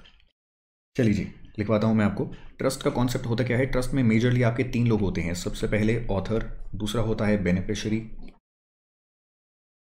और तीसरा होता है ट्रस्टी अब यहाँ पे होगा क्या? यहाँ पे लेटेस्ट से एलॉन मस्क हैं। पता है बहुत सारा पैसा है, नाप शनाप पैसा है मेरे पास। लेकिन लेटेस्ट से कोई घातक बीमारी हो जाती है, जिससे उनको पता चल जाता है अगले छः महीने के अंदर उनकी डेथ हो जाएगी। बच्चे की बात करी जाए तो बच्चे की एज बहुत छोटी है लेटेस्ट से शादी अभी तक नहीं हो रखी है फिर हो गई थी डाइवोर्स हो चुका है। बच्चे की कस्टडी उनके पास है। अब इनको चिंता है मेरी डेथ जैसे ही छः महीने के अंदर हो जाएगी। मेरी प्रॉपर्टी नॉर्मली मेरे बच्चे के नाम हो जाएगी, मुझे पता है। लेकिन बच्चे के नाम पे प्रॉपर्टी होने से होता क्या है? बच्चे को तो यूज़ नहीं करनी आएगी ना, और बच्चे के बिहार पे कोई और इंसान हैंडल करने वाला है। और अगर मैंने कोई भी प्रोविज़न नहीं बनाया इस चीज़ के लिए, और बॉलीवुड मूवीज़ में जैसे दिखाया जाता है, वैसे ही हो गया तो जो भी इंसान हैंडल करने की कोशिश करेगा, मेरे बच्चे के लिए एसेट्स को, कोशिश करेगा कि सारी की सारी एसेट्स उस इंसान के नाम पे हो जाए अननेसेसरली डीलिंग्स करके अपने इंटरप्राइजेस के साथ सारी मेरी वेल्थ को अपने पास ट्रांसफ़र करता जाएगा जब तक मेरा बच्चा होगा, जब तक मेरा बच्चा बड़ा होगा, और जब तक बच्चा बड़ा होगा वो रियलाइज़ करेगा कि उसके साथ हुआ क्या ऑलमोस्ट सारी वेल्थ खत्म हो चुकी होगी। तो मुझे इसके लिए टेंशन हो रही है अपने बच्चे के लिए, मुझे नहीं मतलब इलॉन मस्क को, मेरे पास तो इतना पैसा नहीं है, लेकिन इलॉन मस्क को इतनी टेंशन हो रही है। उस पैसे का होगा क्या? तो एलॉन मस्क क्या करता है? एलॉन मस्क इस बेनिफिशियरी के लिए, यानी कि अपने बच्चे के लिए एक ट्रस्ट बना देता है, अपनी डेथ से पहले, और उस ट्रस्ट को चलाने के लिए ट्रस्टीज अपॉइंट कर देता है। तो ये बेसिकली क्या करेगा? एक डीड बनाएगा, एक डॉक्यूमेंट बनाएगा। उस डॉक्यूमेंट में लिख देगा कि ये लोग मेरी एसेट को चलाएँगे जब तक मेरा बच्चा अठारह साल का नहीं हो जाता, यानी कि उसके पास इतनी सूझबूझ, इतना दिमाग नहीं आ जाता कि वो खुद से इन एसेट्स को मैनेज कर पाए। तब तक ये सारे लोग चलाएँगे मेरी एसेट्स को। किस तरीके से चलाएँगे, वो भी मैं डीड के अंदर लिख दूँगा, ताकि एनाप्शना मैनेजमेंट ना कर पाए ये लोग मेरी एसेट्स का। पूरा डिटेल में लिखा जाएगा किस तरीके से मेरी एसेट्स को यूटिलाइज कर सकते हैं और किसके लिए करेंगे, मेरे बच्चे के बेनिफिट के लिए करेंगे। अब ये लोग कहेंगे, भाई, हमारे पास भी इतना खाली टाइम नहीं है, हमारे पास भी ज़िंदगी थी कुछ ना कुछ काम था करने का, हम क्यों करेंगे काम तेरे लिए, जब बच्चे के बेनिफिट के लिए करना तो? तो इनको दी जाएगी कुछ ना कुछ फ़ीस इनके काम के लिए, इनकी एक्सपर्टीज़ के लिए। वो भी कॉन्ट्रैक्ट के अंदर लिखा होगा डीड के अंदर लिखा होगा। तो ये मरने से पहले लोगों से बात कर लेगा कि तुम्हें अठारह साल तक जब तक मेरा बच्चा नहीं हो जाता इतनी इतनी फ़ीस दी जाएगी हर साल के अंदर। मंजूर है तो काम करिए, नहीं तो मत करिए। और अगर ये लोग अग्री कर जाते हैं तो ये क्या करने वाले हैं? जब तक बच्चा बड़ा नहीं हो जाता, तब तक ट्रस्ट की जितनी भी एसेट्स हैं, यानी कि लॉन मस्क की जितनी भी एसेट्स हैं, इनकी डेथ के बाद वो ट्रस्ट के नाम पे हो जाएगी और ट्रस्ट चलाने वाला है, उन सारी सारी एसेट्स को उनको गवर्न करने वाला है कि कैसे यूज़ होंगी, कहाँ पे लगेंगी, कैसे इनकम कमाएगी, वगैरह वगैरह। वो एसेट्स इनकम कमाते रहेंगी, ये लोग चलाते रहेंगे डीड के हिसाब से। और जैसे ही बच्चा बड़ा हो जाता है अट्ठारह का हो जाता है, फिर उस एज का हो जाता है, जितनी एज लॉन मस्क ने बोली होगी, उस पर सारी ट्रस्ट की एसेट्स प्लस जितनी भी इनकम इतने सालों में आई होगी, सब ट्रांसफ़र कर दी जाएगी बेनिफिशियरी के नाम पर ट्रस्ट खत्म हो जाएगा। अभी पूरा का पूरा प्रोसेस मैंने आपको क्यों बताया? यहाँ पे निकल के आए हमारे ट्रस्टीज़ और जब तक ये बच्चा बड़ा नहीं हो जाता, ये एसेट्स किसके नाम पे हैं? ट्रस्ट के नाम पे। लॉन मस्क की सारी एसेट्स ट्रस्ट के नाम पे हो गई, जो कि चलानी किसको है ट्रस्टीज़ को चलानी है। अभी जो ट्रस्टीज़ हैं, उनके साथ मिलके मल्टीपल एसेट्स को चला रहे हैं, उनसे इनकम कमा रहे हैं। तो एक ट्रस्ट को इनकम निकल के आ रही है ट्रस्टीज़ की वजह से निकल के आ रही है। लेकिन ये ट्रस्टीज़ साथ में इनकम कमाने के लिए आए थे क्या? नहीं। इनको क्या करना था? ये वाली जो इनकम कमाई गई है ट्रस्ट के दौरान, ये इन्होंने नहीं बोली हमें कमानी है। इसने बोली थी, कमानी है, मेरे बेटे के लिए कमानी है, तुम्हारे लिए नहीं कमानी। तुम बस साथ में आए हो। यहाँ पर फ़ीस कमाने के लिए, जो भी तुम्हें फ़ीस मिलने वाली है इस ट्रस्ट से। यहाँ पे सरकार ने क्या बोला? को ट्रस्टीज आपको साथ में जब असेस करा जाएगा, किस कैपेसिटी में करा जाएगा? बी की कैपेसिटी में। सो मोटे मोटे तौर पे, जब तक बच्चा बड़ा नहीं हो जाता एसेट्स उसके नाम पे नहीं आ जाती तो ट्रस्ट जो भी आप चला रहे हैं, जिससे कोई भी इनकम निकल के आ रही है, सारी की सारी किसके हाथ में टैक्स होने वाली है? बी के हाथ में टैक्स होने वाली है। और आप में से किसी एक के हाथ में टैक्स क्यों नहीं हो रही? अरे भाई, तुम्हारा कोई शेयर नहीं है इस इनकम के अंदर, और बच्चे के हाथ में टैक्स कर नहीं सकते, क्योंकि बच्चे के नाम पे एसेट्स नहीं है। तो सीधे सारी सारी इनकम बीओआई के हाथ में टैक्स होने वाली है और जैसे ही बच्चा बड़ा हो जाएगा एसेट्स उसके नाम पे हो जाएगी। और एक बार उसके नाम की हो जाती है एसेट्स तो जो भी इनकम कमाई जाती है एसेट्स से, बच्चे के हाथ में, यानी कि इंडिविजुअल के हाथ में टैक्स होंगी। लेकिन तब तक बी के हाथ में टैक्स होंगी। अगर जो भी मैंने आपको बोला है, उसमें पचास परसेंट भी आपके दिमाग में घुस गया है, बहुत है, क्योंकि ये सारी चीज़ें आपके सिलेबस का पार्ट नहीं है। लेकिन मेरे को आपको बतानी पड़ेगी क्यों? को ट्रस्टीज ये जो टर्म लिखी है कि इनको बीओआई बोला जाता है। ये आपके सिलेबस का पार्ट है। तो जब तक मैं आपको यही नहीं बताऊँगा, मैं आपको कैसे बोल के आगे बढ़ा दूँ? कि को ट्रस्टीज़ को बी बोला जाता है। अरे, पता तो चले ट्रस्ट क्या होता है? तब जाके पता चलेगा ट्रस्टी क्या होता है और तभी पता चलेगा को ट्रस्टीज़ ये क्या होते हैं। ठीक है जी, चलिए, आगे बढ़ते हैं। लोकल अथॉरिटी इसका मतलब क्या होता है? ये भी टर्म आपको बहुत जगह देखने को मिलेगी, इसको भी बोला जाता है पर्सन इट मीन्स मीन्स मतलब यही मतलब होने वाला है, ना ही इससे ज़्यादा, ना ही इससे कम। कोई भी municipal committee district board any other authority which is interested by the government with the management और the control of a municipal और लोकल फंड आपकी छोटी मोटी बॉडीज़ होती है ना, जैसे कि अगर आप दिल्ली की बात करते हैं तो एम सी डी यहाँ पर बॉडी निकल के आती है म्यूनिसिपल कॉरपोरेशन ऑफ़ दिल्ली ऐसे ही लोकल बॉडीज़ हर स्टेट के अंदर होती है, जिनका काम क्या होता है? रोड मैनेज करना, कूड़ा कचरा कलेक्ट करना छोटे मोटे जो काम होते हैं सोसाइटीज़ के लोकल बॉडीज़ के, वो सारे के सारे काम करने के लिए सेंट्रल गवर्नमेंट ने इनको पैसा दिया होता है लोकल फंड दिया होता है। यहाँ पे जो भी लोग लोकल अथॉरिटी का पार्ट फॉर्म करते हैं, उनका काम होता है इस फंड को यूटिलाइज करके जो भी छोटे मोटे काम हैं, ये आपको करने पड़ते हैं, जो भी सेंट्रल गवर्नमेंट ने आपको दी है। तो आपकी सोसाइटी का कूड़ा कचरा कलेक्ट करना है छोटे मोटे जो काम होते हैं, सेंट्रल गवर्नमेंट भी नहीं करती, स्टेट गवर्नमेंट भी नहीं करती। ये म्यूनिसिपल बॉडीज़ करती हैं, ये सारी ये सारी कमिटीज़ करती हैं। इनको बोला जाता है collectively local authorities next artificial juridical person it includes includes मतलब इनके अलावा भी लोग हो सकते हैं, लेकिन ये तो होने ही वाले हैं। It includes every artificial person includes का मतलब क्या होता है? ये लोग तो होने ही वाले हैं इस डेफिनेशन के अंदर। इसके अलावा भी बाकी लोग हो सकते हैं। ये बस इलस्ट्रेटिव लिस्ट है। और यहाँ पे किन को इंक्लूड कर दिया गया? एवरी आर्टिफिशियल पर्सन यानी कि दो ही टाइप के लोग हो सकते हैं, या तो नेचुरल पर्सन आप और मैं ह्यूमन बींग्स या फिर आर्टिफिशियल पर्सन जो कि वैसे एग्जिस्ट नहीं करते, लेकिन पर्सन उनको माना जा रहा है, किसी भी एक्ट के लिए, किसी भी पर्पज़ के लिए। तो every artificial person with a juristic personality यानी कि लॉ के अंदर एग्जिस्ट करने वाले लोग not following under any other category of person कोई भी इंसान अगर इनकम कमा रहा है, आपको दिख रहा है इनकम कमा रहा है, इसको इनकम टैक्स देना चाहिए, और वो ऊपर वाली किसी भी कैटेगरी में आप फिट टू नहीं कर पाते हैं। तो उस इंसान को बोला जाएगा, क्या आर्टिफिशियल जोरिडिकल पर्सन ताकि उस इंसान पे भी टैक्स लगाया जा सके। तो ए की कैटेगरी में वो सारे लोग आ जाते हैं। कभी कभी समझ नहीं आता किसकी बात हो रही है। एग्ज़ाम्पल की तरह बताया गया। कोई भी आइडल कोई भी डी मतलब भगवान की मूर्तियों की बात करिए, वहाँ पे भी कुछ ना कुछ डोनेशन आता है सामने गले में। अब कोई भी इंसान कहता है, यहाँ पे गले में दो करोड़ रुपए की कलेक्शन हो गई है, लेकिन ये तुम टैक्स ही नहीं कर सकते, क्यों? ये तो भगवान जी ने कमाए हैं। और क्योंकि भगवान ने कमाए हैं, उनको तो पर्सन थोड़ी बोल सकते हो। बताओ, इनमें से क्या बोलना चाहोगे? हम कहेंगे, इनमें से कुछ नहीं बोल सकते, इसीलिए क्या बोला जाएगा? एजेपी सरकार कहती है टैक्स तो कलेक्ट करेंगे। लेकिन आपको लगेगा कि सरकार इतनी ज़्यादा दमदार कहाँ से होगी कि भगवान से बैठ रही है? ऐसा तो सरकार नहीं करती मोस्टली यहाँ पे भी नहीं कर रही है। आपको आगे जाके सी ए फाइनल लेवल पे पढ़ाया जाएगा सेक्शन नंबर इलेवन ट्वेल्व वगैरह वगैरह। देर आर मल्टीपल सेक्शंस जो कि रिलीजियस इंस्टीट्यूशंस की सारी की सारी इनकम को एग्ज़ाम कर देती है, उस पर टैक्स कलेक्ट नहीं करती है। लेकिन पहले टैक्सेबल बनाया जाता है कंडीशंस लगाई जाती हैं कि ये कंडीशन सेटिस्फाई करो, तब जाके आपकी इनकम को टैक्स नहीं करा जाएगा। क्यों? अगर आपने पहले ही टैक्स नहीं करा तो उस इंसान को कोई भी कंडीशन सेटिस्फाई नहीं करनी पड़ेगी। तो सरकार को कंडीशंस मनवानी थी which is why what they did is उन्होंने पहले बोला, आप एजेपी माने जाएँगे और माने जाने के बाद आपकी जितनी भी इनकम निकल के आती है, उस इनकम पर अगर आप कंडीशन सेटिस्फाई कर देते हैं, जो भी हमने आपको बता रखी है सेक्शन इलेवन ट्वेल्व वगैरह वगैरह के अंदर तो आपकी जितनी भी इनकम निकल के आएगी it will not be taxable condition satisfy नहीं करते हैं इट विल बी टैक्सेबल आप ये नहीं बोल सकते तो भगवान की मूर्ति की कलेक्शन हैं, किसके हाथ में टैक्स करना चाहते हो? हम कहेंगे, भगवान के हाथ में टैक्स करेंगे। तो सरकार ऐसा करती है। आगे देखिए बार काउंसिल अब ये क्या होता है? ये उस डिस्ट्रिक्ट डिस्ट्रिक्ट बार की बात नहीं हो रही, जो कि आप जाना पसंद करते हैं उस बार की बात हो रही है, जहाँ पे आप जाना कभी भी पसंद नहीं करेंगे। लॉयर्स की बॉडी होती है, जैसे हमारे चार्टर्ड अकाउंटेंट्स के लिए आई होती है, वैसे ही। लॉयर्स की अगर आप बात करेंगे तो उनको रेगुलेट करने वाली बॉडी जो होती है, उसको बोला जाता है बार काउंसिल तो ये भी अगर आप बात करते हैं, ऊपर वाली किसी भी कैटेगरी के अंदर आपको फिट इनटू होती नहीं लगने वाली विच इज़ वाई सरकार ने क्या बोला? आप क्या हो जाते हैं एजेपी आपकी जितनी भी इनकम निकल के आएगी, आपके हाथ में टैक्सेबल होने वाली है in the capacity of AJP similarly कोई भी यूनिवर्सिटीज़ की अगर आप बात करते हैं, वो भी कहीं पे भी फिट होती नहीं दिखती। आप भी बोले जाएँगे एजेपी तो ये तो एग्जांपल्स दिए गए हैं। ऐसे बहुत और लोग निकल के आ जाएँगे बट ये आप लर्न कर लीजिएगा क्यों? आपके मटेरियल में प्रोवाइड करे गए हैं। मैंने अलग से नहीं दिए हैं। जो भी चीज़ मैं आपको अलग से दे रहा हूँ यानी कि आपके सिलेबस का पार्ट नहीं होगी, बस आपकी नॉलेज एनहांस करने के लिए आपको बता रहा हूँ वो चीज़ या तो आपको मटीरियल में नहीं मिलेगी, और अगर मटीरियल में मिलेगी, उस पर लिखा होगा जस्ट फॉर एक्स्ट्रा नॉलेज जैसे कि यहाँ पे देखिए। Point number four just for extra knowledge ये सारी जितनी भी चीज़ें हैं, ये आपके सिलेबस का पार्ट नहीं है विच इज़ वाई मैंने ऐसे लिख के बताई, ताकि आप पढ़ लें, उसके मज़े ले लें कॉन्सेप्ट के, लेकिन उसको रटने ना बैठ जाए, ताकि आपको पता होना चाहिए कौन सी चीज़ सिलेबस का पार्ट है, कौन सी चीज़ सिलेबस का पार्ट नहीं है। क्लियरली पता चल जाएगा मटीरियल को देखते ही, मेरे को बताने की ज़रूरत नहीं पड़ेगी। और यहाँ पे क्योंकि ऐसा मैंने नहीं लिखा जस्ट फॉर एक्स्ट्रा नॉलेज मान के चलिए ये चीज़ आपके सिलेबस का पार्ट है, पूछी जा सकती है एमसीक्यू की तरह। आगे बढ़ते हैं नोट की तरफ़ जाते हैं, लेकिन इसको करने से पहले ब्रेक ले लीजिए।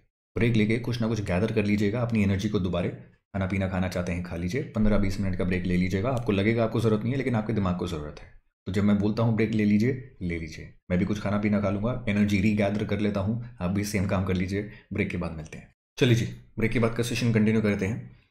पर्सन की जो डेफिनेशन थी टू थर्टी वन के अंदर चैप्टर टू के अंदर, वो हमने टोटली डिस्कस कर लिया है। बस इसके अंदर दो चीज़ें हमारी रहती हैं मेजरली पहली एच की डेफिनेशन और दूसरी कंपनी की डेफिनेशन दोनों को कहाँ पे पढ़ेंगे? नोट्स के अंदर डिटेल में पढ़ेंगे। तो चालू करते हैं नोट्स को। बाकी ऊपर की चीज़ें हमने सारी डिस्कस कर ली हैं। सेक्शन टू थर्टी वन यानी कि यही सेक्शन ये आपको एक और चीज़ प्रोवाइड करता है।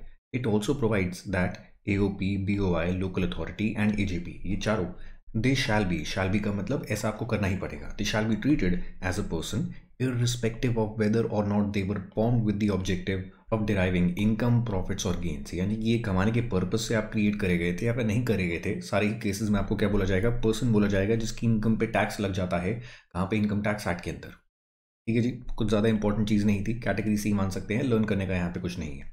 आगे देखिए some concept relating to H यानी कि हिंदू अनडिवाइडेड फैमिली इसके बारे में हम जानने वाले हैं। ऊपर मैंने आपको क्या बताया था? जो भी प्रोविजंस एच पे अप्लाई होते हैं सेम जेयूएफ इस पर भी अप्लाई हो जाते हैं एस इस पर भी अप्लाई हो जाते हैं। लेकिन ये जो टर्म है, ये इनकम टैक्स एक्ट में डिफाइंड नहीं है विच इज़ वाई इस टर्म को समझने के लिए हम कहाँ पे जाते हैं? हिंदू लॉ पे। और ये जो लॉ है, अपने आप में बहुत बड़ा एक्ट है। हिंदू सक्सेशन एक्ट वहाँ पे इसके बारे में बहुत कुछ बताया गया है। कैसे फॉर्म होगी, कैसे चलेगी, कैसे ख़त्म होती है, वगैरह वगैरह। क्या वो सारी चीज़ें आपके लिए जाननी इंपॉर्टेंट है? नहीं। इनकम टैक्स एक्ट के लिए हमें बस इसके बारे में बेसिक्स पता होने चाहिए, ताकि इसकी टैक्सेबिलिटी जानने से पहले हमें पता चल जाए इनका मतलब क्या होता है। तो वो जानने के लिए हिंदू सक्सेशन एक्ट पूरा का पूरा हम नहीं पढ़ने वाले। हम बस उतना पोर्शन पढ़ेंगे उस एक्ट का जितना रेलिवेंट है for the purpose of income tax act देखिए जी, यहाँ पे हमें क्या बताया गया? देखिए portion of the Hindu law which is relevant for the purpose of income tax act Hindu undivided family यानी कि एच एक टैक्स एंटिटी है विच इज़ नॉट क्रिएटेड इसको अलग से क्रिएट करने की ज़रूरत नहीं पड़ती, आपको कोई डीड बनानी पड़ेगी, उससे क्रिएट होगी वगैरह वगैरह। देखिए it gets created by itself after a person gets married आपकी जैसे ही शादी हो जाती है एच आपने बना लिया, जिसके अंदर दो मेंबर्स होने वाले हैं, आप और आपकी wife it is not required to be registered under any act कोई भी एक्ट नहीं बोलता कि इसको आपको रजिस्टर करवाना ही पड़ेगा। कोई रजिस्ट्रार है, जैसे कि कंपनीज़ का होता है पार्टनरशिप फर्म का होता है, इनके लिए कोई रजिस्ट्रार अपने आप में बैठा नहीं होता कि वहाँ पे जाओ, अपने एच को रजिस्टर करवा के आओ। नहीं, ज़रूरी नहीं है। बट रिकमेंड करा जाता है। रिकमेंडेड है to form a deed to govern the H यानी कि एच बनाने के टाइम पे अगर आप डीड बना लेते हैं, ज़्यादा आसानी होगी आपको इस पर्टिकुलर एच एफ़ को चलाने में। क्यों? क्योंकि पता होगा किस इंसान की क्या रोल्स हैं, क्या रिस्पॉन्सिबिलिटीज़ हैं, वगैरह वगैरह। कल को लड़ाई नहीं होने वाली लेकिन अगर आप डीड नहीं बनाते, लड़ाई हो सकती है कि किस इंसान का क्या रोल होगा, क्या रिस्पॉन्सिबिलिटीज़ होंगी। तो रिकमेंडेशन है, लेकिन मैंडेटरी नहीं है। कोई भी एक्ट नहीं बोलता, आपको रजिस्टर करवाना ही पड़ेगा एच को। ठीक है जी, आगे देखिए सच डीड अगर आप बना लेते हैं तो वो मेंशन कर देती है क्या क्या चीज़ है एच क्या होने वाला है, उसका नाम क्या होने वाला है, कर्ता कौन होगा, यानी कि सबसे इंपॉर्टेंट मेंबर जिसके बारे में हम यहाँ पे पढ़ेंगे भी। को पार्सनर्स कौन होते हैं, जिनके बारे में यहाँ पे पढ़ेंगे एंड मेंबर्स वो कौन होंगे, जिनके बारे में यहाँ पे पढ़ने वाले हैं। तो सारी चीज़ें आपकी कहाँ पे पता चल जाएँगी? आपको डीड में, अगर बनाई है तो।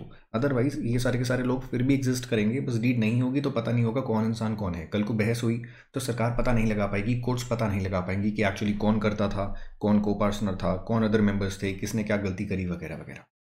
ठीक है जी, अब पता करना शुरू करते हैं एच के अंदर कौन कौन लोग होते हैं। An H of the following parties ये सारी चीज़ें आपके सिलेबस का पार्ट है तो ढंग से पढ़िएगा।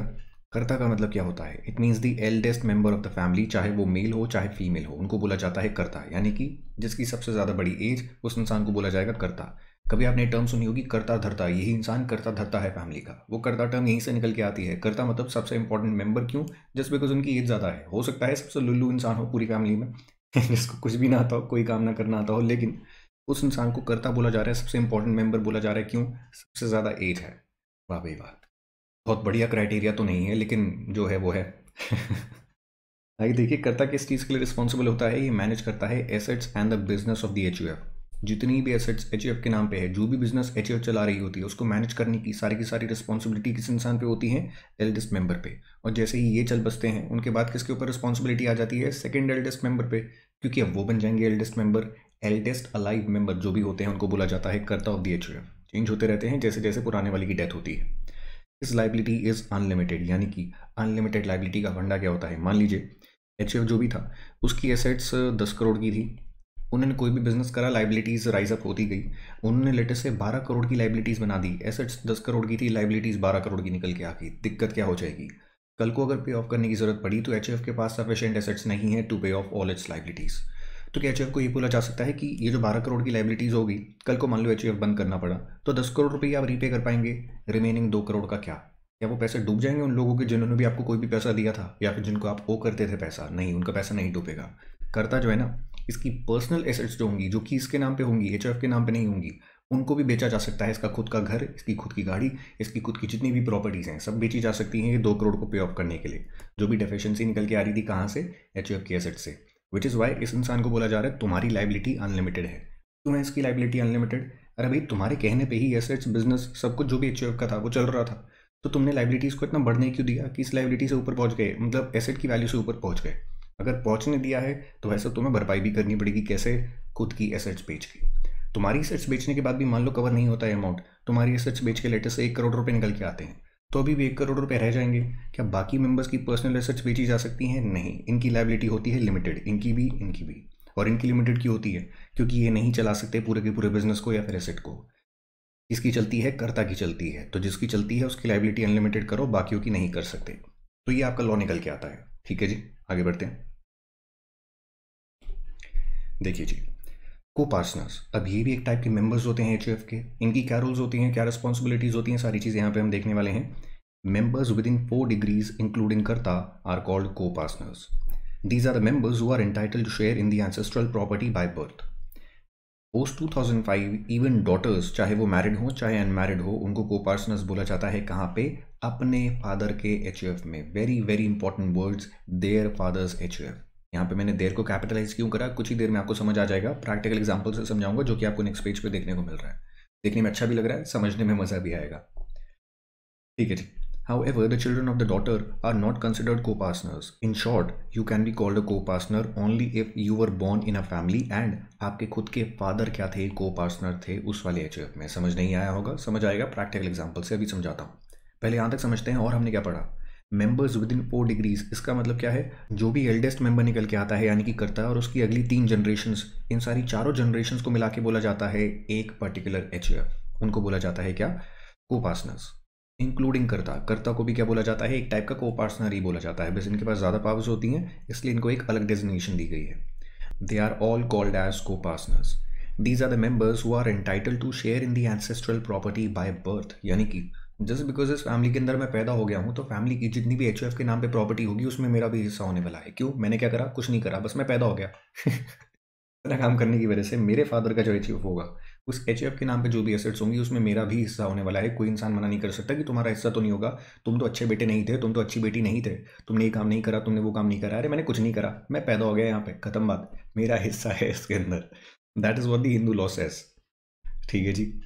आगे देखिए पोस्ट 2005 2005 से पहले क्या हुआ करता था? भेदभाव हुआ करता था। बेटा, बेटी दोनों अलग हैं। बेटी को हिस्सा नहीं मिला करता था फादर के एच में, बेटे को मिला करता था। गलत बात है। सरकार ने क्या कर दिया 2005 के बाद? उन्होंने कहा, बेटियाँ भी चाहे मैरिड हो, चाहे अनमैरिड हो, इनको भी को पार्टनर्स बोला जाएगा और इनकी इक्वल राइट्स होंगे just like a son very good thing अच्छी चीज़ है। लेकिन उनके खुद के फादर के एच में, अब ये चीज़ मैं आपको समझाना चाहूँगा कैसे? इस छोटे से चार्ट से। बना लीजिएगा। एज इट इज़ बना लीजिए। वीडियो को पॉज करके आपके पास ये लिबर्टी है कि आपको मेरी वेट करने की ज़रूरत नहीं है। कि मैं रोकूँ, आप बनाएँ। आप वीडियो पॉज करिए, बनाइए और उसके बाद प्ले करिए। मैं तो चालू कर दूँगा अभी सही तो यहाँ पे ए बी क्या है? हस्बैंड वाइफ है। उसके बाद हस्बैंड वाइफ के बच्चे होते हैं। एक बेटा होता है और एक बेटी होती है। एस का मतलब डॉटर डॉटर कह रहा हूँ सन एस का मतलब सन डी का मतलब डॉटर और इस सन की जो वाइफ होती है, उसको मैंने डब्ल्यू से डिनोट करा। डॉटर का जो हस्बैंड है, उसको एच से डिनोट करा। उसके बाद सन वाइफ दोनों मिलकर क्या करते हैं? एक और सन डॉटर करते हैं। जहाँ पे सन एस से डिनोट करा गया डॉटर डी से डिनोट करी गई। सन की वाइफ डब्ल्यू से डॉटर का हस्बैंड एच से। दोनों मिलके और एक सन डॉटर करते हैं। तो ये प्रोसेस चलता जाएगा, इतना काफ़ी है मेरे लिए आपको समझाने के लिए। ऐसे यहाँ पे देखिए ए बी दोनों हस्बैंड वाइफ उन्होंने जो डॉटर करी थी, उनका हस्बैंड हुआ हस्बैंड डॉटर ने मिलके और सन डॉटर करे और सन डॉटर की शादी हुई वाइफ से हस्बैंड से। ठीक है जी, इतना समझ आ गया अब यहाँ पे मैं आपको बताना चाह रहा हूँ ए बी का जो भी एच होगा, उस एच के अंदर इन सारे के सारे लोगों में जो फैमिली चलती जा रही है, इस पूरी फैमिली में कौन कौन लोग को पार्सनर्स कहलाएँगे, कौन नहीं कहलाने वाले। तो यहाँ पे आपको इस एच में बताया जा रहा है ए बी के एच एफ़ के अंदर सन को पार्टनर होगा डॉटर को पार्टनर होगी। क्यों? 2005 के बाद से डॉटर भी आपकी को पार्टनर होती है और दोनों की इक्वल राइट्स होने वाले हैं, कोई डिफरेंस नहीं होने वाला। बात करते हैं सन की वाइफ की। क्या ये भी को पार्टनर होंगी? नहीं, ये पैदा नहीं हुई थी इस फैमिली में, शादी करके लाई गई हैं। विच इज़ वाई क्योंकि आप पैदा नहीं हुए इस वाली फैमिली के अंदर, आप इस फैमिली के एच के अंदर को पार्टनर नहीं होने वाले। लेकिन क्या कोई ज़्यादा दिक्कत है? नहीं, क्योंकि ये अपने फादर की, जहाँ पे पैदा हुई थी जिस फैमिली के अंदर उस पर्टिकुलर फैमिली की को पार्सनर होने वाली हैं उनकी एच में। तो उनको ऐसी कोई दिक्कत नहीं हो रही। इस फैमिली में नहीं भी बन पा रही है को पार्टनर तो किसी और फैमिली के अंदर हैं। प्रोवाइडेड उनके पास वहाँ पे एसेट्स हों। बात करते हैं इनकी, ये जोड़े की। ये जोड़े में डॉटर क्या बन गई है? इस फैमिली की एच की को पार्सनर बन गई है। क्या डॉटर का हस्बैंड वो को पार्टनर बनने वाला है? नहीं, वो इस फैमिली में पैदा नहीं हुआ है विच इज़ वाई इस फैमिली का को पार्सनर नहीं बन सकता। दिमाग में आएगा, फ़र्क क्या पड़ता है? को पार्सनर बनो ना बनो। फ़र्क पड़ता है? क्या फ़र्क पड़ता है? बाद में बताऊँगा पहले आइडेंटिफाई करना सीख लीजिए कि को पार्टनर कौन होता है और कौन नहीं होता है। उसके बाद समझ आएगा कि ये जो भी बनते हैं और जो भी नहीं बनते हैं, उसके पीछे लॉजिक क्या है। ठीक है जी, यहाँ पे मैंने आपको बताया डॉटर ये भी को पार्टनर है, लेकिन इनके हस्बैंड ये को पार्टनर नहीं होने वाले। आगे बढ़ते हैं चेन में। दोनों ने और बच्चे करे सन डॉटर दोनों ही सन डॉटर क्या बन जाएँगे? को पार्टनर बन जाएँगे। क्यों? आपके जो फादर हैं, वो इस पर्टिकुलर एच के अंदर क्या थे? को पार्टनर थे। इसलिए आप दोनों भी क्या बन जाएँगे? को पार्टनर बन जाएँगे। लेकिन यहाँ पे देखिए दिक्कत क्या होने वाली है। आपकी मदर इस पर्टिकुलर फैमिली के अंदर को पार्टनर थी बट आप दोनों सन एंड डॉटर इस फैमिली के अंदर को पार्टनर नहीं बन पाएँगे। तो आपको लगेगा, ये तो नाइंसाफ़ी हो रही है। बेटे के लिए अलग ट्रीटमेंट बेटी के लिए अलग ट्रीटमेंट ऐसा क्यों होना चाहिए? अगेन नाइंसाफ़ी ऊपर ऊपर से देख के लगती है, लेकिन अगर हम लर्न करने के पर्पज से कोई एनालिसिस करना चाहें तो यहाँ पे सोच के देखिए, क्या ये जो सन एंड डॉटर हैं, वो अपने फादर के HUF में को पार्टनर होने वाले हैं? बिल्कुल होने वाले हैं। सरकार ने कहा ही जगह आपको फ़ायदा मिलना चाहिए। इन सन एंड डॉटर की बात करिएगा, इनको अपने फादर के एच में को पासनर बनने का राइट मिल जाता है। आप दोनों को अपने फादर के एच के अंदर को पासनर बनने का राइट मिल जाएगा। एक इंसान को एक ही एच में को पासनर बनने दिया जा रहा है, मल्टीपल एच के अंदर नहीं बनने दिया जा रहा है। ऐसा आप एक जनरल सा थम रूल बना सकते हैं। तो यहाँ पे इनमें से सिर्फ़ डॉटर ही बन पाएगी को पार्टनर इनके एच एफ़ के अंदर। बाकी husband son wife daughter husband कोई भी नहीं बन पाएगा। बट यहाँ की अगर आप बात करते हैं तो सन उनके सन डॉटर और आगे सन के फर्दर सन डॉटर ये सारे के सारे बन जाएँगे। बट यहाँ पे अगेन चेन आपकी ब्रेक हो जाएगी, इसको भी बना लीजिएगा। यहाँ पे मैं चेन को आगे बढ़ाता हूँ और यहाँ पे मैं डाल देता हूँ किन को? एक सन को और एक डॉटर को। यहाँ पे इनफैक्ट ये लाइन हटानी पड़ेगी, क्योंकि सन डॉटर कोई हस्बैंड वाइफ थोड़ी है। तो ये दोनों आपके ग्रीन बन जाते हैं। बट ये दोनों आपके रेड बन जाएँगे। क्यों?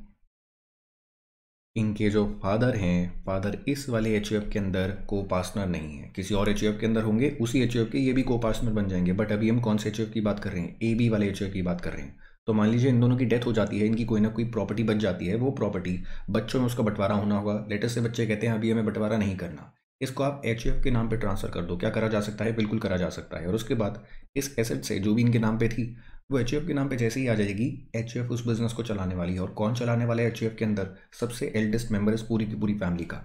मान लीजिए ये सबसे एल्डेस्ट मेंबर निकल के आ जाती हैं तो ये क्योंकि एल्डेस्ट मेंबर होंगी, इनको बोला जाएगा को पार्टनर भी एंड करता भी। और इनकी लाइबिलिटी हो जाएगी अनलिमिटेड और यही एसेट्स को और बिज़नेस को मैनेज करने वाली है। बाकी कौन को पार्टनर होगा इस वाले एच के अंदर, कौन नहीं होगा, वो भी मैंने आपको बता दिया।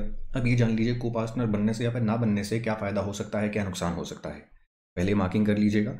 ग्रीन का मतलब क्या है? को पार्टनर आप बन जाते हैं। रेड का मतलब क्या है? आप नहीं बनते हैं को पार्टनर और उसके बाद इंप्लीकेशंस देखिएगा, बनने ना बनने से फ़र्क क्या पड़ता है? देखिए को पार्टनर्स बनने ना बनने से क्या फ़र्क पड़ेगा? रोल्स एंड रिस्पॉन्सिबिलिटीज़ क्या होंगी? यहाँ पे पता चलेगा। Co partners can demand partition of the H यानी कि किसी भी टाइम पे, अगर ये इंसान चाहता है कि ये बोले, भाई साहब, मुझे तो समझ नहीं आ रहा, जैसे बिज़नेस चला रहा है, करता, या फिर जैसे पूरी की पूरी फैमिली चला रही है, मुझे तो मेरा हिस्सा दो, काम खत्म करो। एच के पास एसेट नहीं होनी चाहिए, मेरा हिस्सा नहीं होना चाहिए। और क्योंकि मैं इस फैमिली के अंदर पैदा हुई हूँ, मैं हिस्सा डिमांड कर सकती हूँ अपना। तो इनके बोलने पे आपको बंद करना पड़ेगा एच को, सारी की सारी एसेट्स जो भी एच के नाम पे हैं, उसका बंटवारा करना पड़ेगा सारे के सारे लोगों के बीच में। कौन बोल सकता है, कौन डिमांड कर सकता है ये चीज़? कोई भी पार्टनर डिमांड कर सकता है पार्टनर कह रहा हूँ, कोई भी को पार्टनर डिमांड कर सकता है, ये लोग डिमांड नहीं कर सकते। अगर ये बोलेंगे, सन की वाइफ बोलेगी, मेरे हिसाब से तो देखो बिज़नेस नहीं चल रहा, बंटवारा करो, मुझे तो मेरा हिस्सा दो, खत्म करो। तो एच क्या बोलेगा? तुम, तुम्हारा हिस्सा कौन छोड़ के गया था? मेरे को वेलकम का डायलॉग याद आ रहा है। रहने देते हैं उसको। क्लास की मर्यादा थोड़ी हिल जाएगी। तो वाइफ जब भी ऐसा डिमांड करेगी उस केस में तो इनको बोला जाएगा, भाई साहब, आपका एच है ही नहीं, आप डिमांड नहीं कर सकते, इस चीज़ का राइट आपके पास नहीं होने वाला as a result of this ये एच का पार्टीशन डिमांड नहीं कर पाएँगी। ठीक है जी, आगे बढ़ते हैं और देखते हैं को पार्टनर्स को और क्या राइट मिलते हैं। दे इज़ लिमिटेड लाइबिलिटी तो लिमिटेड होती है, हर इंसान की, चाहे कर्ता के अलावा आप किसी की भी बात करिए को पार्टनर की या फिर अदर मेंबर्स की बात करिए।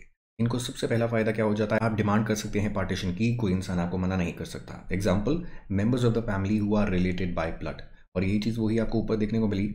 Children of the daughter they are not co partners क्यों उनके फादर जो हैं, वो इस एच के अंदर को पार्टनर नहीं थे? शॉर्ट सा, छोटा सा टेस्ट है। अगर आप किसी फैमिली के अंदर पैदा हुए थे एंड आपके फादर को पार्टनर थे, उस वाले एच के अंदर, दोनों कंडीशन अगर सेटिस्फाई हो जाती हैं तो आप क्या बोल सकते हैं? इस पर्टिकुलर फैमिली के, इस पर्टिकुलर एच के, आप भी को पार्टनर बोलेंगे।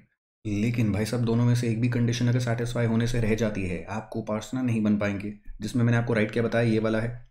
अब आपके दिमाग में आएगा, बाकी जो लोग होते हैं, इनको मेंबर बोला जाएगा एच का या फिर नहीं बोला जाएगा? बिल्कुल बोला जाएगा, लेकिन को पार्टनर वाला मेंबर नहीं बोला जाएगा। और ये जो बाकी मेंबर्स होंगे, इनको क्या राइट्स होने वाले हैं इस पर्टिकुलर एच में? देखिए, आपको बताया गया।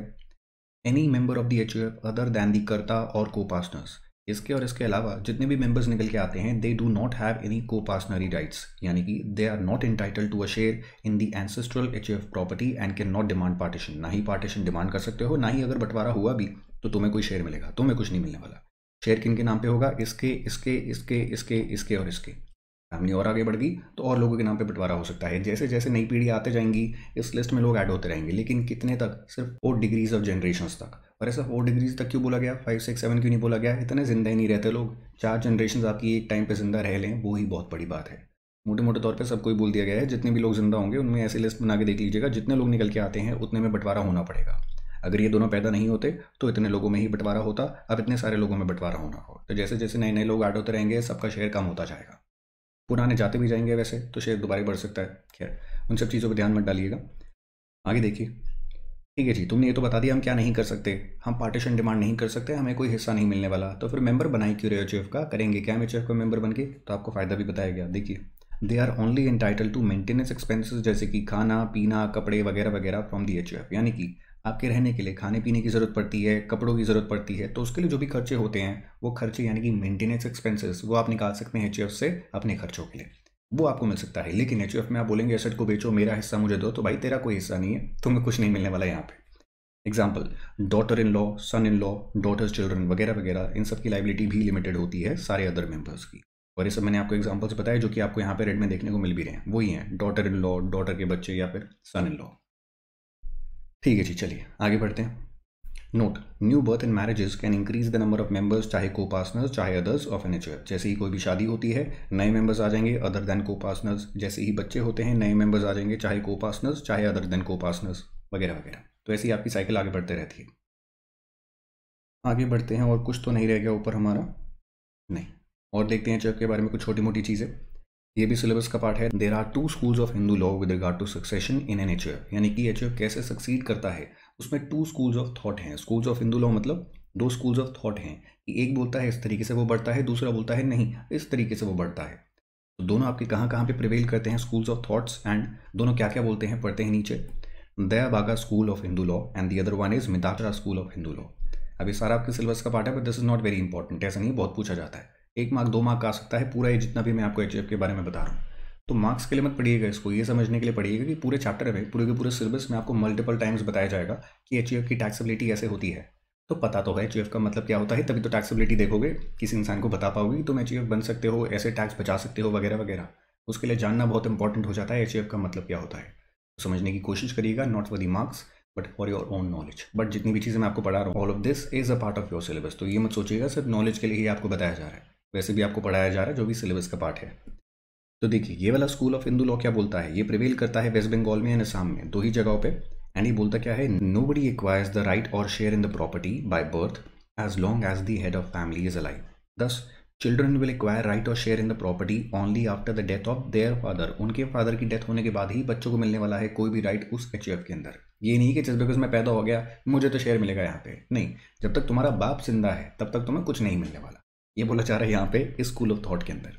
हेंस फादर और उनके जो ब्रदर्स निकल के आएँगे, वही को पार्टनर्स होने वाले हैं किसी भी एच के अंदर। क्यों? जब तक मान लीजिए फादर की डेथ नहीं होती, तब तक बच्चे, आपको कोई हिस्सा नहीं मिलने वाला। फादर उनकी बहन, उनके भाई, जो भी निकल के आते हैं, वही क्या होने वाले हैं? एच के मेंबर्स होने वाले हैं। इनकी डेथ हो गई तो इनके बच्चों को राइट मिल जाएगा। कितना राइट मिल जाएगा? जितना इनका था। और इनका राइट अभी भी इनके पास ही रहेगा, क्योंकि ये ज़िंदा है। इनके बच्चों को राइट नहीं मिलने वाला। ये गए तो इनके बच्चों को राइट मिल जाएगा। ऐसे कुछ चलने वाला है कहाँ पे? इस पर्टिकुलर लॉ के हिसाब से, जो कि दो ही स्टेट्स में प्रिवेल करता है वेस्ट बंगाल एंड असम बात करते हैं इसकी Mitakshara school of Hindu law जो कि पूरे के पूरे इंडिया में प्रिवेल करता है, जिसके बारे में ऊपर हमने पढ़ा भी था। One acquires the right to family property by his birth and not by succession, irrespective of the fact that the elders are alive बड़े ज़िंदा है, बहुत बढ़िया बात है, लेकिन मैं पैदा हो गया हूँ, मैं को पर्सनर बन गया हूँ, मैं जब चाहूँगा, मैं पूरा का पूरा पार्टीशन करवा सकता हूँ एच की एसेट्स का। इतनी पावर मुझे मिल जाती है, क्यों? जस्ट बिकॉज़ मैं पैदा हो गया। बहुत बड़ा काम कर दिया मैंने। मुझे चाहिए फुल इज़्ज़त right from the day one I am born thus every child born in the family acquires right or share in the family property ठीक है जी। अब इतना ही आपके सिलेबस का पार्ट था, लेकिन स्टिल मेरा मन करा, उससे आगे आपको थोड़ा पढ़ाया जाए, लेकिन आपको बताना भी था ये चीज़ सिलेबस का पार्ट नहीं था कि आप रटने ना लग जाए। तो इसलिए मैंने लिखा जस्ट फॉर एक्स्ट्रा नॉलेज यानी कि पॉइंट नंबर फोर के अंदर इंडेंटेशन होने के तरीके से आपको जितनी भी चीज़ें देखने को मिलेंगी यहाँ पे पॉइंट फोर के अंदर, वो सारी की सारी आपके सिलेबस का पार्ट नहीं है, लेकिन पढ़िएगा ज़रूर, मज़ा आएगा। देखिए। एच जो भी है, वो ओन कर सकती है assets on which it earns incomes and also has a separate bank account in its name यानी कि ये अपने आप में पेपर में एक ऑर्गेनाइजेशन होने वाली है, जिसके नाम पे एसेट्स भी खरीदी जा सकती हैं, जिसके नाम पे बैंक अकाउंट भी हो सकता है अपना खुद का। यानी कि इंडिविजुअल्स के अपने बैंक अकाउंट अपनी एसेट्स अपने नाम पे और एच की अपनी एसेट्स अपने नाम पे। और ये जो एसेट्स हैं, जो कि एच को मिली है, जिस पे इनकम कमाने वाली है आने वाले टाइम में, ये एसेट्स ये एक्वायर कैसे कैसे कर सकती है? इन इन तरीकों से। पहला तो तरीका हो सकता है किसी भी इंसान की डेथ के बाद उसकी प्रॉपर्टी ट्रांसफ़र कर दी जाती है in the name of H F by his legal heir or heirs instead of transferring it to their individual name or names बच्चे अगर चाहती तो क्या कर सकते थे? अपने नाम पे बंटवारा करके एसेट्स को ट्रांसफ़र कर सकते थे। लेकिन इन दोनों ने क्या बोला? नहीं, हम अपने नाम पे ट्रांसफ़र नहीं करते। हम ए बी एच एफ़ उस नाम पे ट्रांसफ़र कर देते हैं सारी एसेट्स को, ताकि सिंगल पीस में इनको चलाया जा सके आगे बिज़नेस इनमें कंडक्ट करा जा सके। और जो भी सबसे एल्डेस्ट मेंबर होगा, हम मानने को तैयार हैं कि वो जो भी बोलेगा कि एसेट्स ऐसे चलनी चाहिए, वैसे ही चलेंगी। हमें सिस्टम समझ आता है। तो उस केस में आप एच बना सकते हैं, लेकिन ध्यान से बनाइएगा, क्योंकि सबसे एल्डेस्ट मेंबर अगर पागल निकला तो हमारे एच का तो वो पूरा का पूरा एच एक बार में ख़त्म कर सकता है, सारी एसेट्स ज़ीरो तक लेके आ सकता है। बट ये लोगों को थोड़ी सिक्योरिटी क्या होती है, अगर ऐसा कोई पागल मेंबर बन गया एल्डेस्ट मेंबर जो कि आपको सही नहीं लगता, आप सीधा क्या कर दीजिए पार्टीशन की डिमांड कर दीजिए एसेट्स बढ़ जाएँगी तो इतना भी कोई रिस्क नहीं होता। बट स्टिल आज के टाइम पे बहुत बढ़िया तरीका नहीं है, बहुत ज़्यादा प्रिवेल नहीं करता। क्यों? आपको बताऊँगा कुछ ही देर में। देखिए तो किसी भी इंसान के मरने के बाद अगर उसकी प्रॉपर्टी उसके जो लीगल एयर हैं, वो अपने नाम पे इंडिविजुअल नाम पे ट्रांसफ़र नहीं करते एचएफ के नाम पे ट्रांसफ़र करते हैं तो क्या होता है एच के पास एसेट आ जाती है। This is one of the ways in which it acquires assets दूसरा तरीका मेंबर्स जो भी होते हैं एच के, वो गिफ्ट कर सकते हैं अपनी एसेट एच को, यानी कि फ्री में दे सकते हैं या फिर बेच भी सकते हैं एच को। कि तुम दस करोड़ की प्रॉपर्टी आठ करोड़ में ले लो, दस करोड़ में ले लो, बारह करोड़ में ले लो, किसी भी प्राइस में ले लो, अगर बाकी मेंबर्स एग्री करते हैं ट्रांजेक्शन हो जाएगी। They can sell or give their individual property to the HF by transferring it in the name of HF. And finally, HF को मिल सकती है assets. It gets the asset from any person other than its members by paying for it or getting it as a gift. यानी कि gift की तरह से या फिर खरीदने के तरीके से आप किसी और इंसान से भी ले सकते हैं assets. ज़रूरी थोड़ी है मेंबर के साथ ही ट्रांजैक्शन होने वाली है तो इन तीनों तरीकों से एक्वायर करी जा सकती है कोई भी प्रॉपर्टी बाय दी एच जिस प्रॉपर्टी पे जिस एसेट पे वो इनकम कमाने वाली है और इसका खुद का बैंक अकाउंट भी होता है इनकम कमाने के लिए एसेट्स ओन करने के लिए वगैरह वगैरह since it is a separate person in the income tax act individual के अलावा जो ये इंडिविजुअल मेंबर्स होंगे एच के, ये अपने आप पे इंडिविजुअल कैपेसिटी में, ये तो एक टैक्सेबल एंटिटी होते ही हैं टैक्सेबल पर्सन होते ही हैं, लेकिन उसके साथ साथ जो एच इनका निकल के आया है, उसको अलग टैक्सेबल पर्सन माना जाता है इंडिविजुअल के साथ नहीं माना जाता कि ये दोनों तुम सेम हो। नहीं इंडिविजुअल जो भी अपने नाम पर इनकम कमाता है, उस पर वो इंसान टैक्स देता है एच जो भी अपने नाम पर इनकम कमाता है, उस पर एच एक टैक्सेबल पर्सन की कैपेसिटी में खुद से टैक्स देता है। और कौन देता है, उसके बिहाफ पे टैक्स करता देता है, क्योंकि वही मैनेज करता है उसकी सारी की सारी activities since it is a separate person in the income tax act a separate PAN यानी कि परमानेंट अकाउंट नंबर जो कि एक यूनिक आईडी होता है, हर टैक्स पेयर का होता है, ताकि सरकार आइडेंटिफाई कर पाए कि किसने हमें टैक्स दिया है, किसने हमारे पास रिटर्न जमा करवाई है, वगैरह वगैरह। ये नहीं होना चाहिए कि मैं क्या करूँ? मैं सरकार के अकाउंट में पैसे डाल दूँ लेटर से पचास लाख रुपये और उसके बाद सरकार को बोलूँ, अरे, पहचान कौन? पहचाना नहीं। अरे, हर साल टैक्स देता हूँ। मुझे भूल गए। इतनी जल्दी भूल गए। नहीं भाई, वो नहीं जानते मैं कौन हूँ। उनको नहीं पता साहिल जैन कौन है। क्यों? हज़ारों साहिल जैन इंडिया के अंदर। इतना कोई यूनिक नाम नहीं है मेरा। तो क्योंकि मेरा यूनिक नाम नहीं सरकार को पता कैसे चलेगा, किस इंसान ने हमें टैक्स दिया है, किसने हमारे पास रिटर्न जमा करवाई है, वगैरह वगैरह। वो कैसे नहीं कर सकते। सरकार कहती है, आपको एक यूनिक आईडी दिया जाएगा यूनिक नंबर दिया जाएगा, जिसके बेसिस पे आप हमारे साथ जो भी कॉरेस्पॉन्डेंस करेंगे, हमें पैसा देते हैं, कोई डॉक्यूमेंट देते हैं, कुछ भी देते हैं, उस पर वो नंबर कोड करिएगा, क्योंकि हम आपको पहचानते नहीं हैं। और हमें पहचानना पड़ेगा, तभी पता चलेगा, इस इंसान ने पैसा दिया है, इसने रिटर्न दी है, वगैरह वगैरह। Which is why everybody in the income tax act is issued a PAN before doing any correspondence with the income tax department तो आपको बोला जा रहा है क्योंकि आप एक सेपरेट इंसान हैं एच की कैपेसिटी में आपका सेपरेट नंबर होने वाला है। कौन सा number PAN number separate PAN is required to be obtained for an H and consequently income of the H जो भी निकल के आती है, वो टैक्स होने वाली है एच के हाथ में एंड एच को क्या करना पड़ेगा? अपनी खुद की रिटर्न फ़ाइल करनी पड़ेगी। अभी खुद तो नहीं कर सकता क्योंकि पेपर पे एग्जिस्ट करता है। इसके बिहाफ पे कौन करने वाला है? करता फ़ाइल करने वाला है। लेकिन इसके बिहाफ पे फ़ाइल करने वाला है। इसके बिहाफ पे इसी की रिटर्न फ़ाइल होगी, इसी का पैन यूज़ करके। ये आपको और अच्छे से समझ आएगा जब रिटर्न वाले चैप्टर पे हम पहुँचेंगे। पैन के बारे में और डिस्कशन होगी रिटर्न्स के बारे में और डिस्कशन होगी, लेकिन यहाँ पे थोड़ा बहुत आपको समझ आ रहा होगा, क्योंकि इतना भी कॉम्प्लिकेटेड नहीं है। आगे बढ़िए। Equal rights of each member consent of all the members for partition are some of the disadvantages of forming an H यानी कि अगर आपने एच बना लिया है तो आपके साथ जितने भी को पार्टनर्स निकल के आएँगे, सबका इक्वल राइट होगा। सभी पार्टीशन डिमांड कर सकते हैं। बिज़नेस चल ही नहीं पाएगा। बहुत जल्दी जल्दी पार्टीशन की डिमांड आएगी। ऐसे ही कोई भी काम करने के लिए सारे लोगों का कॉन्सेंट होना चाहिए। सबकी हामी होनी चाहिए। वो भी चीज़ कैसे इंश्योर करोगे विच इज़ वाई प्रैक्टिकली आज के टाइम पे एच नहीं बनाए जाते। बहुत कम आपको देखने को मिलेंगे। बट बनाना चाहते हैं, इतनी आपसी सहमति है पूरी की पूरी फैमिली में, बना लीजिए, कोई दिक्कत नहीं है। We will discuss the taxability of the income of HUF in the coming chapters यानी कि आने वाले चैप्टर्स में आपको पता चलेगा इनकी इनकम को टैक्स कैसे करा जाता है। बट अभी आपको ये तो पता चल गया होगा एचयूएफ का मतलब क्या होता है। मोटे मोटे तौर पे तो पता चल गया होगा। ज़्यादा डिटेल में पढ़ना चाहते हैं, हिंदू लॉ पूरा को पूरा पढ़ लीजिएगा। सब कुछ समझ आ जाएगा, कैसे बनता है, कैसे ख़त्म होता है क्या कैसे चलाई जाती हैं, कैसे चलाई जाती हैं, वगैरह वगैरह। बट इतना जानना आपके लिए काफ़ी था to be able to understand कि इनकी टैक्सेबिलिटी कैसे निकल के आती है। ठीक है जी, चलिए। आगे देखिए just for extra knowledge a person conducting the business as a sole proprietorship यानी कि खुद अकेला ओनर प्रोप्राइटर मतलब ओनर सोल मतलब अकेला। तो कोई भी जो भी सोल प्रोप्राइटर होता है they are not required to take another PAN for the same यानी कि ऊपर आपको पर्सन में कोई भी सोल प्रोप्राइटर देखने को नहीं मिला। तो आपके दिमाग में आएगा, मान लीजिए आप कल को कोई भी बिज़नेस स्टार्ट करते हैं, अकेले ओनर होकर दुकान खोल देते हैं शोरूम खोल देते हैं, कुछ भी खोल लेते हैं। तो आप पैन कैसे लेंगे? आप अपने आप को क्या कहलाएँगे? आप ये बोलेंगे, क्या मैं आर्टिफिशियल जोरिडिकल पर्सन हूँ? मुझे इस कैपेसिटी में एक पैन दे दिया जाए? नहीं। आप एक इंडिविजुअल बिजनेसमैन हैं, यानी कि आप इस कैपेसिटी में अपना पैन लेंगे और अपने इंडिविजुअल पैन के अगेंस्ट ही क्या करेंगे? रिटर्न्स फ़ाइल करेंगे, सारी कॉरेस्पॉन्डेंस करेंगे। अलग से सोल प्रोपराइटर के लिए कोई और पैन लेने की ज़रूरत नहीं होती। ये अगेन आपके सिलेबस का पार्ट नहीं है। लेकिन बहुत स्टूडेंट्स का क्वेश्चन आता है और बहुत वैलिड क्वेश्चन भी लगता है मुझे विच इज़ वाई मैंने जस्ट फॉर एक्स्ट्रा नॉलेज करके आपको ये चीज़ बता दी। A person conducting business as sole proprietorship is not required to take another PAN for the same. Profits from the sole proprietorship business are merged with the income which the proprietor earns as an individual since sole proprietor और उसका business they are the same person in the eyes of law.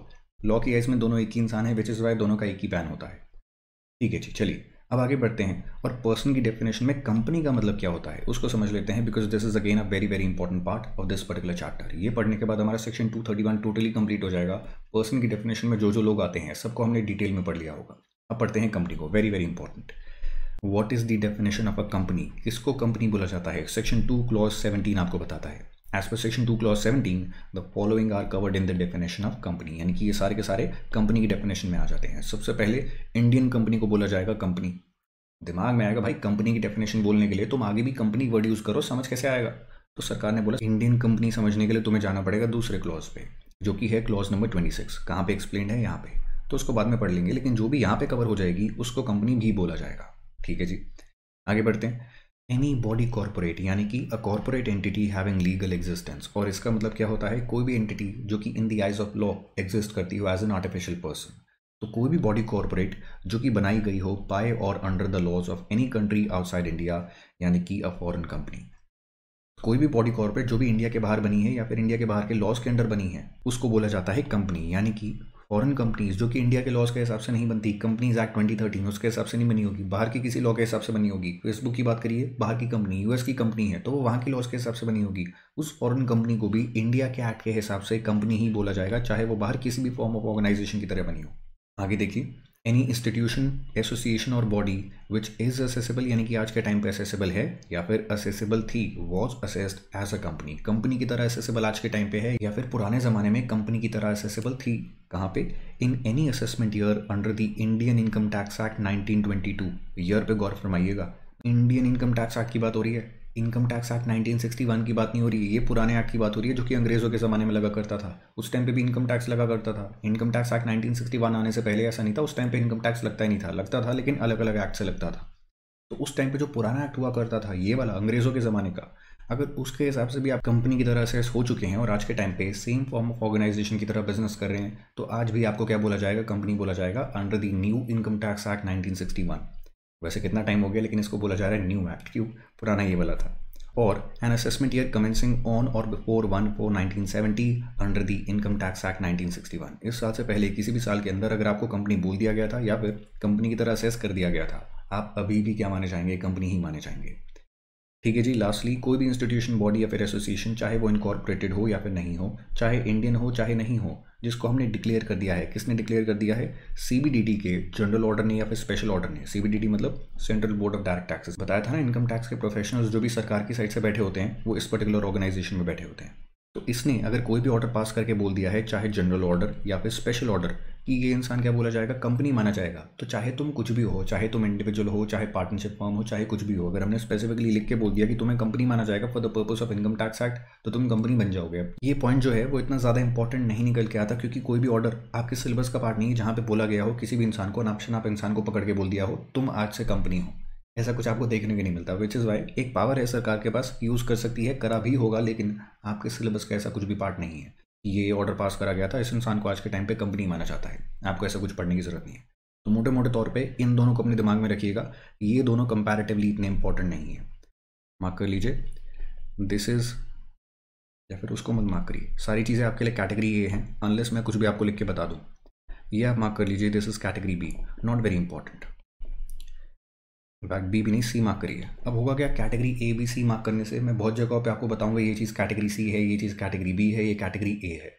आपको मैं कोई भी चीज़ नहीं बोलूँगा straight away छोड़ के चले जाओ। क्यों? जितनी भी चीज़ आपको पढ़ाई जा रही है, सब आपके मॉड्यूल में आई के स्टडी मटीरियल में। तो पूछी तो देखिए जा सकती हैं। कभी भी दिमाग घूमा एग्जामिनर का तो टेढ़ी मेढ़ी चीज़ें पूछने वाला है। सेंस नहीं बनती है पूछने की, लेकिन पूछ सकता है। बट स्टिल आपको जब भी प्रायोरिटाइज करना है कि सर टाइम की कमी पड़ रही है, कुछ ना कुछ तो मैं छोड़ने ही वाला हूँ। तो उस टाइम पे कैटेगरी सी छोड़िएगा। और ज़्यादा टाइम की कमी पड़ती है कैटेगरी बी छोड़िएगा। लेकिन कैटेगरी ए कभी भी छोड़ के मत जाइएगा पेपर में, बहुत बड़ी भूल करेंगे। तो कैटेगरी ए सबसे पहले पढ़नी है रिफाइन करनी है लर्न करके जानी है पेपर में। पहले लॉजिक समझाऊँगा, उसके बाद लर्न करने के लिए ट्रिक्स बताऊँगा। खुद आप ट्रिक्स भी डेवलप करेंगे, चीज़ें लर्न करेंगे, तभी पेपर में जाएँगे। कैटेगरी ए के बाद टाइम बच जाता है कैटेगरी बी अच्छा खासा टाइम लगाइए उस पर भी, उसको भी लर्न करिए। उसके बाद भी टाइम बच जाता है तो कैटेगरी सी जो कि आपने पढ़ रखी है क्लास के अंदर डिटेल में पढ़ रखी है, पढ़ाने में मैं कोई भी चीज़ पर कॉम्प्रोमाइज़ नहीं करने वाला, कि मैं आपको पढ़ाऊँ ही ना। पढ़ाऊँगा ज़रूर, लेकिन जब लर्न करने की बारी आएगी इस पर सबसे कम एफर्ट डालिएगा। अगर बिल्कुल ही टाइम बच जाता है, सारे सब्जेक्ट्स कंप्लीट हो गए हैं, इसको भी बाय हार्ड लर्न कर लीजिएगा। अदरवाइज़ पढ़िए क्वेश्चंस में जितना अप्लाई होता है, उतना देखिए। अदरवाइज़ लर्न करने की आपको ज़रूरत नहीं है। उससे ज़्यादा लर्न करने की ज़रूरत नहीं है। ये आप देखेंगे क्वेश्चन में बिल्कुल भी यूज़ नहीं होंगे। ये होंगे। तो कोई भी फॉरन कंपनी या फिर इंडियन कंपनी दोनों को ही बोला जाएगा कंपनी अब जानते हैं इंडियन कंपनी इसका मतलब क्या होता है? यहाँ पे आपको बताया गया। Point number B classes of companies कौन से पेज पे हम चल रहे हैं? Page number two point two यानी कि चैप्टर नंबर टू का पेज नंबर टू ऐसे ही कर करके 238 पेजेस में पूरा सिलेबस आपका खत्म हो जाएगा। चलिए आगे बढ़ते हैं। इंडियन कंपनी किसको बोला जाता है इंडियन कंपनी जिसको हमने ऊपर कवर कर लिया था और बोल दिया था, ये तो कंपनी कहलाई जाएगी। देखिए as per section number 226 an Indian company means a company which satisfies both of the following means का मतलब क्या होता है? दोनों ही सेटिस्फाई करोगे, तभी जाके आप इंडियन कंपनी कहलाओगे, नहीं तो नहीं कहलाई जा सकती। क्यों? एग्जॉस्टिव डेफिनेशन है इलस्ट्रेटिव नहीं है। तो दोनों कंडीशन सेटिस्फाई करनी है, दोनों की दोनों। क्या क्या कंडीशन हैं companies formed and registered under the companies act 2013 latest जो हमारा इंडिया का कंपनीज़ एक्ट है, उसके तहत आप फॉर्म हुए हो एंड रजिस्टर हुए हो। और उसके साथ साथ एक और कंडीशन आपका जो रजिस्टर्ड ऑफ़िस है या फिर प्रिंसिपल ऑफ़िस है, वो कहाँ पे होना चाहिए? इंडिया के अंदर होना चाहिए। दोनों सेटिस्फाई करोगे इंडिया के हिसाब से इंडियन कंपनी कहलाओगे। दोनों में से एक भी अगर सेटिस्फाई करने से चूक गए इंडियन कंपनी नहीं कहलाओगे। तो दिमाग में आएगा sir companies act twenty thirteen ये तो अभी अभी आया इससे पहले companies act nineteen fifty six हुआ करता था। हो सकता है इसके बारे में आपको पता हो हो सकता है नहीं पता हो, मैं आपको बता रहा हूँ। तो कोई भी कंपनी जो 1956 और 2013 के बीच में बनी थी, वो सारी कंपनीज़ को आप इंडियन कंपनी बोलने नहीं वाले? नहीं, ऐसा नहीं है। नीचे वाला पार्ट भी तो पढ़िए। Indian company also includes the following provided their registered और principal office is in India अगर इनका भी रजिस्टर्ड प्रिंसिपल ऑफ़िस इंडिया के अंदर निकल के आ जाता है, इनमें से किसी का भी, इनको भी इंडियन कंपनी बोला जाएगा। यानी कि सेकंड कंडीशन इससे तो आप नहीं बच सकते। ये तो सेटिस्फाई होनी ही पड़ेगी, तब जाके आप इंडियन कंपनी बनेंगे। लेकिन अगर पहली कंडीशन नहीं भी सेटिस्फाई कर पाते, ऊपर कवर नहीं भी हो पाते चांसेस हैं आप अभी भी इंडियन कंपनी बन सकते हैं, अगर आप नीचे इनमें से किसी भी कंडीशन को सेटिस्फाई कर देते हैं तो। और यहाँ पे क्या लिखा है? और है। या तो ये, या तो ये, या तो ये। तीनों में से एक भी सेटिस्फाई कर दो, क्योंकि दूसरी कंडीशन भी आपने सेटिस्फाई कर दी है, आप बन जाएँगे इंडियन कंपनी तो नीचे की कंडीशंस देखिए, कोई भी कॉरपोरेशन जो भी इस्टेब्लिश करी गई है by or under a central state or provincial act जैसे कि financial corporation or state road transport corporation ये कैसे बनाई जाती है? सरकार के एक्ट्स के द्वारा बनाई जाती है। तो कोई भी ऑर्गेनाइजेशन जो कि सरकार के किसी भी एक्ट के द्वारा बनाई गई है even if not companies act twenty thirteen और नाइनटीन फिफ्टी सिक्स और एनी अदर सच एक्ट तो आपको क्या बोला जाएगा? क्योंकि आप इसके तहत बनाए गए हैं, आपका रजिस्टर्ड प्रिंसिपल ऑफ़िस इंडिया के अंदर है तो आप क्या कहलाएँगे? Indian company next is any institution association or body which is declared by the board to be a company under section number 217 यानी कि ऊपर हमने जब 217 पढ़ा था तो मैंने आपको बताया था ना, जिस भी इंसान को डिक्लेयर कर दी है सीबीडीटी की, तुम्हें, हम ऑर्डर के थ्रू बोलते हैं, तुम्हें कंपनी माना जाएगा तो तुम्हें कंपनी ही माना जाएगा। ऐसे इंसान को अगर डिक्लेयर करके ऑर्डर से बोल दिया गया है, तुम्हें कंपनी ही माना जाएगा तो तुम कैसी कंपनी बन जाओगे? इंडियन कंपनी बन जाओगे ऑटोमेटिकली लेकिन उसके लिए कंडीशन है, उसको भूल मत जाइएगा, नहीं तो गलती कर बैठेंगे। हर केस आप इंडियन कंपनी नहीं बनेंगे सिर्फ़ तभी बनेंगे जब आपका रजिस्टर्ड या फिर प्रिंसिपल ऑफ़िस कहाँ पे हो इंडिया के अंदर। ये कंडीशन के साथ साथ इस कंडीशन को भी याद रखिएगा। मोस्टली स्टूडेंट्स इसको तो याद रखते हैं, इसको भूल जाते हैं। मत भूलिएगा, नहीं तो पेपर में गलती कर बैठेंगे।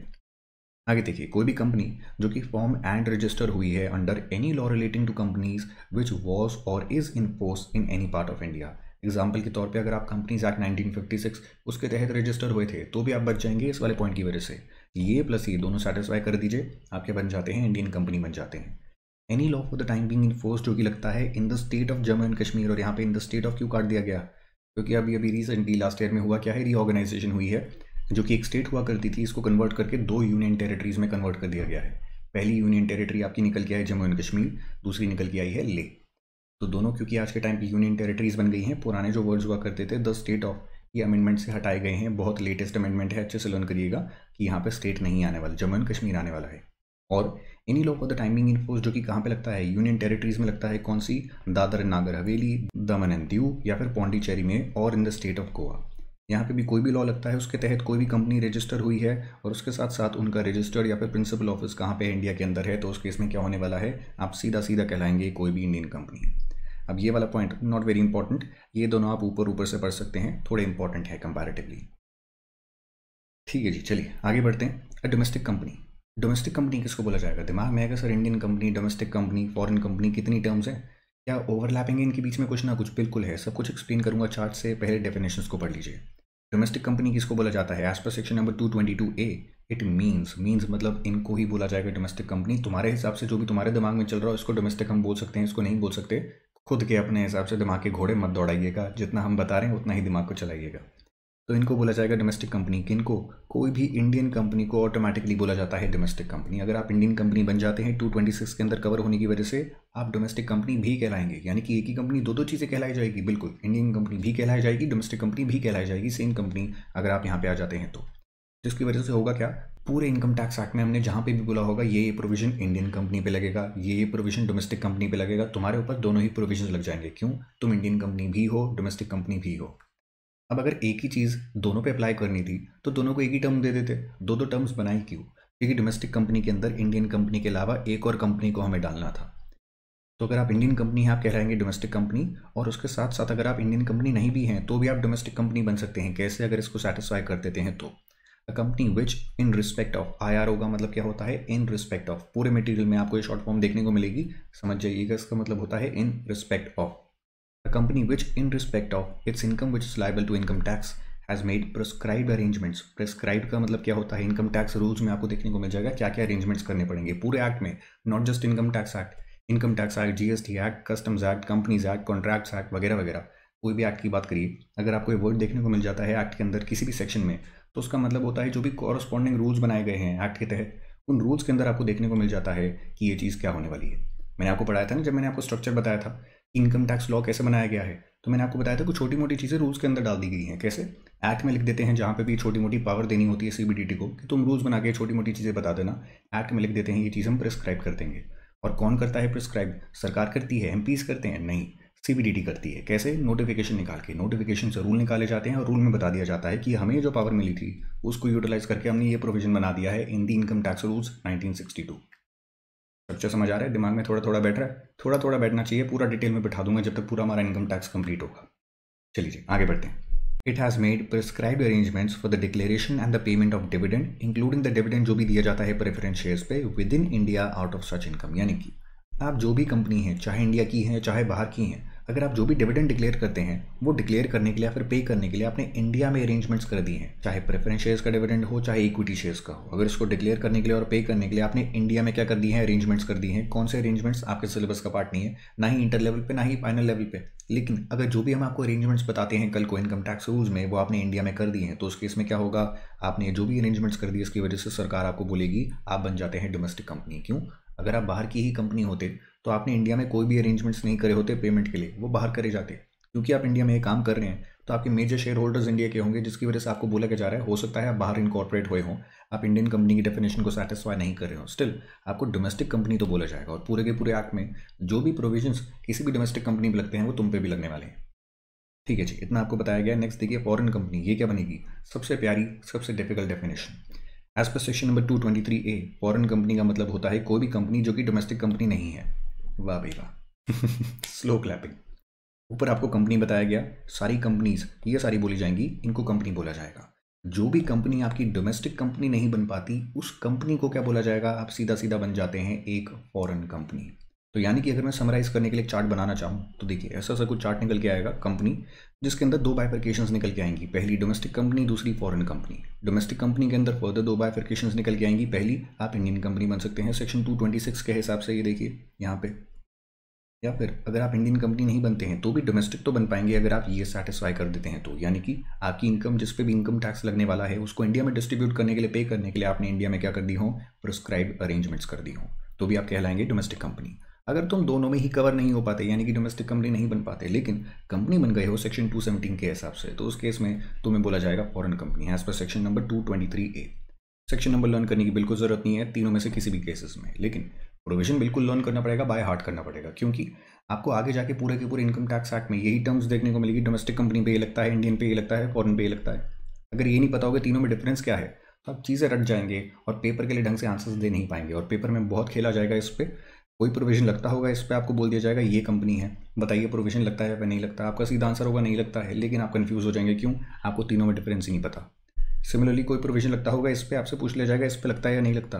आपका कंडीशनल आंसर होना चाहिए कि भाई साहब, इसमें दोनों आती हैं। अगर डोमेस्टिक कंपनी ये हुई तो तो लग जाएगा, अगर ये हुई तो नहीं लगेगा। ऐसा मुझे आंसर देना पड़ेगा, लेकिन वो आंसर तो तब देंगे ना जब इतनी क्लैरिटी होगी डोमेस्टिक इंडियन में डिफरेंस क्या है। तो दोनों चीज़ अपने दिमाग में डालिएगा। नॉर्मली किसी भी इंसान से चलते फिरते इंसान से पूछेंगे इंडियन कंपनी डोमेस्टिक कंपनी दोनों में डिफरेंस बताओ, कोई नहीं बता पाएगा। दोनों से मतलब साउंड करती हैं, लेकिन आप प्रोफेशनल्स हैं, आपको डेफिनेशन बताई गई है यहाँ पे 226 के अंदर। आपको पता होना चाहिए, दोनों में डिफरेंस क्या है और बिल्कुल अच्छे से पता होना चाहिए लर्न होना चाहिए।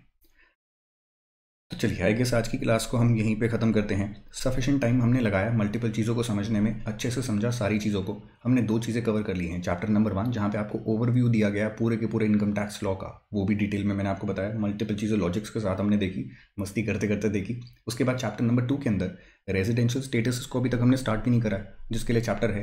अभी हमने बस ये देखा है पर्सन का मतलब क्या होता है, क्योंकि वो ही नहीं समझ आएगा तो आगे जाके मैं आपको बताऊँगा इंडिविजुअल का रेजिडेंशियल स्टेटस ऐसे निकाला जाता है एच का ऐसे निकाला जाता है कंपनी का ऐसे निकाला जाता है, और आपको पता ही नहीं होगा एच होता क्या है कंपनी होती क्या है इंडिविजुअल होता क्या है। तो इसलिए पहले हमने ये देख लिया पर्सन का मतलब क्या होता है। पूरी डिटेल में देख लिया है, पूरी की पूरी ये जो लिस्ट है, हमारी कंप्लीट हो चुकी है। अब ये कंप्लीट होने के बाद हमारा काम निकल के आएगा इस चैप्टर को आगे पढ़ना। कब पढ़ेंगे? कल वाली क्लास से पढ़ेंगे, जो कि मैं अभी रिकॉर्ड कर दूँगा, आप बाद में देख लीजिएगा। तो जो क्लास होने वाली हैं, दोनों ही क्लासेस इससे आपका चैप्टर नंबर टू भी कंप्लीट हो जाएगा। अब मेरी आपसे एक्सपेक्टेशंस क्या हैं? हमेशा की तरह वही एक्सपेक्टेशंस होने वाली हैं, जो कि जीएसटी में थी, कि अभी तक आपको जितना पढ़ा दिया गया है, उसको अच्छे से लर्न कर लीजिएगा। कोई भी डाउट आता है, सीधा मुझसे क्लास खत्म करते ही पूछ लीजिए, वहीं पर मैं आपको रेक्टिफाई कर दूँगा। विद इन अ डे आपको रिप्लाई मिलेगा ही मिलेगा। चांस ही नहीं आपको रिप्लाई ना मिले। अगर बाई चांस नहीं मिले तो मान के चलिएगा मैसेज रीड होने से रह क्या होगा। और दोबारा मुझे मैसेज कर दीजिएगा, मैं आपको रिप्लाई कर दूँगा। So basically what is going to happen is ये चैप्टर हमने कंप्लीट करा है मतलब क्लास हमने कंप्लीट करी है, जितनी भी, उतना आपको लर्न करना है, अगली क्लास में मिलना है विद ऑल ऑफ़ दैट जो भी हमने पढ़ लिया था अभी तक, वो लर्न होना चाहिए, ताकि आगे का आपको अच्छे से समझ आने लग जाए। तो अगली क्लास में मिलते हैं, यानी कि नेक्स्ट क्लास में in the lecture number two will start with the remaining portion of this chapter take care of self good night bye